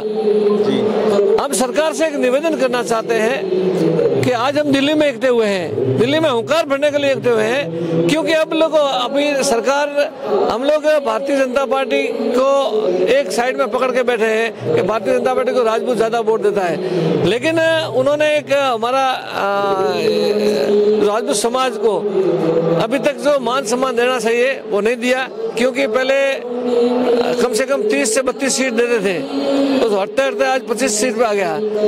और लोकसभा में तीन सीटें हैं राजपूतों की। लोकसभा में कम से कम जोधपुर जोधपुर संभाग से चार सीट देनी चाहिए। संभाग में चार ही? सीट है चार आप पूरी ले लोगे। जालोर सर्वे की डिमांड है आप तैयारी कर रहे हैं ऐसा सुनने में आया। ऐसा है अगर पार्टी ने चाहा। पार्टी भाजपा से आप। हमारा नेतृत्व भारतीय जनता पार्टी से मैं बिलोंग करता हूँ। मैंने कहा भारतीय जनता पार्टी के नेतृत्व ने चाहा। तो मैं एक साधारण भारतीय जनता पार्टी का वर्कर हूँ और अगर चाह तो मैं ज़रूर कोशिश करूँगा कि सफल होऊँगा। क्योंकि मैं छत्तीस कौम को साथ में लेने लेके चलने की मेरी इच्छा है कि छत्तीस कौम को आगे बढ़ाना है। भारत को, भारत के अंदर अलग जगाना है कि भारत एक सशक्त और विश्व में, विश्व गुरु बने, ऐसी हमारी एक इच्छा है। जालोर से मूलतः आप हैं चारणिम गाँव है। सांचौर जिला हो गया अब तो आपका। क्या- देखते हैं आप जालोर सिरोही लोकसभा सीट? राजपूत 2009 से डिमांड कर रहे हैं। राजपूत डिमांड कई सालों से कर रही है। लेकिन अभी तक जो शीर्ष नेतृत्व ने वहाँ दो, तीन सीटें ही देते हैं। दो, लास्ट टाइम मेरे ख्याल से दो, तीन सीटें दी जोधपुर संभाग में। तो हम आशा करते हैं कि जालोर एक राजपूत बहुल क्षेत्र है और भारतीय जनता पार्टी का एक गढ़ है। उसमें अगर किसी राजपूत को उतारा जाए तो ज़रूर सफल होगा। राम सिंह जी, क्या समस्याएँ देखते हैं आप राजपूत समाज में बेसिकली इस आयोजन में अगर अपन बात करें तो। मेरे ख्याल से राजपूत अभी सशक्त हो गया है। शिक्षा के क्षेत्र में और व्यापार के क्षेत्र में सब जगह आगे बढ़ रहा है। और राजपूतों में अभी जो पहले एकता नहीं थी अभी एकता भी है। क्षत्रिय संघ की कितनी भूमिका देखते हैं आप? संघ सतयुग संघ की बहुत बड़ी भूमिका है। राम राजपूत को एक करने में रा- सतयुग संघ के सबसे बड़ा योगदान है। सबसे बड़ा योगदान है। और भी लोग हैं क्या नाम है साहब आपका? आप कहाँ से हैं? मैं राजेंद्र सिंह बड़ी खाटू नागौर डिस्ट्रिक्ट हूँ सा फ़िलहाल राम सिंह जी के छोटे सैनिक हैं हम और हैदराबाद से हम इनके साथ में आए हैं। जी जी जी। और जो हम क्षत्रिय योग संघ ने जिसकी स्थापना की थी तन सिंह जी ने आज वो पौधा इतना बड़ा हो गया है और उसके पत्ते पत्ते बहुत जगह खिल गए हैं और अब उसके सहयोग करने में पूर्ण सहयोग दे रहे हैं। और आज ये बहुत बड़ा प्रोग्राम है जो सौ साल में एक बार हो रहा है और इसमें हमारा जो सामाजिक संस्था है वो दिखाई जाएगी। और आप कहाँ से हैं? आप जूट सिंह देवल करड़ा हैदराबाद से आए हैं। हैदराबाद से लगभग 101 लोग हमारे शत्रुघ्न संघ के आए हुए हैं। गोविंद सिंह गाँव कतरोसन हैदराबाद से आए। आप केर सिंह सोलंकी ऐसा रानीवाड़ा है क्षेत्र में सेवाड़ा है ऐसे हैदराबाद से हम आए हैं। हैदराबाद से? काफ़ी लोग आए हैं और भी लोग हमारे बीच आए हैं हमारे अगर अपन बात करें तो यहाँ राजनेता ज़्यादातर जो है वो आ रहे हैं। हम और भी लोगों से बात करेंगे। हमीर सिंह भायल आ चुके हैं यहाँ पे और नमस्कार मैं हूँ प्रदीप। आप थिंक 360 देख रहे हैं और इस वक्त हम दिल्ली के जवाहरलाल नेहरू स्टेडियम में खड़े हैं। क्षत्रिय युवक संघ का एक बहुत बड़ा जलसा यहाँ हो रहा है। और आप देख सकते हैं कि सुबह के साढ़े सात, पौने आठ बजे हैं और इस वक्त जिस तरह का माहौल है, उस माहौल को आप देख रहे हैं कि बड़ी संख्या में राजपूत देश भर से यहाँ इकट्ठा हुए हैं। और क्षत्रिय युवक संघ के संस्थापक तन सिंह जी की सौवीं जन्म जयंती मना रहे हैं। इस आयोजन को आहूत करने के लिए पिछले एक साल से लगातार छोटे छोटे स्तर पे आयोजन किए जा रहे थे और देखा जा रहा है कि महिलाओं की संख्या भी यहाँ बड़ी संख्या में है। महिलाएँ बड़ी संख्या में आई है। राजस्थान गुजरात उत्तर प्रदेश मध्य प्रदेश और सुबह का जो समय आप देख सकते हैं जिस तरह से कोहरा है दिल्ली में और कोहरे के बीच में जिस तरीके से केसरिया रंग छा रहा है ये अपने आप में एक देखने वाली बात है। राजस्थान गुजरात के अलावा अगर उत्तर उत्तरी राज्यों की बात करें तो हिमाचल, उत्तराखंड के लोग भी बड़ी संख्या में यहाँ लगातार आ रहे हैं। राजस्थान से करीब 22 से 23 ट्रेन जो है वो बुक की गई इस आयोजन के लिए और पूरे देश भर में करीब 100 के आसपास ट्रेन बुक करके क्षत्रिय पहुँच रहे हैं। ये पहला एक अलग तरह का आयोजन देखने को मिल रहा है कि दिल्ली में इतनी बड़ी संख्या में राजपूत इकट्ठा हो रहे हैं। क्या आउटकम आएगा इस आयोजन का और क्यों ही इकट्ठा हो रहे हैं? क्योंकि एक जन्म जयंती आयोजन को लेकर जिस तरह का उत्साह है प्रत्येक वर्ग और तमाम तरह के लोगों में देखने को मिल रहा है। हम इस कार्यक्रम को आपको पूरा लाइव दिखाएँगे और लोगों से बात करेंगे, क्यों आए हैं, क्या इसके आउटकम होंगे। क्षत्रिय संघ के संरक्षक भगवान सिंह रोल साहब सर क्षत्रिय संघ के वरिष्ठ स्वयंसेवक महावीर सिंह सरवड़ी, संघ प्रमुख लक्ष्मण सिंह बेणेगावास समेत जो लोग हैं, वो इस आयोजन में मार्गदर्शन में जुटे हुए थे और बड़ी संख्या में जो क्षत्रिय संघ से जुड़े हुए लोग हैं वो वो बड़ी संख्या में लगातार एक दूसरे को सपोर्ट करते हुए पिछले एक साल से इस आयोजन की तैयारियों में जुटे थे।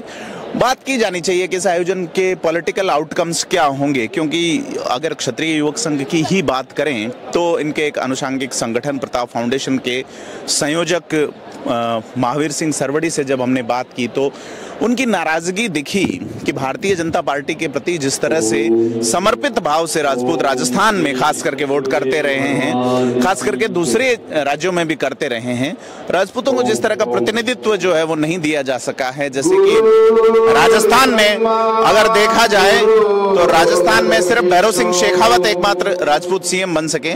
देश में प्राइम मिनिस्टर की पोस्ट पे दो लोग पहुँचे, जिसमें जिसमें वीपी सिंह रहे, चंद्रशेखर रहे। और मूलतः अगर राजस्थान की बात करें तो पहले विधानसभा चुनाव में एक सौ अड़सठ सीटों में से सत्तावन राजपूत जीते थे। और अब संख्या जो है वो घटते घटते 20 के आसपास रह गई है। कांग्रेस से तो एक ही विधायक जीत सका है। तो राजपूतों को सोचना होगा, राजपूतों को विचार करना होगा। इसलिए यह आयोजन, इसका एक कोई क्या कोई हिडन एजेंडा है, या इस आयोजन को लेके कोई अलग सोचा जा रहा है। सोशल पॉलिटिकल इवेंट देखा जाए या इसको किस तरीके से देखा जाएगा, क्योंकि पूरा एक आध्यात्मिक और धार्मिक माहौल यहाँ पे केसरिया रंग, आप देख सकते हैं जगह जगह और अगर बात करें पॉलिटिकल की तो 2004 के लोकसभा चुनाव में दो राजपूत एमपी रह गए थे। फ़िलहाल तीन राजपूत एमपी राजस्थान में हैं। तो एक बड़ी राजपूतों के नेताओं से बात करें तो एक बड़ी पीड़ा नज़र आती है। और उस पीड़ा में यह है कि उचित प्रतिनिधित्व तो नहीं दिया जाता।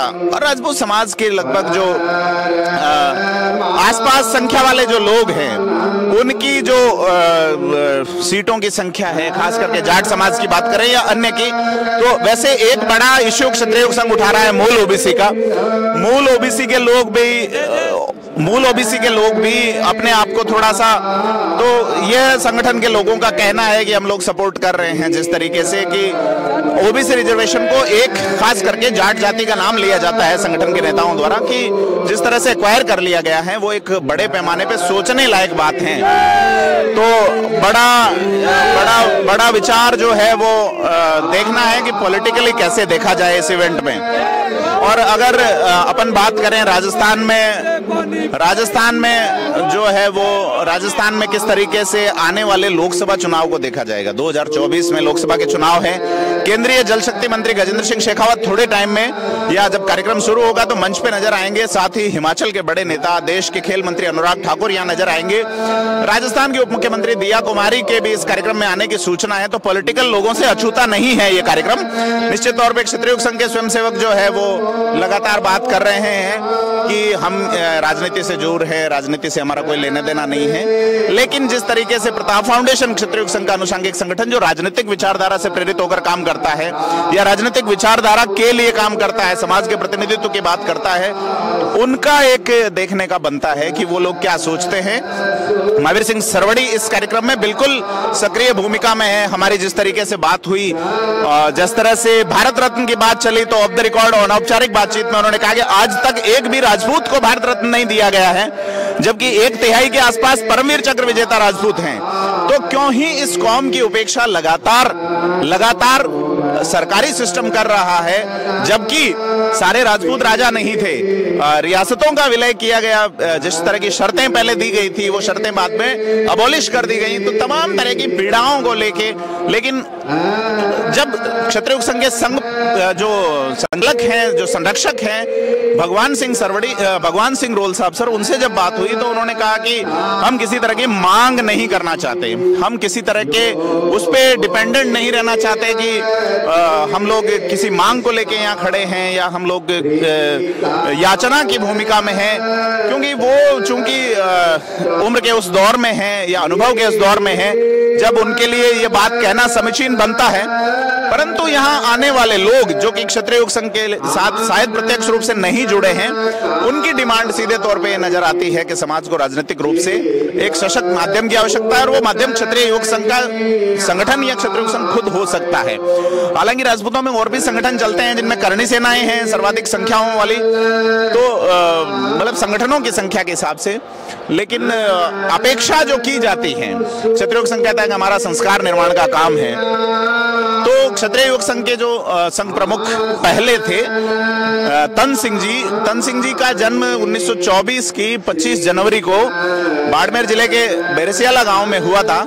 और वो बलवंत सिंह महेचा के पुत्र थे, मोती कंवर, उनकी माँ का नाम था। और उन्होंने प्राथमिक शिक्षा बाड़मेर में पूरी की।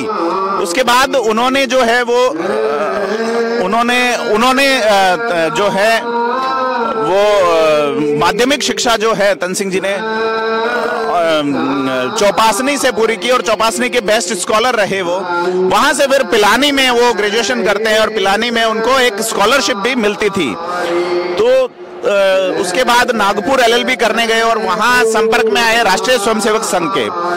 तो ऐसा कहा जाता है कि ये जो प्रणाली है, ये उन्होंने आरएसएस के जो सरसंघ चालक थे माधवराव सदाशिवराव गोलवलकर, उनसे प्रेरित होके ली थी और ये जो दैनिक क्रियाकलाप है, चाहे वो जागरण से ये वही संघ उत्तिष्ट, प्रचल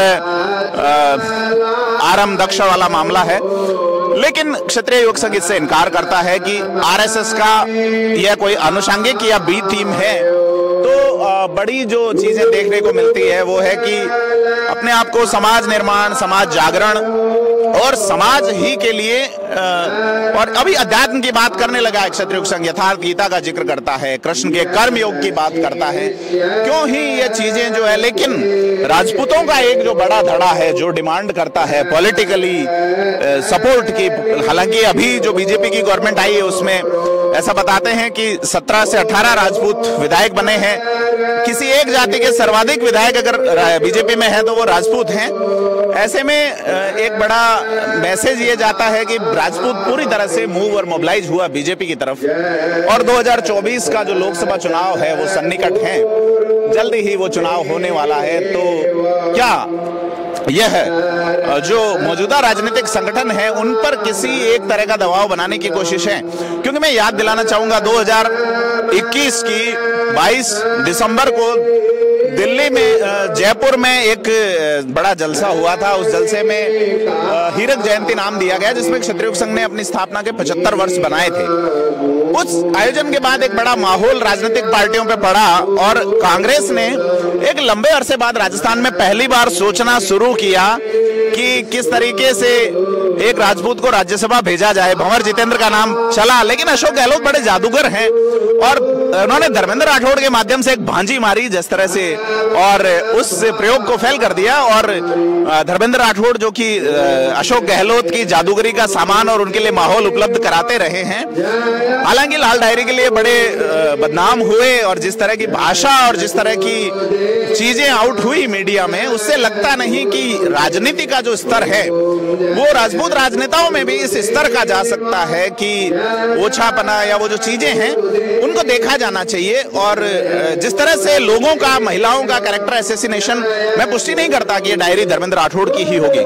लेकिन कांग्रेस ही के नेता के द्वारा जिस तरह का दावा किया गया, धर्मेंद्र राठौड़ की ओर से अभी तक नकारा नहीं गया है कि मेरी नहीं है डायरी तमाम चीज़ें हैं, लेकिन कांग्रेस ने पहली बार सोचा, मुझे याद है कि लक्ष्मी कुमारी चुंडावत, जो कि कांग्रेस की प्रदेश अध्यक्ष रही थी उनके अलावा किसी राजपूत को शायद ही कांग्रेस ने राज्यसभा राजस्थान से भेजा है। जबकि राजपूतों की संख्या कम से कम पंद्रह विधायकों की राजस्थान में रही है। तो यह एक बड़ी चीज़ है कि राजस्थान के राजपूत क्या सोचते हैं, हरियाणा के राजपूत क्या सोचते हैं मध्य प्रदेश के राजपूत क्या सोचते हैं, और ये पूरा जो उत्तर भारत है, इसमें राजपूत एक डिसाइडिंग फैक्टर है।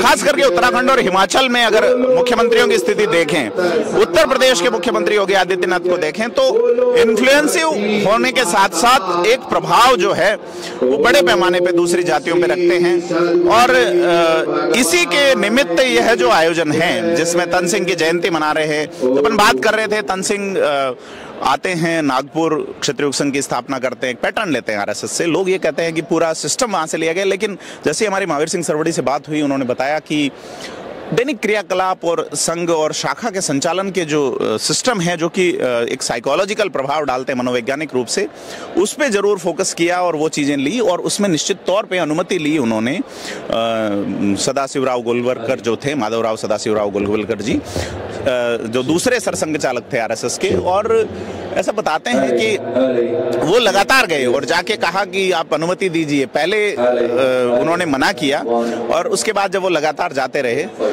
और 22 दिसंबर 1946 को एक क्षत्रिय संघ की स्थापना का जो वर्तमान स्वरूप है, जिसमें शाखाएँ लगती है, शिविर लगते हैं। तो वो किया गया। तन सिंह उन्नीस सौ बावन में पहले विधायक बने। इससे पहले उन्नीस सौ अड़तालीस में बाड़मेर के विधानसभा अध्यक्ष सॉरी, बाड़मेर में जो नगर थी, उसके अध्यक्ष बने।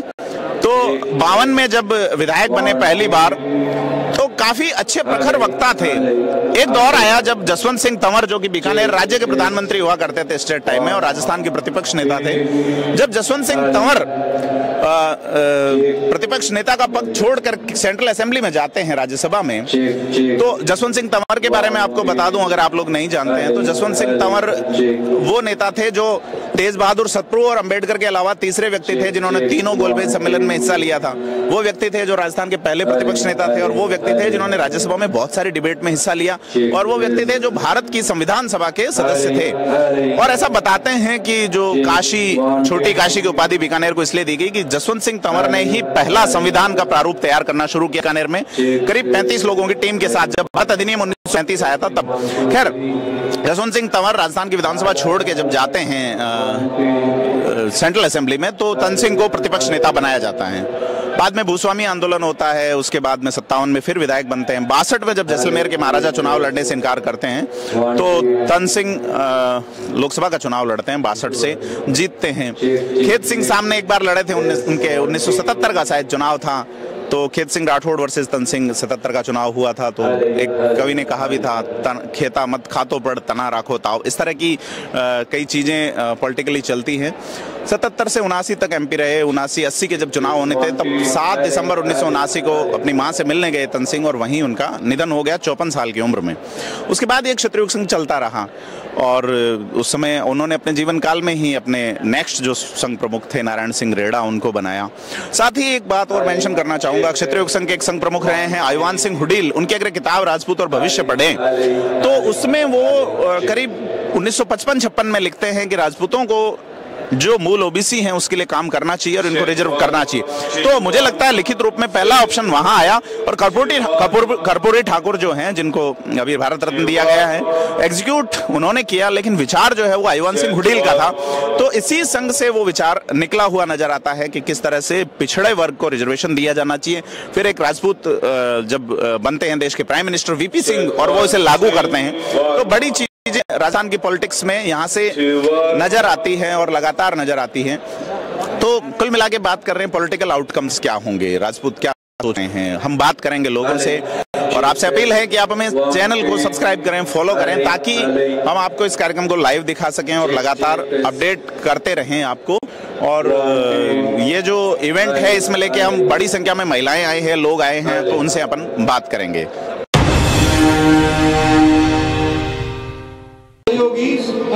नमस्कार मैं हूँ प्रदीप। आप थिंक 360 देख रहे हैं और इस वक्त हम दिल्ली के जवाहरलाल नेहरू स्टेडियम में खड़े हैं। क्षत्रिय युवक संघ का एक बहुत बड़ा जलसा यहाँ हो रहा है और आप देख सकते हैं कि सुबह के हेलो। क्षत्रिय युवक संघ के संस्थापक पूज्य तन सिंह जी की सौवीं जयंती पर हमारे साथ दिल्ली के जेएलएन स्टेडियम में पोखरण के विधायक महंत प्रतापपुरी जी हैं। कैसे देखते हैं इस आयोजन को? क्या आ, क्या इसके सोशल एंड पॉलिटिकल आउटकम्स देखते हैं गुरुदेव?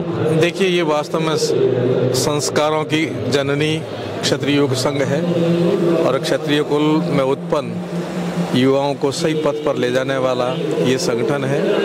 और हमारा सौभाग्य है कि पूज्य तन सिंह जी बाड़मेर की धरा पर जन्म ले करके और इस ज्योति को, इस सूर्य को पूरे विश्व में जगमगाने के लिए प्रेरित कर रहे हैं। और आज ये शताब्दी वर्ष में आप देख रहे हैं पूरा जो सैलाब है, भारत और बाहर विश्व में रहने वाले छात्र धर्म को पालने वाले, छात्र धर्म का अनुकरण करने वाले सारे यहाँ उपस्थित हैं। बस ये तो एक एक ज्योति है जो बहुत ही प्रकाशमान करेगी हम सबको और संस्कार युक्त परिवार स्वयं और राष्ट्र और समाज इसके लिए क्षत्रिय युग संघ है। आप बाड़मेर के तारा तारा मठ के महंत है। बाड़मेर में एक अनूठा माहौल नज़र आता है। कैसे देखते हैं आप इसको? बाड़मेर तो बहुत स्वयं को गौरवान्वित करता है सौभाग्यशाली मानता है कि ऐसे महापुरुष का जन्म बाड़मेर की धरा पर हुआ और जो आज हम सब के लिए प्रेरणा पुंज बन करके खड़े हैं। तो निश्चय ही बाड़मेर की तो सौभाग्य है ही। उस कुल का उस धरा का और जो धर्म का सौभाग्य की ऐसे महापुरुष उत्पन्न होकर के हम सबको मार्गदर्शन करने में। राजपूत इतिहास में भी इतनी संख्या में बताते हैं दिल्ली नहीं आए। लोग कहते हैं अगर पहले आ जाते तो हिस्ट्री कुछ और होती। कैसे देखते हैं राजनीतिक रूप से इसको गुरुदेव? क्योंकि आप अब एक राजनेता भी हैं डेमोक्रेटिक रिस्पॉन्सिबिलिटीज हैं आपकी। सम गच्छध्वम समो मनांसी जानताम। देवा भागम यथा पूर्व संजानाम उपासते। जहाँ ये भाव होता है सम गच्छत हम सब लोग साथ चलेंगे। समवदत्व हम सब लोग एक ही स्वर में एक ही विचार में बोलेंगे। और जो महापुरुष हमारे को बता गए उस रास्ते पर चलेंगे तो वो शक्ति बढ़ती है वो संगठन बढ़ता है और बढ़ करके जय जयकार करता है। बीजेपी राजपूतों को तीन एमपी के टिकट देती है। क्या बीजेपी नेता के नाते कुछ? नहीं ये पार्टी का चिंतन है। तीन हो या तीस हो, वो तीन भी तीसों जैसे ही हैं। और और आगे संख्या बढ़ेगी तो और अच्छा होगा, नहीं पर्याप्त है, पार्टी अपने विचार से सब कुछ ठीक करेगी। इस आयोजन में हमारे बीच रेवदर के विधायक हैं मोतीराम जी कोहली मैं आपसे भी रूबरू होऊँगा। आप भी कार्यक्रम में पधारे हैं। तो पहले तो बहुत बधाई आपको जीत की। कैसे देखते हैं इस इवेंट को मोतीराम जी? सर्वप्रथम तो मैं तन सिंह जी को सत, सत प्रणाम करता हूँ कि उन्होंने एक बहुत अच्छा ये जो संगठन तैयार किया है। और मेरी विधानसभा के अंदर तो सत्रीय जो इनका संगठन है इस संगठन ने मेरे लिए एक छोटे से कार्यकर्ता को जो मैं विधायक बना हूँ उसके लिए अहम भूमिका इस संगठन की रही है और इस संगठन संगठन से मैं बहुत संतुष्ट हूँ। संघ के लिए लोग कहते हैं बीजेपी माइंडेड है। ऐसा है क्या? आप तो कांग्रेस से विधायक हैं। मैं तो कांग्रेस से विधायक हूँ। फिर भी आपका सपोर्ट किया तो नहीं मेरा सपोर्ट तो देखो हमेशा से ही किया है। एक ये संगठन पहले से ही मेरे साथ में मुझे प्रधान बनाने के लिए भी ये संगठन मेरा सपोर्ट किया है। मैं गरीब परिवार से हूँ लेकिन इस संगठन ने मेरा बहुत सहयोग किया है। तो मैं इस संगठन का तो बहुत आभारी हूँ। तो राजनेता कई आए हैं। गजेंद्र सिंह जी शेखावत है हमारे बीच में। सर बहुत स्वागत है आपका कार्यक्रम में। कैसे देखते हैं इस कार्यक्रम को? देखिए तन सिंह जी ने अपने जीवन से जो आदर्श प्रस्तुत किया और इस विश्वास के साथ में कि निर्माण से समष्टि का निर्माण किया जा सकता है। व्यक्ति के निर्माण से परिवार, समाज, राष्ट्र और का निर्माण और विश्व का कल्याण किया जा सकता है। और उन्होंने जो संस्कार में शिक्षा प्रणाली दी, जिसने लाखों लोगों मेरे जैसे, जिनके जीवन में परिवर्तन लाने का काम आज हम सब लोग उन स्वर्गीय तन सिंह जी को महामना को इस जन्म शताब्दी वर्ष के कार्यक्रमों के समापन के अवसर पर श्रद्धांजलि देने के लिए हम सब लोग आए राजनीतिक सामाजिकरण कैसे देखते हैं? बड़े मुझे लगता है कि न तो इस कार्यक्रम में कोई राजनीति है, निश्चित रूप से।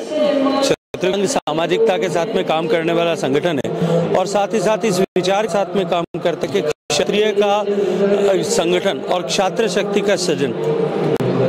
जो एक सात्विक शक्ति के सन के रूप में, वो इस राष्ट्र के कल्याण के लिए हमेशा ही उपयोगी और सहभागी रहा है।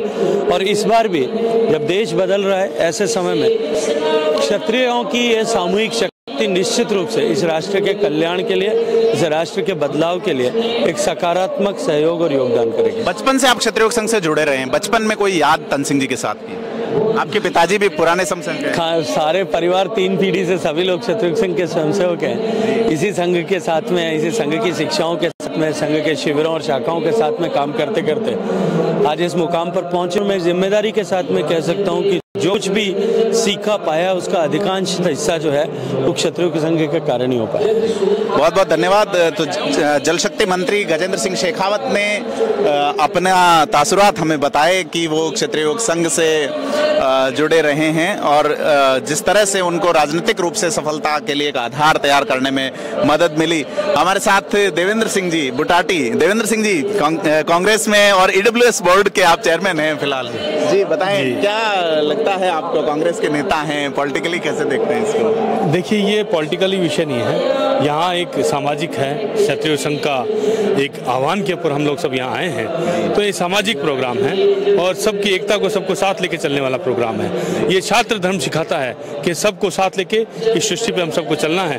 और पॉलिटिक्स के अंदर जहाँ आप देखते हैं सबको साथ लेने का विचार होता है उसी के अनुरूप ये भी काम करते हैं। बुराड़ी साहब ईडब्ल्यूएस बोर्ड के चेयरमैन राजपूतों की बड़ी मांग है कि केंद्र में ईडब्ल्यूएस का सरलीकरण हो स्टेट में आप चेयरमैन हैं फ़िलहाल तो कैसे देखते हैं इसको आप? देखिए बिल्कुल निश्चित आपने सही विषय उठाया है। ईडब्ल्यू सरलीकरण राजस्थान के अंदर हुआ और उसके बाद में हज़ारों लोग जो ईडब्ल्यू वर्ग के लोग हैं वो नौकरी पे लगे।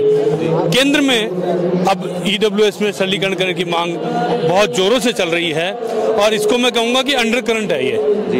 अगर इसका चुनाव से पहले लोकसभा चुनाव से पहले अगर कुछ नतीजा नहीं निकला तो ये आपको देखने को मिलेगा कि अंडर करंट कितना भारी पड़ता है इस बीजेपी की सरकार पे। तो आज आम जो राजपूत है, ब्राह्मण है, बनिया है, महाजन है, वैश्य है, उन सब की मांग है कि ईडब्ल्यू के अंदर सरलीकरण हो। इकोनॉमिक वीकर सेक्शन वाला जो रिजर्वेशन है, उसके आप चेयरमैन हैं और आपने बताया कि सरलीकरण की एक डिमांड है। हमारी यहाँ जो पॉलिटिशियंस हैं, उनसे बात हुई, उन्होंने क्षत्रिय योग संघ को लेकर अपने विचार बताए। कार्यक्रम शुरू होने में अभी काफ़ी वक्त है। सुबह का वक्त है, दिल्ली की धुंध पे केसरिया रंग भारी पड़ रहा है और हम आपको लगातार अपडेट कर रहे हैं। निश्चित तौर पे कि राजपूतों की एक हिडन डिमांड इस कार्यक्रम में ज़रूर रहेगी। क्षत्रिय संघ के स्वयंसेवक जो है, उनके भाव ज़रूर हैं कि सिर्फ़ श्रद्धांजलि। लेकिन अपने आप में बड़ी संख्या में दिल्ली में जुटना एक बड़ा, एक मैसेज देता है। और राजनीतिक पार्टियों पे एक बड़ा दबाव बनाने की एक कोशिश जो है, क्योंकि राजस्थान में राजपूत विधायकों में बसपा से भी विधायक हैं।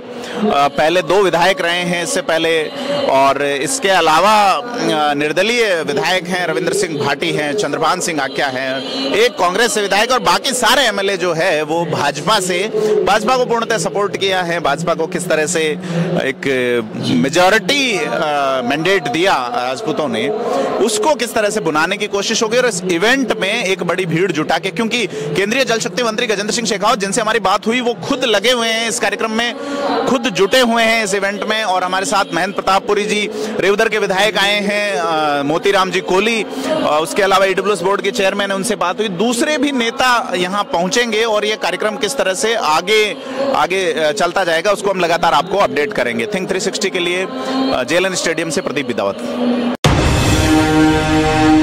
श्री क्षत्रिय युवक संघ, सौ साल पूरा कर रहा है अपने संस्थापक की जन्म जयंती के। हम इस वक्त दिल्ली के जवाहरलाल नेहरू स्टेडियम में हैं जहाँ क्षत्रिय संघ के आ, का एक बड़ा राष्ट्रीय स्तर का जलसा होने जा रहा है और पूरे देश भर से राजपूत यहाँ जुट रहे हैं। तो आज बात करेंगे क्यों ही यह इवेंट किया जा रहा है और इस इवेंट की आवश्यकता और राजनीतिक स्थितियाँ क्या खड़ी होंगी इस इवेंट से क्या चीज़ें हो रही हैं किस तरह से तैयारियाँ चल रही मैं साथी कैमरामैन मेरे साथ मालचंद जी हैं उनको कहूँगा कि दिखाएँ किस तरह से लोग तैयारी कर रहे हैं। राष्ट्रीय युवक संघ राजस्थान के जयपुर में 22 दिसंबर 1946 को स्थापित एक संस्था है, जो राजपूत में संस्कार और राजनीतिक चेतना के लिए इसका एक अनुसंगिक संगठन प्रताप फाउंडेशन काम करता है। यूथ को करियर ओरिएंटेड और प्रोफेशनल स्किल्स के लिए छात्र पुरुषार्थ फाउंडेशन काम करता है। और साथ ही इनके कई दुर्गा बालिका छात्रावास समेत कई तरह के संगठन चलते हैं। और बेसिक इनका जो वर्किंग कंसेप्ट क्षेत्रीय युवक संघ का है, वो आरएसएस से मेल खाता है। जैसा कि हमारी बात हुई थी संघ के एक वरिष्ठ स्वयंसेवक और प्रताप फाउंडेशन के जो संयोजक हैं महावीर सिंह सरवड़ी, उन्होंने बताया था कि यह संगठन जो है आरएसएस के के ऊपर बेस नहीं है। तन सिंह जी ने वर्किंग स्टाइल जो है उसको आरएसएस के आधार पर फोकस किया था और उसके बाद में आ, किस तरीके से। तो हम आपको बता रहे हैं दिल्ली का जो है जवाहरलाल नेहरू स्टेडियम है यहाँ पर आप देख सकते हैं किस तरह से लोग उत्साहपूर्वक काम में जुटे हुए हैं।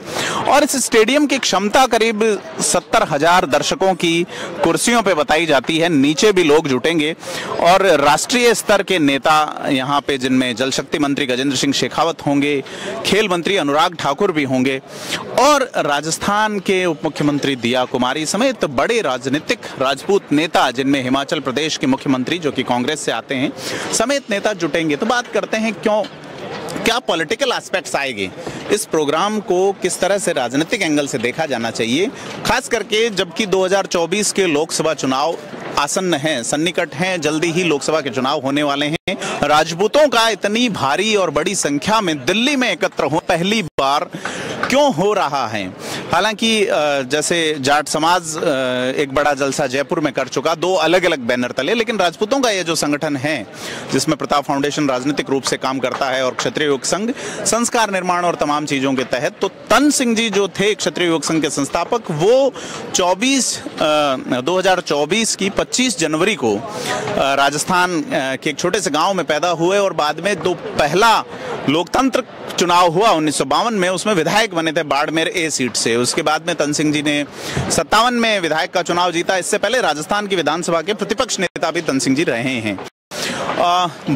सतसठ में उन्होंने ऐसा बता बासठ में एमपी का चुनाव लड़ा जब जैसलमेर के महाराजा ने चुनाव लड़ने से मना किया और कहा, अब मैं चुनाव नहीं लड़ूँगा। तो तन सिंह जी बाड़मेर से सांसद रहे, एक बार चुनाव हारे भी, लेकिन सतहत्तर में, जब इंदिरा गांधी के खिलाफ देश में एक माहौल था और जनता पार्टी की लहर थी तो तन सिंह जो है, सतहत्तर में एक बार फिर से सांसद बने।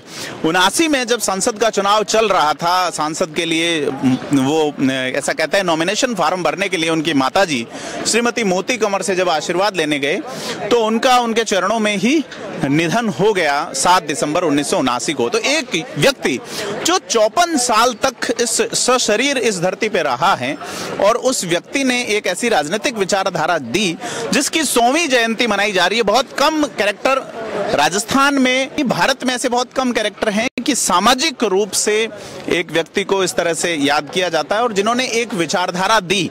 और इस विचारधारा में जो नवाचार नज़र आता है, वो है व्यक्ति से समाज और समाज से परमात्मा व्यष्टि से समष्टि और समष्टि से परमेष्टि की ओर जाने का जो मार्ग की बात तन सिंह जी करते हैं और उनके पीछे हज़ारों लाखों की संख्या में युवा हैं। तो राजस्थान से बड़ी संख्या में स्पेशल ट्रेन चल रही हैं। लगभग हर ज़िले से एक ट्रेन चल रही है। गुजरात से ऐसा ही माहौल है। हरियाणा से ऐसा ही माहौल है। हिमाचल प्रदेश, उत्तर प्रदेश, साथ ही दिल्ली खुद।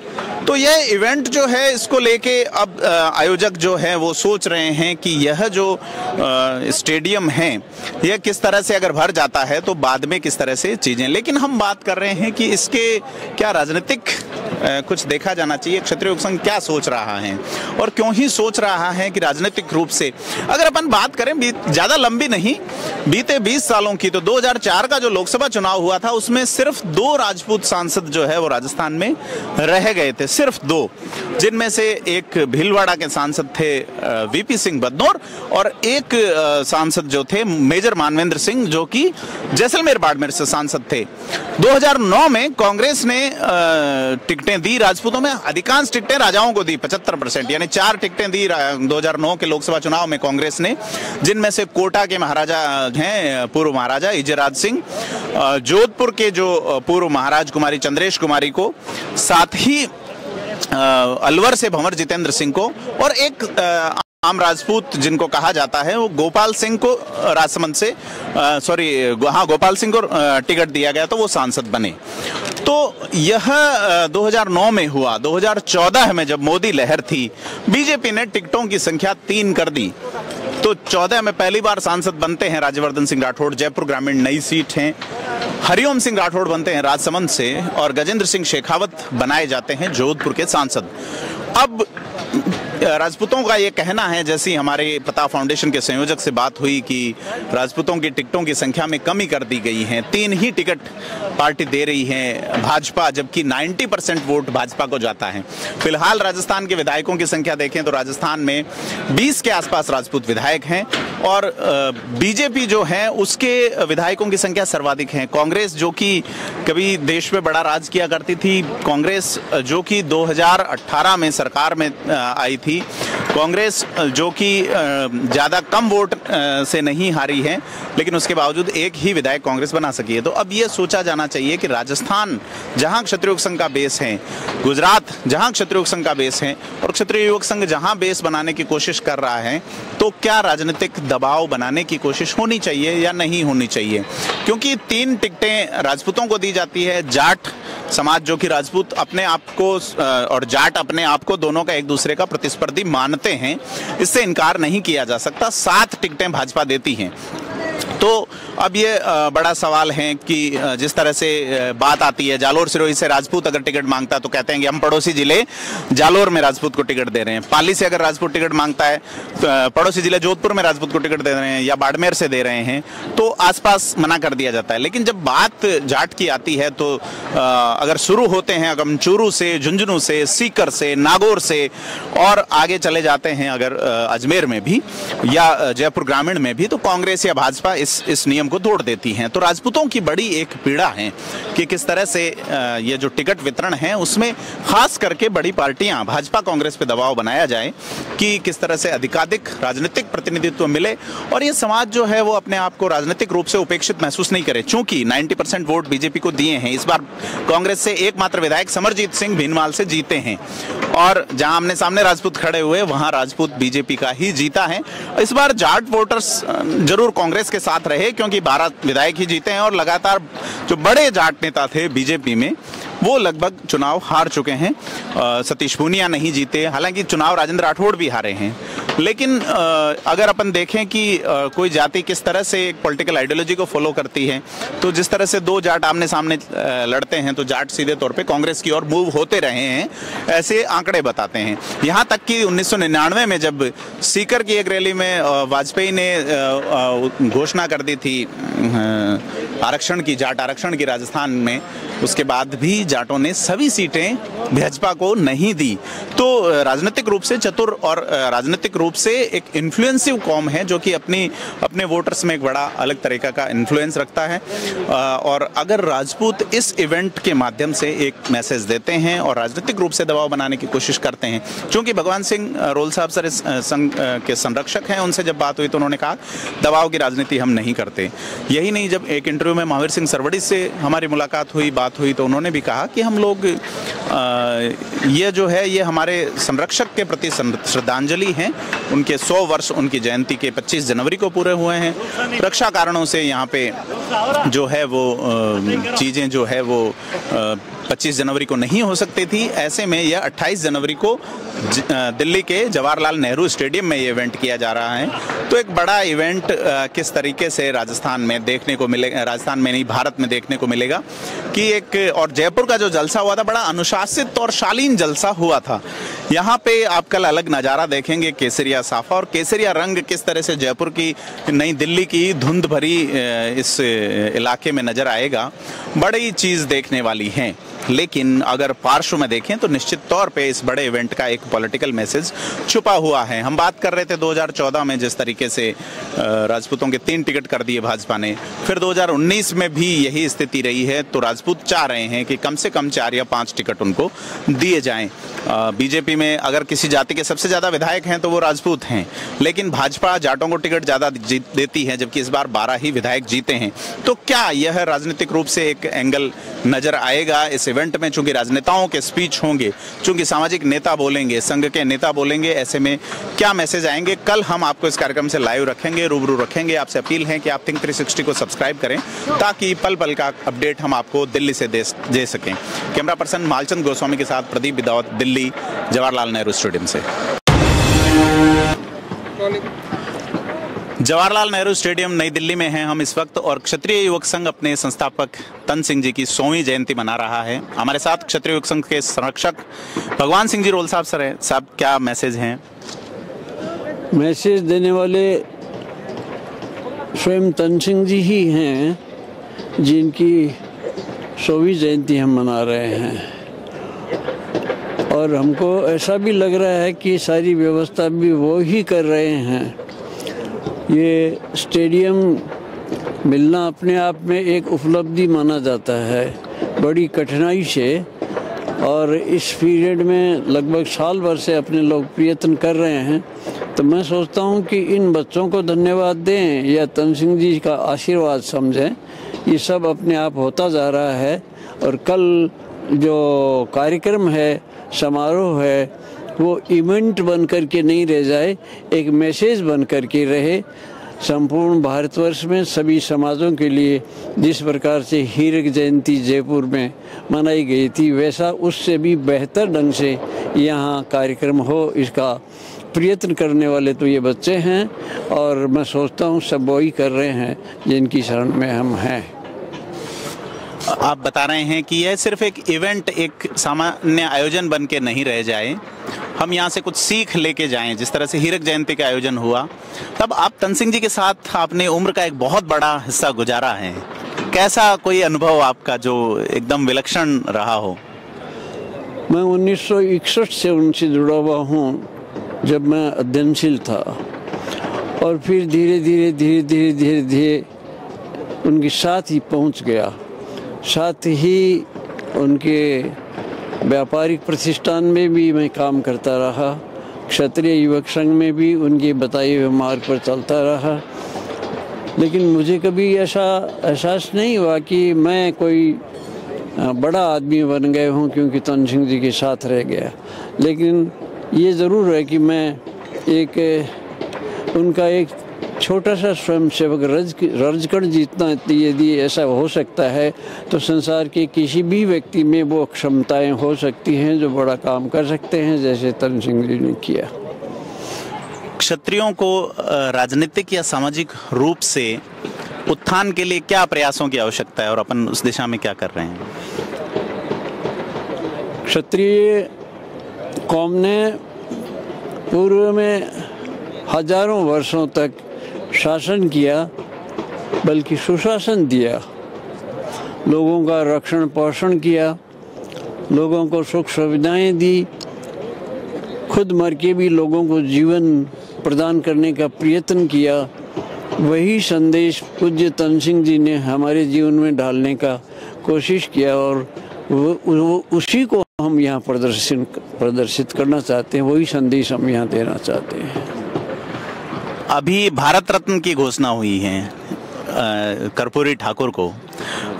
पिछड़े समाज से वो आते हैं और पिछड़ों के लिए खूब काम किया। आज़ादी के बाद आज तक एक भी क्षत्रिय को भारत रत्न नहीं दिया गया, किसी भी सरकार में। कैसे देखते हैं इसको, जबकि हम, या आप दावा करते हैं कि क्षत्रियों ने इतना महान काम किया है? हमने कभी किसी कोई रत्न आदि की, भारत रत्न या अन्य कोई पद्मश्री आदि बनने की कभी परवाह नहीं की। और जो परवाह करते हैं, वो मैं सोचता हूँ, कर्पूरी ठाकुर ऐसे नहीं थे। लेकिन उनके बहुत दिनों बाद, जाने के बाद में लोगों ने दिया तो वो उसके योग्य थे। लेकिन हम ये कहें कि तनसिंह जी को दिया जाना चाहिए, ऐसी मांग हम नहीं करने वाले हैं।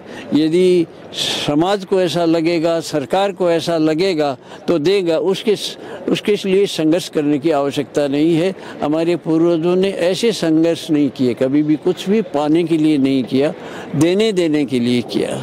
ये संगठन, क्षत्रिय युवक संघ का संगठन किसी के विरुद्ध नहीं है, न कोई राजनीतिक पार्टी के और न किसी और अन्य संगठन के ये अपना कर्तव्य करता है अपने कर्तव्य मार्ग का ही मार्ग बताता है उसी पर चलता है और वो पूज्य तन सिंह जी की कृपा से ठीक चल रहा है।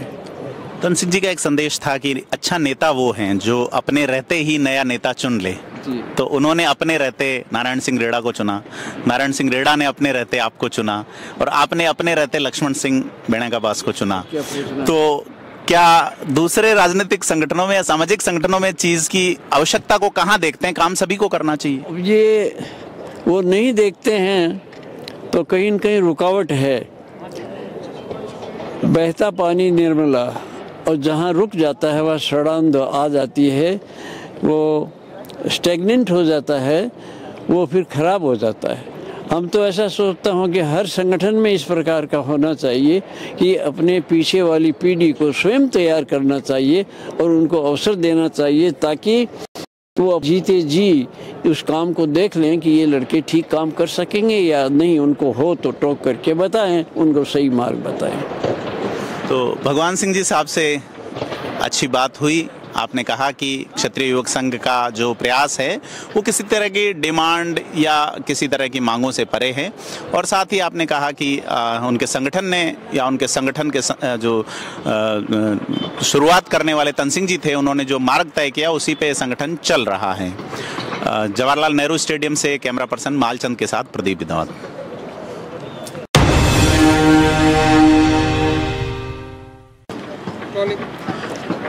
जवाहरलाल नेहरू दिल्ली के जवाहरलाल नेहरू स्टेडियम में हैं। हम इस वक्त और एथलेटिक्स ट्रैक जो है, उस पर खड़े हैं।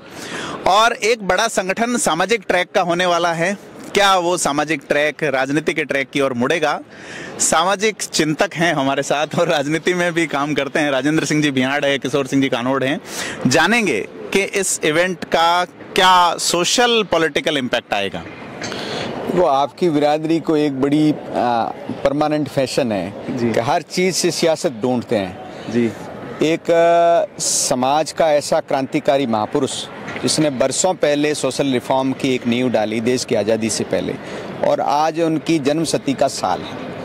और ऐसा ऐसे महापुरुष जिनका सदियों तक समाज जीवन पर मानव जीवन पर देश के व्यापक जीवन पर असर पड़ता है ऐसे महापुरुषों की जन्म शताब्दियाँ व्यापक पैमाने पर भारतवर्ष में महापुरुषों के प्रति कृतज्ञता का एक जो प्रदर्शन है। तो ये जो ट्रैक है, ये ट्रैक मानवता के त्राण की ओर जाने वाला है। इसमें किसी तरह की सियासत ढूंढना, मैं समझता हूँ कि ये अपने आप में इस कार्यक्रम की व्यापकता को छोटा करना। सियासत अंग है जीवन का। तन सिंह जी एक ऐसे व्यक्ति रहे चौपन साल सशरीर इस दुनिया में रहे। उसमें से 22 साल तक या कहूँ 23 साल तक वो या तो सांसद रहे या विधायक रहे या नगर पालिका के अध्यक्ष रहे। तो राजनीति इतनी अछूती चीज़ तो नहीं है अगर देखा जाए सामाजिक रूप से तो। नहीं राजनीति अछूती नहीं है। जी। जैसे महात्मा गांधी सन 15 में हिंदुस्तान में आए जी। और 15 से लेकर के जीवन के अंतिम सांस 48 तक वो राजनीतिक जीवन में रहे। लेकिन महात्मा गांधी को आज हम देखते हैं देश के राष्ट्रपिता के तौर पे। क्योंकि उन्होंने राजनीति को इफ़ेक्ट तो किया लेकिन इफ़ेक्ट करने का उनका ढंग अलग था। ऐसे ही तन सिंह जी जो काम करना चाहते थे समाज जीवन में उससे राजनीति भी प्रभावित होगी उससे समाज भी प्रभावित होगा उससे हमारी अर्थनीति भी प्रभावित होगी। तो एक व्यापक मेरे जो कहने का मतलब जी, है कि व्यापक अर्थों में उनको लिया जाना चाहिए। व्यापक अर्थों में उनका जो विचार है वो जो है वो प्रभावित करता है। जिस विचार को उन्होंने देश की आज़ादी से पहले रख दिया सन छियालीस में तो उस समय तो देश में डेमोक्रेसी आई नहीं थी देश आज़ादी नहीं हुआ था। चुनाव वोट का तंत्र आएगा इसकी भी उनकी जो पॉलिटिकल सोच थी या सामाजिक पॉलिटिकल सोच उसको इस ट्रैक पे कैसे देखते हैं? फ़िलहाल जो ट्रैक है राजनीति पर निश्चित देखिए कई चीज़ें कई चुनौतियाँ हो गई। वो तो एक ग्रेट व्यक्ति थे। एज ए पॉलिटिशियन आज के ज़माने में इस तरह का ऑनेस्ट पॉलिटिशियन अपन ढूंढे।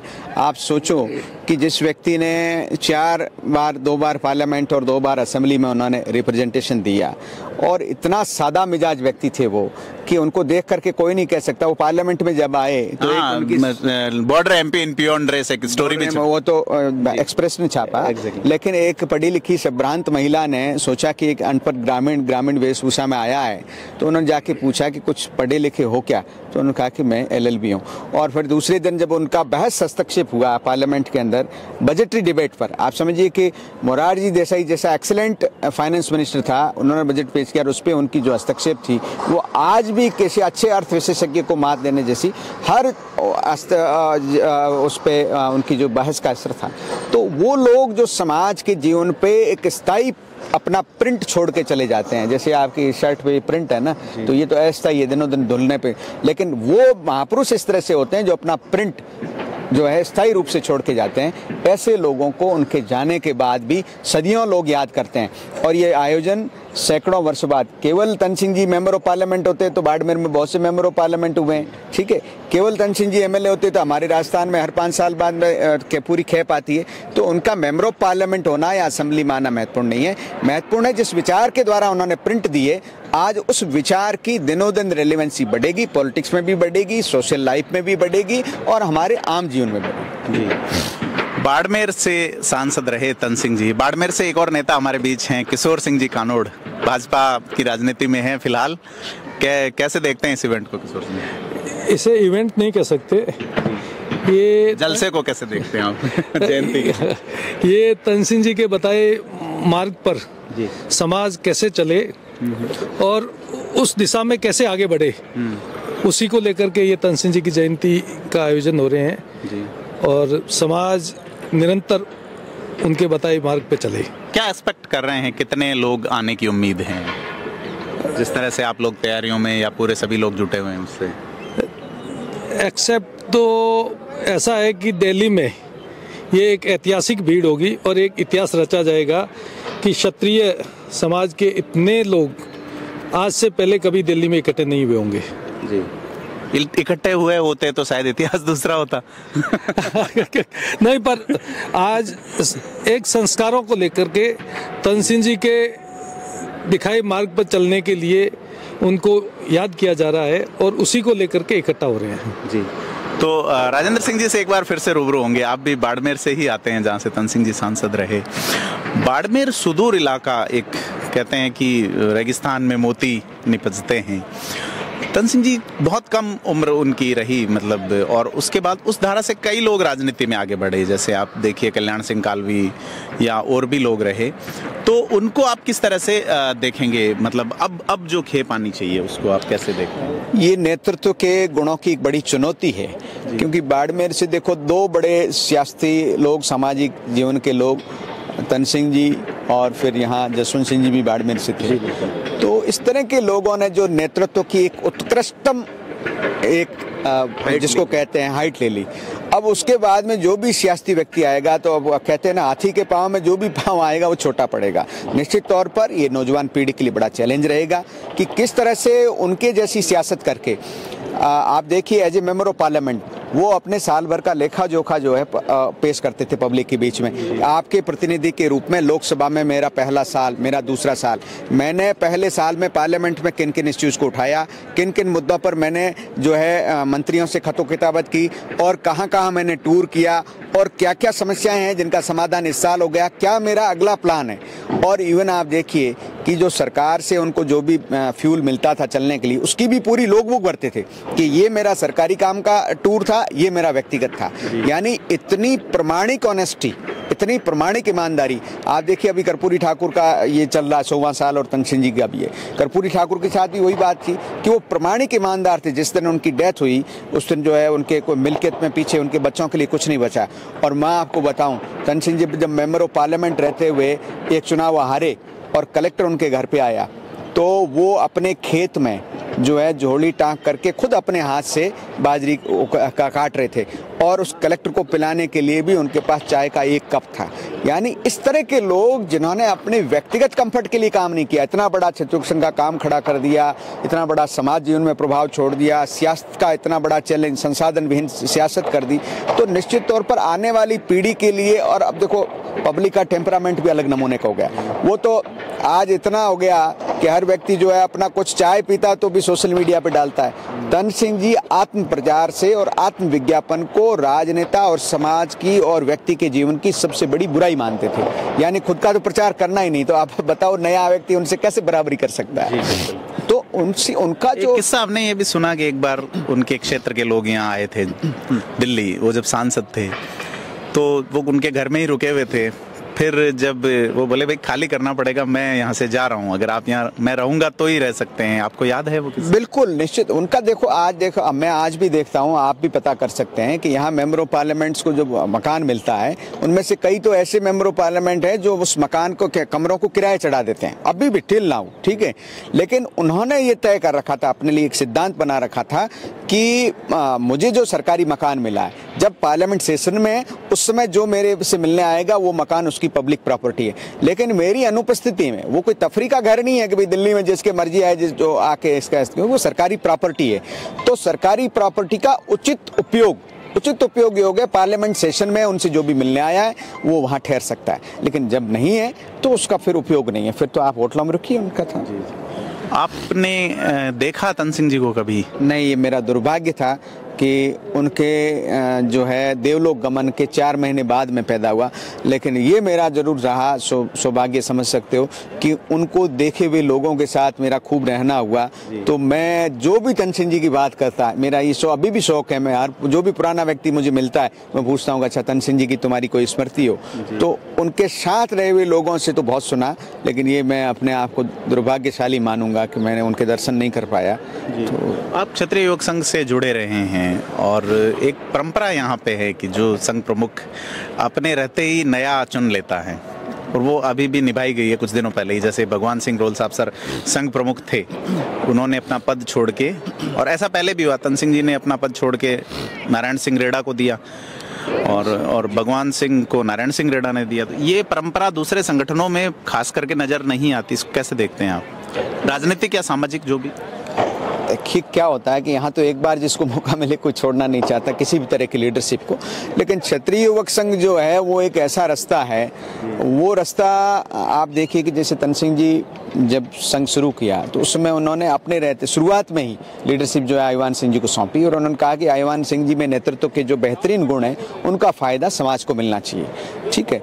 तो वो तो सर्च करते थे कि सोसाइटी में जो बेस्ट अवेलेबल लोग हैं, उनका मिलना चाहिए। तो ये संघ में एक परंपरा है और संघ चूँकि, यहाँ पद जो है, वो एक तरह का दायित्व है, अधिकार नहीं है। तो उस दायित्व के लिए किसी एक को अवसर मिलता है, फिर वो सोचता है कि हमसे जो अब फिजिकली मेंटली जो दादा फिट हैं, वो नेतृत्व आना चाहिए।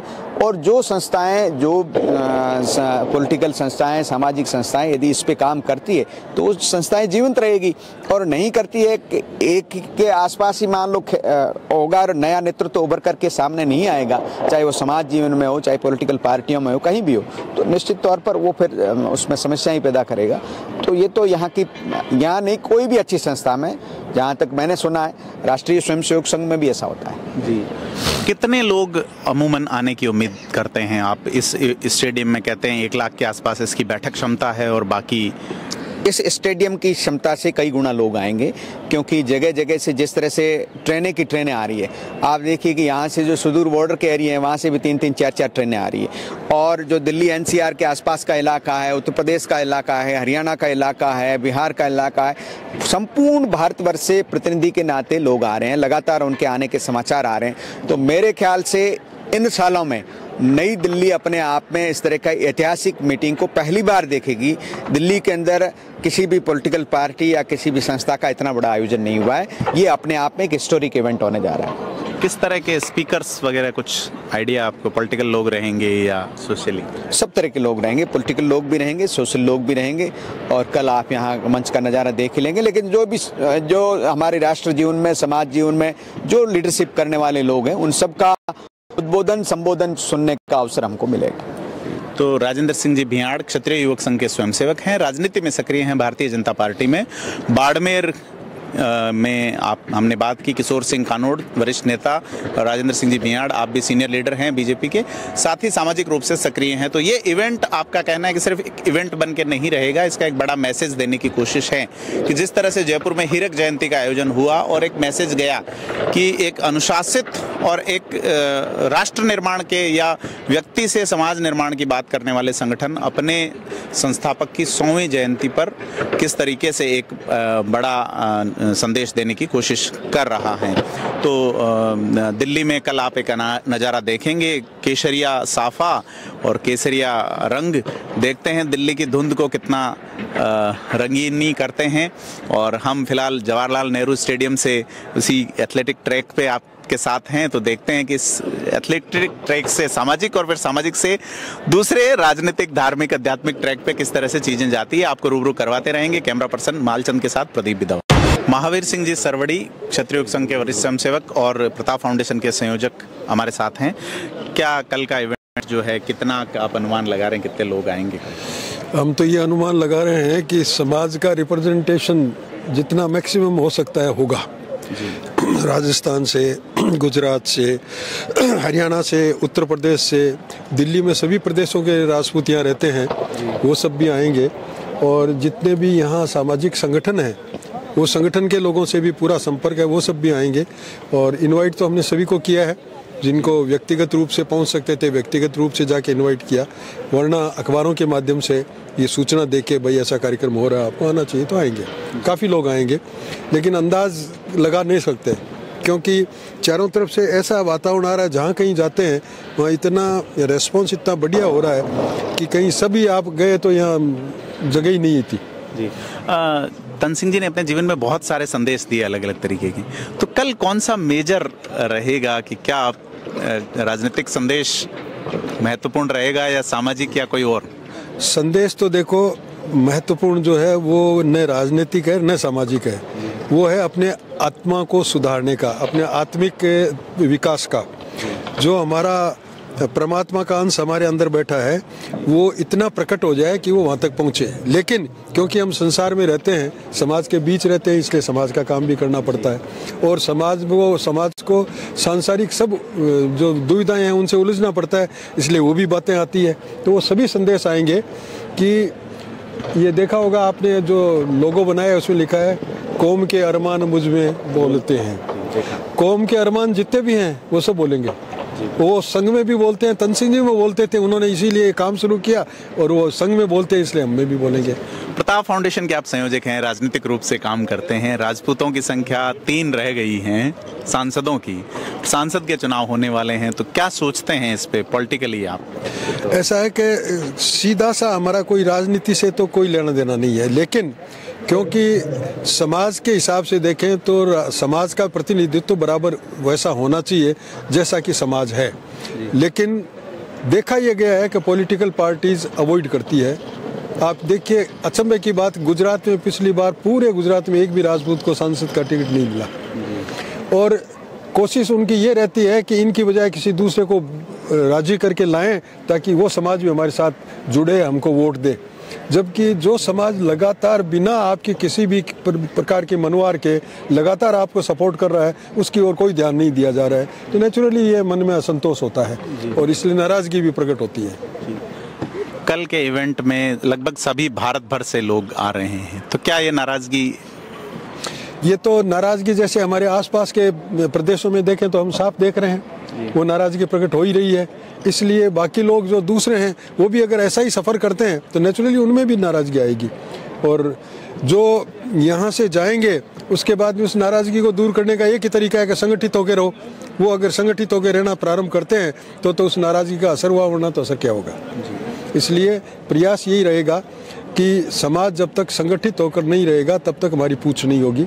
संगठित होकर रहेंगे तो हम किसी को आँख भी दिखा सकते हैं, अन्यथा हम आँख ही नहीं दिखा सकते। इसलिए कोशिश ये रहेगी कि समाज का संगठन और मज़बूत बने। एक कल एक बड़ी घोषणा हुई है परसों कर्पूरी ठाकुर को भारत रत्न दिए जाने की। उन्होंने जिस पैटर्न पे काम किया, वो पैटर्न पहली बार क्षत्रिय संघ के एक संघ प्रमुख आयुवान सिंह ने अपनी पुस्तक में लिखा था कि पिछड़ों को आरक्षण दिया जाना चाहिए। तो क्या सोचते हैं कि इस तरह से चीज़ फलीभूत हुई? अब सौवीं जयंती कर्पूरी ठाकुर की है और सौवीं तनसिंह जी की है। तो भारत रत्न राजपूतों के लिए क्यों नहीं है? ऐसा है कि राजपूतों के लिए तो न पद है, न कोई आगे बढ़ने का चांस है और न ही भारत रत्न है। वो क्यों नहीं है? क्योंकि वो मानते हैं, पर एक तो देखिए आज़ादी के तुरंत बाद सब पॉलिटिकल पार्टीज़ ने, सभी समाजों ने ये प्रयास किया कि इनको ज़्यादा से ज़्यादा बदनाम करो। ये हमारा शोषण करते थे, ये हमारे साथ ऐसा करते थे। जबकि आज जो शोषण हो रहा है, उसके सामने पुरानी कोई एक दो घटना हो गई तो वो कुछ नहीं है। लेकिन फिर भी इस तरह का प्रचार करके हमको साइड लाइन करने की कोशिश की है। इसलिए वो जो काम हम कर रहे हैं, वो ही कर रहे हैं। दलितों के साथ जैसा अच्छा व्यवहार हमारा है, वैसा किसी का नहीं है। हम बिल्कुल हमको तो बचपन में याद हम तो साथ खेलते थे। और अभी भी कोई किसी को मतलब दूसरी कोई बात नहीं थी। यहाँ तक कि उनकी महिलाएँ जब घर पे झाड़ू लगाने आती थी तो हमारे परिवार की जो छोटी महिलाएँ होती थी वो उनके पाँव पाए लगती थी। तो जो ऐसा व्यवहार था उसको ख़राब करने की कोशिश की जा रही है। अब जो आरक्षण मिला है अच्छी बात है वो आगे बढ़े लेकिन उसका दुरुपयोग भी करते हैं लोग। वो दुरुपयोग रुकना चाहिए। इंटरनल कास्ट में भी एक एक्ट्रोसिटी भी है और बड़े लोग जो बड़ी जातियाँ छोटियों को खा भी रही है, ऐसा नहीं लगता आपको? चाहे ओबीसी रिजर्वेशन हो, चाहे या दूसरा हो। वो सभी जगह है ये। ऐसा होता ही है। अब आप देखिए कि जो दो तीन पीढ़ी से लगातार आरक्षण का लाभ उठा रहे हैं, वो भी आज भी आरक्षण का लाभ लेना चाहते हैं। और इस तरह से जिस किसी को भी कुछ मिल गया आज जो वातावरण है पूरा सारे संसार का, वो निज स्वार्थ का ज़्यादा हो गया। इस निज स्वार्थ के कारण हर आदमी ये कोशिश करता है कि मैं मेरा फ़ायदा उठाऊं, इससे समाज का कोई नुकसान होता है तो भी कोई परवाह नहीं करते। जी। तो महावीर सिंह जी सरवड़ी साहब से हमारी लंबी बात हुई। आप ये कह रहे हैं कि क्षत्रिय योग संघ का एक ऐतिहासिक आयोजन यहाँ पे होगा और थिंक 360 के लिए जेएलएन स्टेडियम से प्रदीप बितावत महावीर सिंह जी सरवड़ी क्षत्रिय संघ के वरिष्ठ स्वयंसेवक और प्रताप फाउंडेशन के संयोजक हमारे साथ हैं। क्या कल का इवेंट जो है कितना आप अनुमान लगा रहे हैं कितने लोग आएँगे? हम तो ये अनुमान लगा रहे हैं कि समाज का रिप्रेजेंटेशन जितना मैक्सिमम हो सकता है होगा। क्षत्रिय युग संघ के आयोजन में हमारे बीच में राजस्थान के कैबिनेट मिनिस्टर राज्यवर्धन सिंह राठौड़ भी आए हैं। सर कैसे देखते हैं क्या मैसेज है इस कार्यक्रम का? पूज्य धन सिंह जी की उस समय की सोच, जहाँ चरित्र निर्माण करने को उन्होंने महत्व दिया, एक संगठन के अंदर व्यवस्थित तरीके से ट्रेनिंग के साथ आज उनकी सौ वर्ष उनकी जन्म शताब्दी मना रहे हैं और दिल्ली के अंदर एक भव्य कार्यक्रम जहाँ बड़ी संख्या में यहाँ पर समाज के लोग इकट्ठे हुए हैं। इस बात को दर्शाता है कि पूज्य तन सिंह जी के विचार आज भी उतने ही महत्वपूर्ण हैं। आज प्रधानमंत्री मोदी जी के नेतृत्व में देश निर्माण हो रहा है और नया भारत के अंदर हम दुनिया के अंदर अग्रणी देशों में से एक हैं। आज अवसर है हमारे युवाओं को आगे बढ़ने के। और देश की सीमाएँ तक सीमित नहीं तो बहुत ही बढ़िया एक समय है जब इस तरह का संगठन पुनः संकल्प ले, पूरी तरह से राष्ट्र निर्माण, अब खुद स्वयं स्वयं को मज़बूत करे और राष्ट्र को मज़बूत करे। संघ प्रमुख जो है संरक्षक जो है वो कह रहे हैं, हमारी कोई डिमांड नहीं है। तो क्या कोई पॉलिटिकल ऐसा एक प्रेशर ग्रुप या ऐसी आवश्यकता समझता है राजपूत समाज? इसके बारे में वो बेहतर जानते हैं। जी जी बिल्कुल। तो चूँकि पॉलिटिकल बयानबाजी से बिल्कुल इस आयोजन में क्षत्रियोग संघ के इस आयोजन में कई संत वृंद भी पधारे हैं तो जैसी हमारी पहले बात हुई महंत प्रतापपुरी जी से, अब दूधेश्वर मठ, गाजियाबाद के महंत श्री नारायण गिरी जी भी यहाँ पे पधारे हैं। गुरुदेव, क्या सोचते हैं इस आयोजन को लेके? धार्मिक, आध्यात्मिक मैसेज क्या है? देखिए कि विशेष रूप से हम लोग का मोहवंश जीव लोग जीव बुधा सनातना तो छत्री हमेशा से जो है सनातन को लेकर जो है, और सनातन के जो मूल उसके जो मूल्य है, उसके जो है उनको सारा चीज़ों को लेकर वो जीता है अपने आप में। तो संपूर्ण विश्व के अंदर में जो न्याय है या समस्त सभी जीवों का कल्याण है मनुष्य मात्र का जो कल्याण और सबके प्रति समभाव और समदृष्टि। ये विशेष रूप से तन सिंह जी का जो है साधारण परिवार से उठकर उन्होंने पूरा विश्व के अंदर में और विशेष रूप से भारत के अंदर में युवाओं में, युवा शक्ति में जो क्षत्रिय संघ की स्थापना किया उन्होंने और युवाओं में आज भी जो संस्कार उनका निरंतर जो है, सारे उनके जो युवा संघ के दे रहे हैं तो निश्चित रूप से ये अपने आप में एक बहुत ही अपने आप में गौरव भी है और व्यक्ति को, के जीवन में भाई व्यक्ति जन्म लिया, मृत्यु हो गया, उसका कोई उसका प्रयोजन नहीं है। परंतु आज इतना वर्षों के बाद में भी एक उनका जन्म हुए, सौ वर्ष हो गए, करीब पचपन साल उन्होंने जीवन अपना रहे, उसके बाद उनका शरीर पूरा हो गया। परंतु आज भी उनके विचार जो है, उन्होंने भगवान राम है, गीता है, और भी बहुत से अपने पुस्तकों में, अपनी कहानियों में, अपने गीतों में, जो भी उन्होंने जो अपने विचार जो दिए, वो आज भी जो है, हमको हमेशा से प्रेरित करते रहेंगे जी। बाड़मेर में जन्म हुआ तन सिंह जी का बाड़मेर में जन्म हुआ प्रतापपुरी जी का और बाड़मेर के तेलवाड़ा से महंत नारायण गिरी जी हैं। तो ये अध्यात्म की धारा कैसे बह रही है रेगिस्तानी इलाके से गुरुदेव? देखिए कि वहाँ जो आदमी तब के निकलता है विशेष करके जो वहाँ जो साधना है कि जीवन जो है कि हमेशा से देखिए गर्मी भी मैं जब बचपन में था तो गर्मी भी करीब इक्यावन पचास डिग्री तापमान होता था। और सर्दी में मैं देखता था कुएँ में हम लोग पानी लेके खींचने के लिए जाते थे तो बर्फ़ के जैसा जम जाता था। तो वो जो है वहाँ का जो भूमि है, वो तपोभूमि है और वहाँ पर ईगों से जो है, वहाँ पर साधु संत, तपस्या, महात्माओं का जो सारी चीज़ों जो है लेकर जो है, निश्चित रूप से जो बारमेड है वो जो है एक तरह से मान लीजिए कि प्राचीन काल से ही एक ऐसा भूमि है जिसमें कि जो है शौर्य भी है, शक्ति भी है, उपासना भी है, अध्यात्म भी है और साथ साथ में प्रत्येक व्यक्ति वहाँ पर जो जन्म लेता है, मैं देता हूँ कि वो चेतनाओं के साथ होता है। तो उसके अंदर चेतना होती है। हमारे भी मन में था कि भारत को पूरा भ्रमण करना है, देखना है। तो अपने पास इतने साधन नहीं थे कि भाई छोटे परिवार में जन्म हुआ था। तो मैंने बोला, भारत को कैसे देखें? तो वहाँ पर क्या है कि ऐसा स्थिति था तो मेरे मन में फिर तो उसके बाद मैं पूरा निकल के हिमालय में सब जगह गया फिर दुधेश्वर का मेहनत बना। अब चालीस साल से इधर ही में हूँ। तो ये जो निश्चित रूप से जो इस भूमि का जो है बाड़मेर का हाँ, प्रताप है। बाड़मेर का पुण्य प्रताप है कि भाई भूमि जो है वो जन्म जहाँ होता है वो तो स्वर्ग से भी बड़ी होती है। पॉलिटिशियन जो है वो आजकल थोड़ा अलग बाड़मेर के एक पॉलिटिशियन का ज़िक्र आजकल अलग तरीके से चल रहा है। लेकिन तनसिंह जी ने एज ए राजनेता अपना एक आध्यात्मिक जीवन जिया। तो राजनेताओं को कैसा होना चाहिए? देखिए, जो तन सिंह जी का जीवन था, निश्चित रूप से जो पूरा सृष्टि का कल्याण करने के लिए और उनके अंदर में एक संभाव, उनके अंदर में कोई भी भाव नहीं था कि उनके सामने जब वो वकालत करते थे बारमेड में तो उनके सामने में कोई भी आदिवासी भील या कोई भी किसी भी जाति का आया तो वो उन सबके लिए लड़ते थे। उनके लिए ये नहीं था कोई राजपूत आए इसीलिए तो उन्होंने सही अर्थों में जो है, उन्होंने बोला कि भाई, मेरे को कुछ करना है तो सिस्टम में आना पड़ेगा। तो वो विधायक भी रहे एमपी भी रहे, संसद में भी पहुँचे।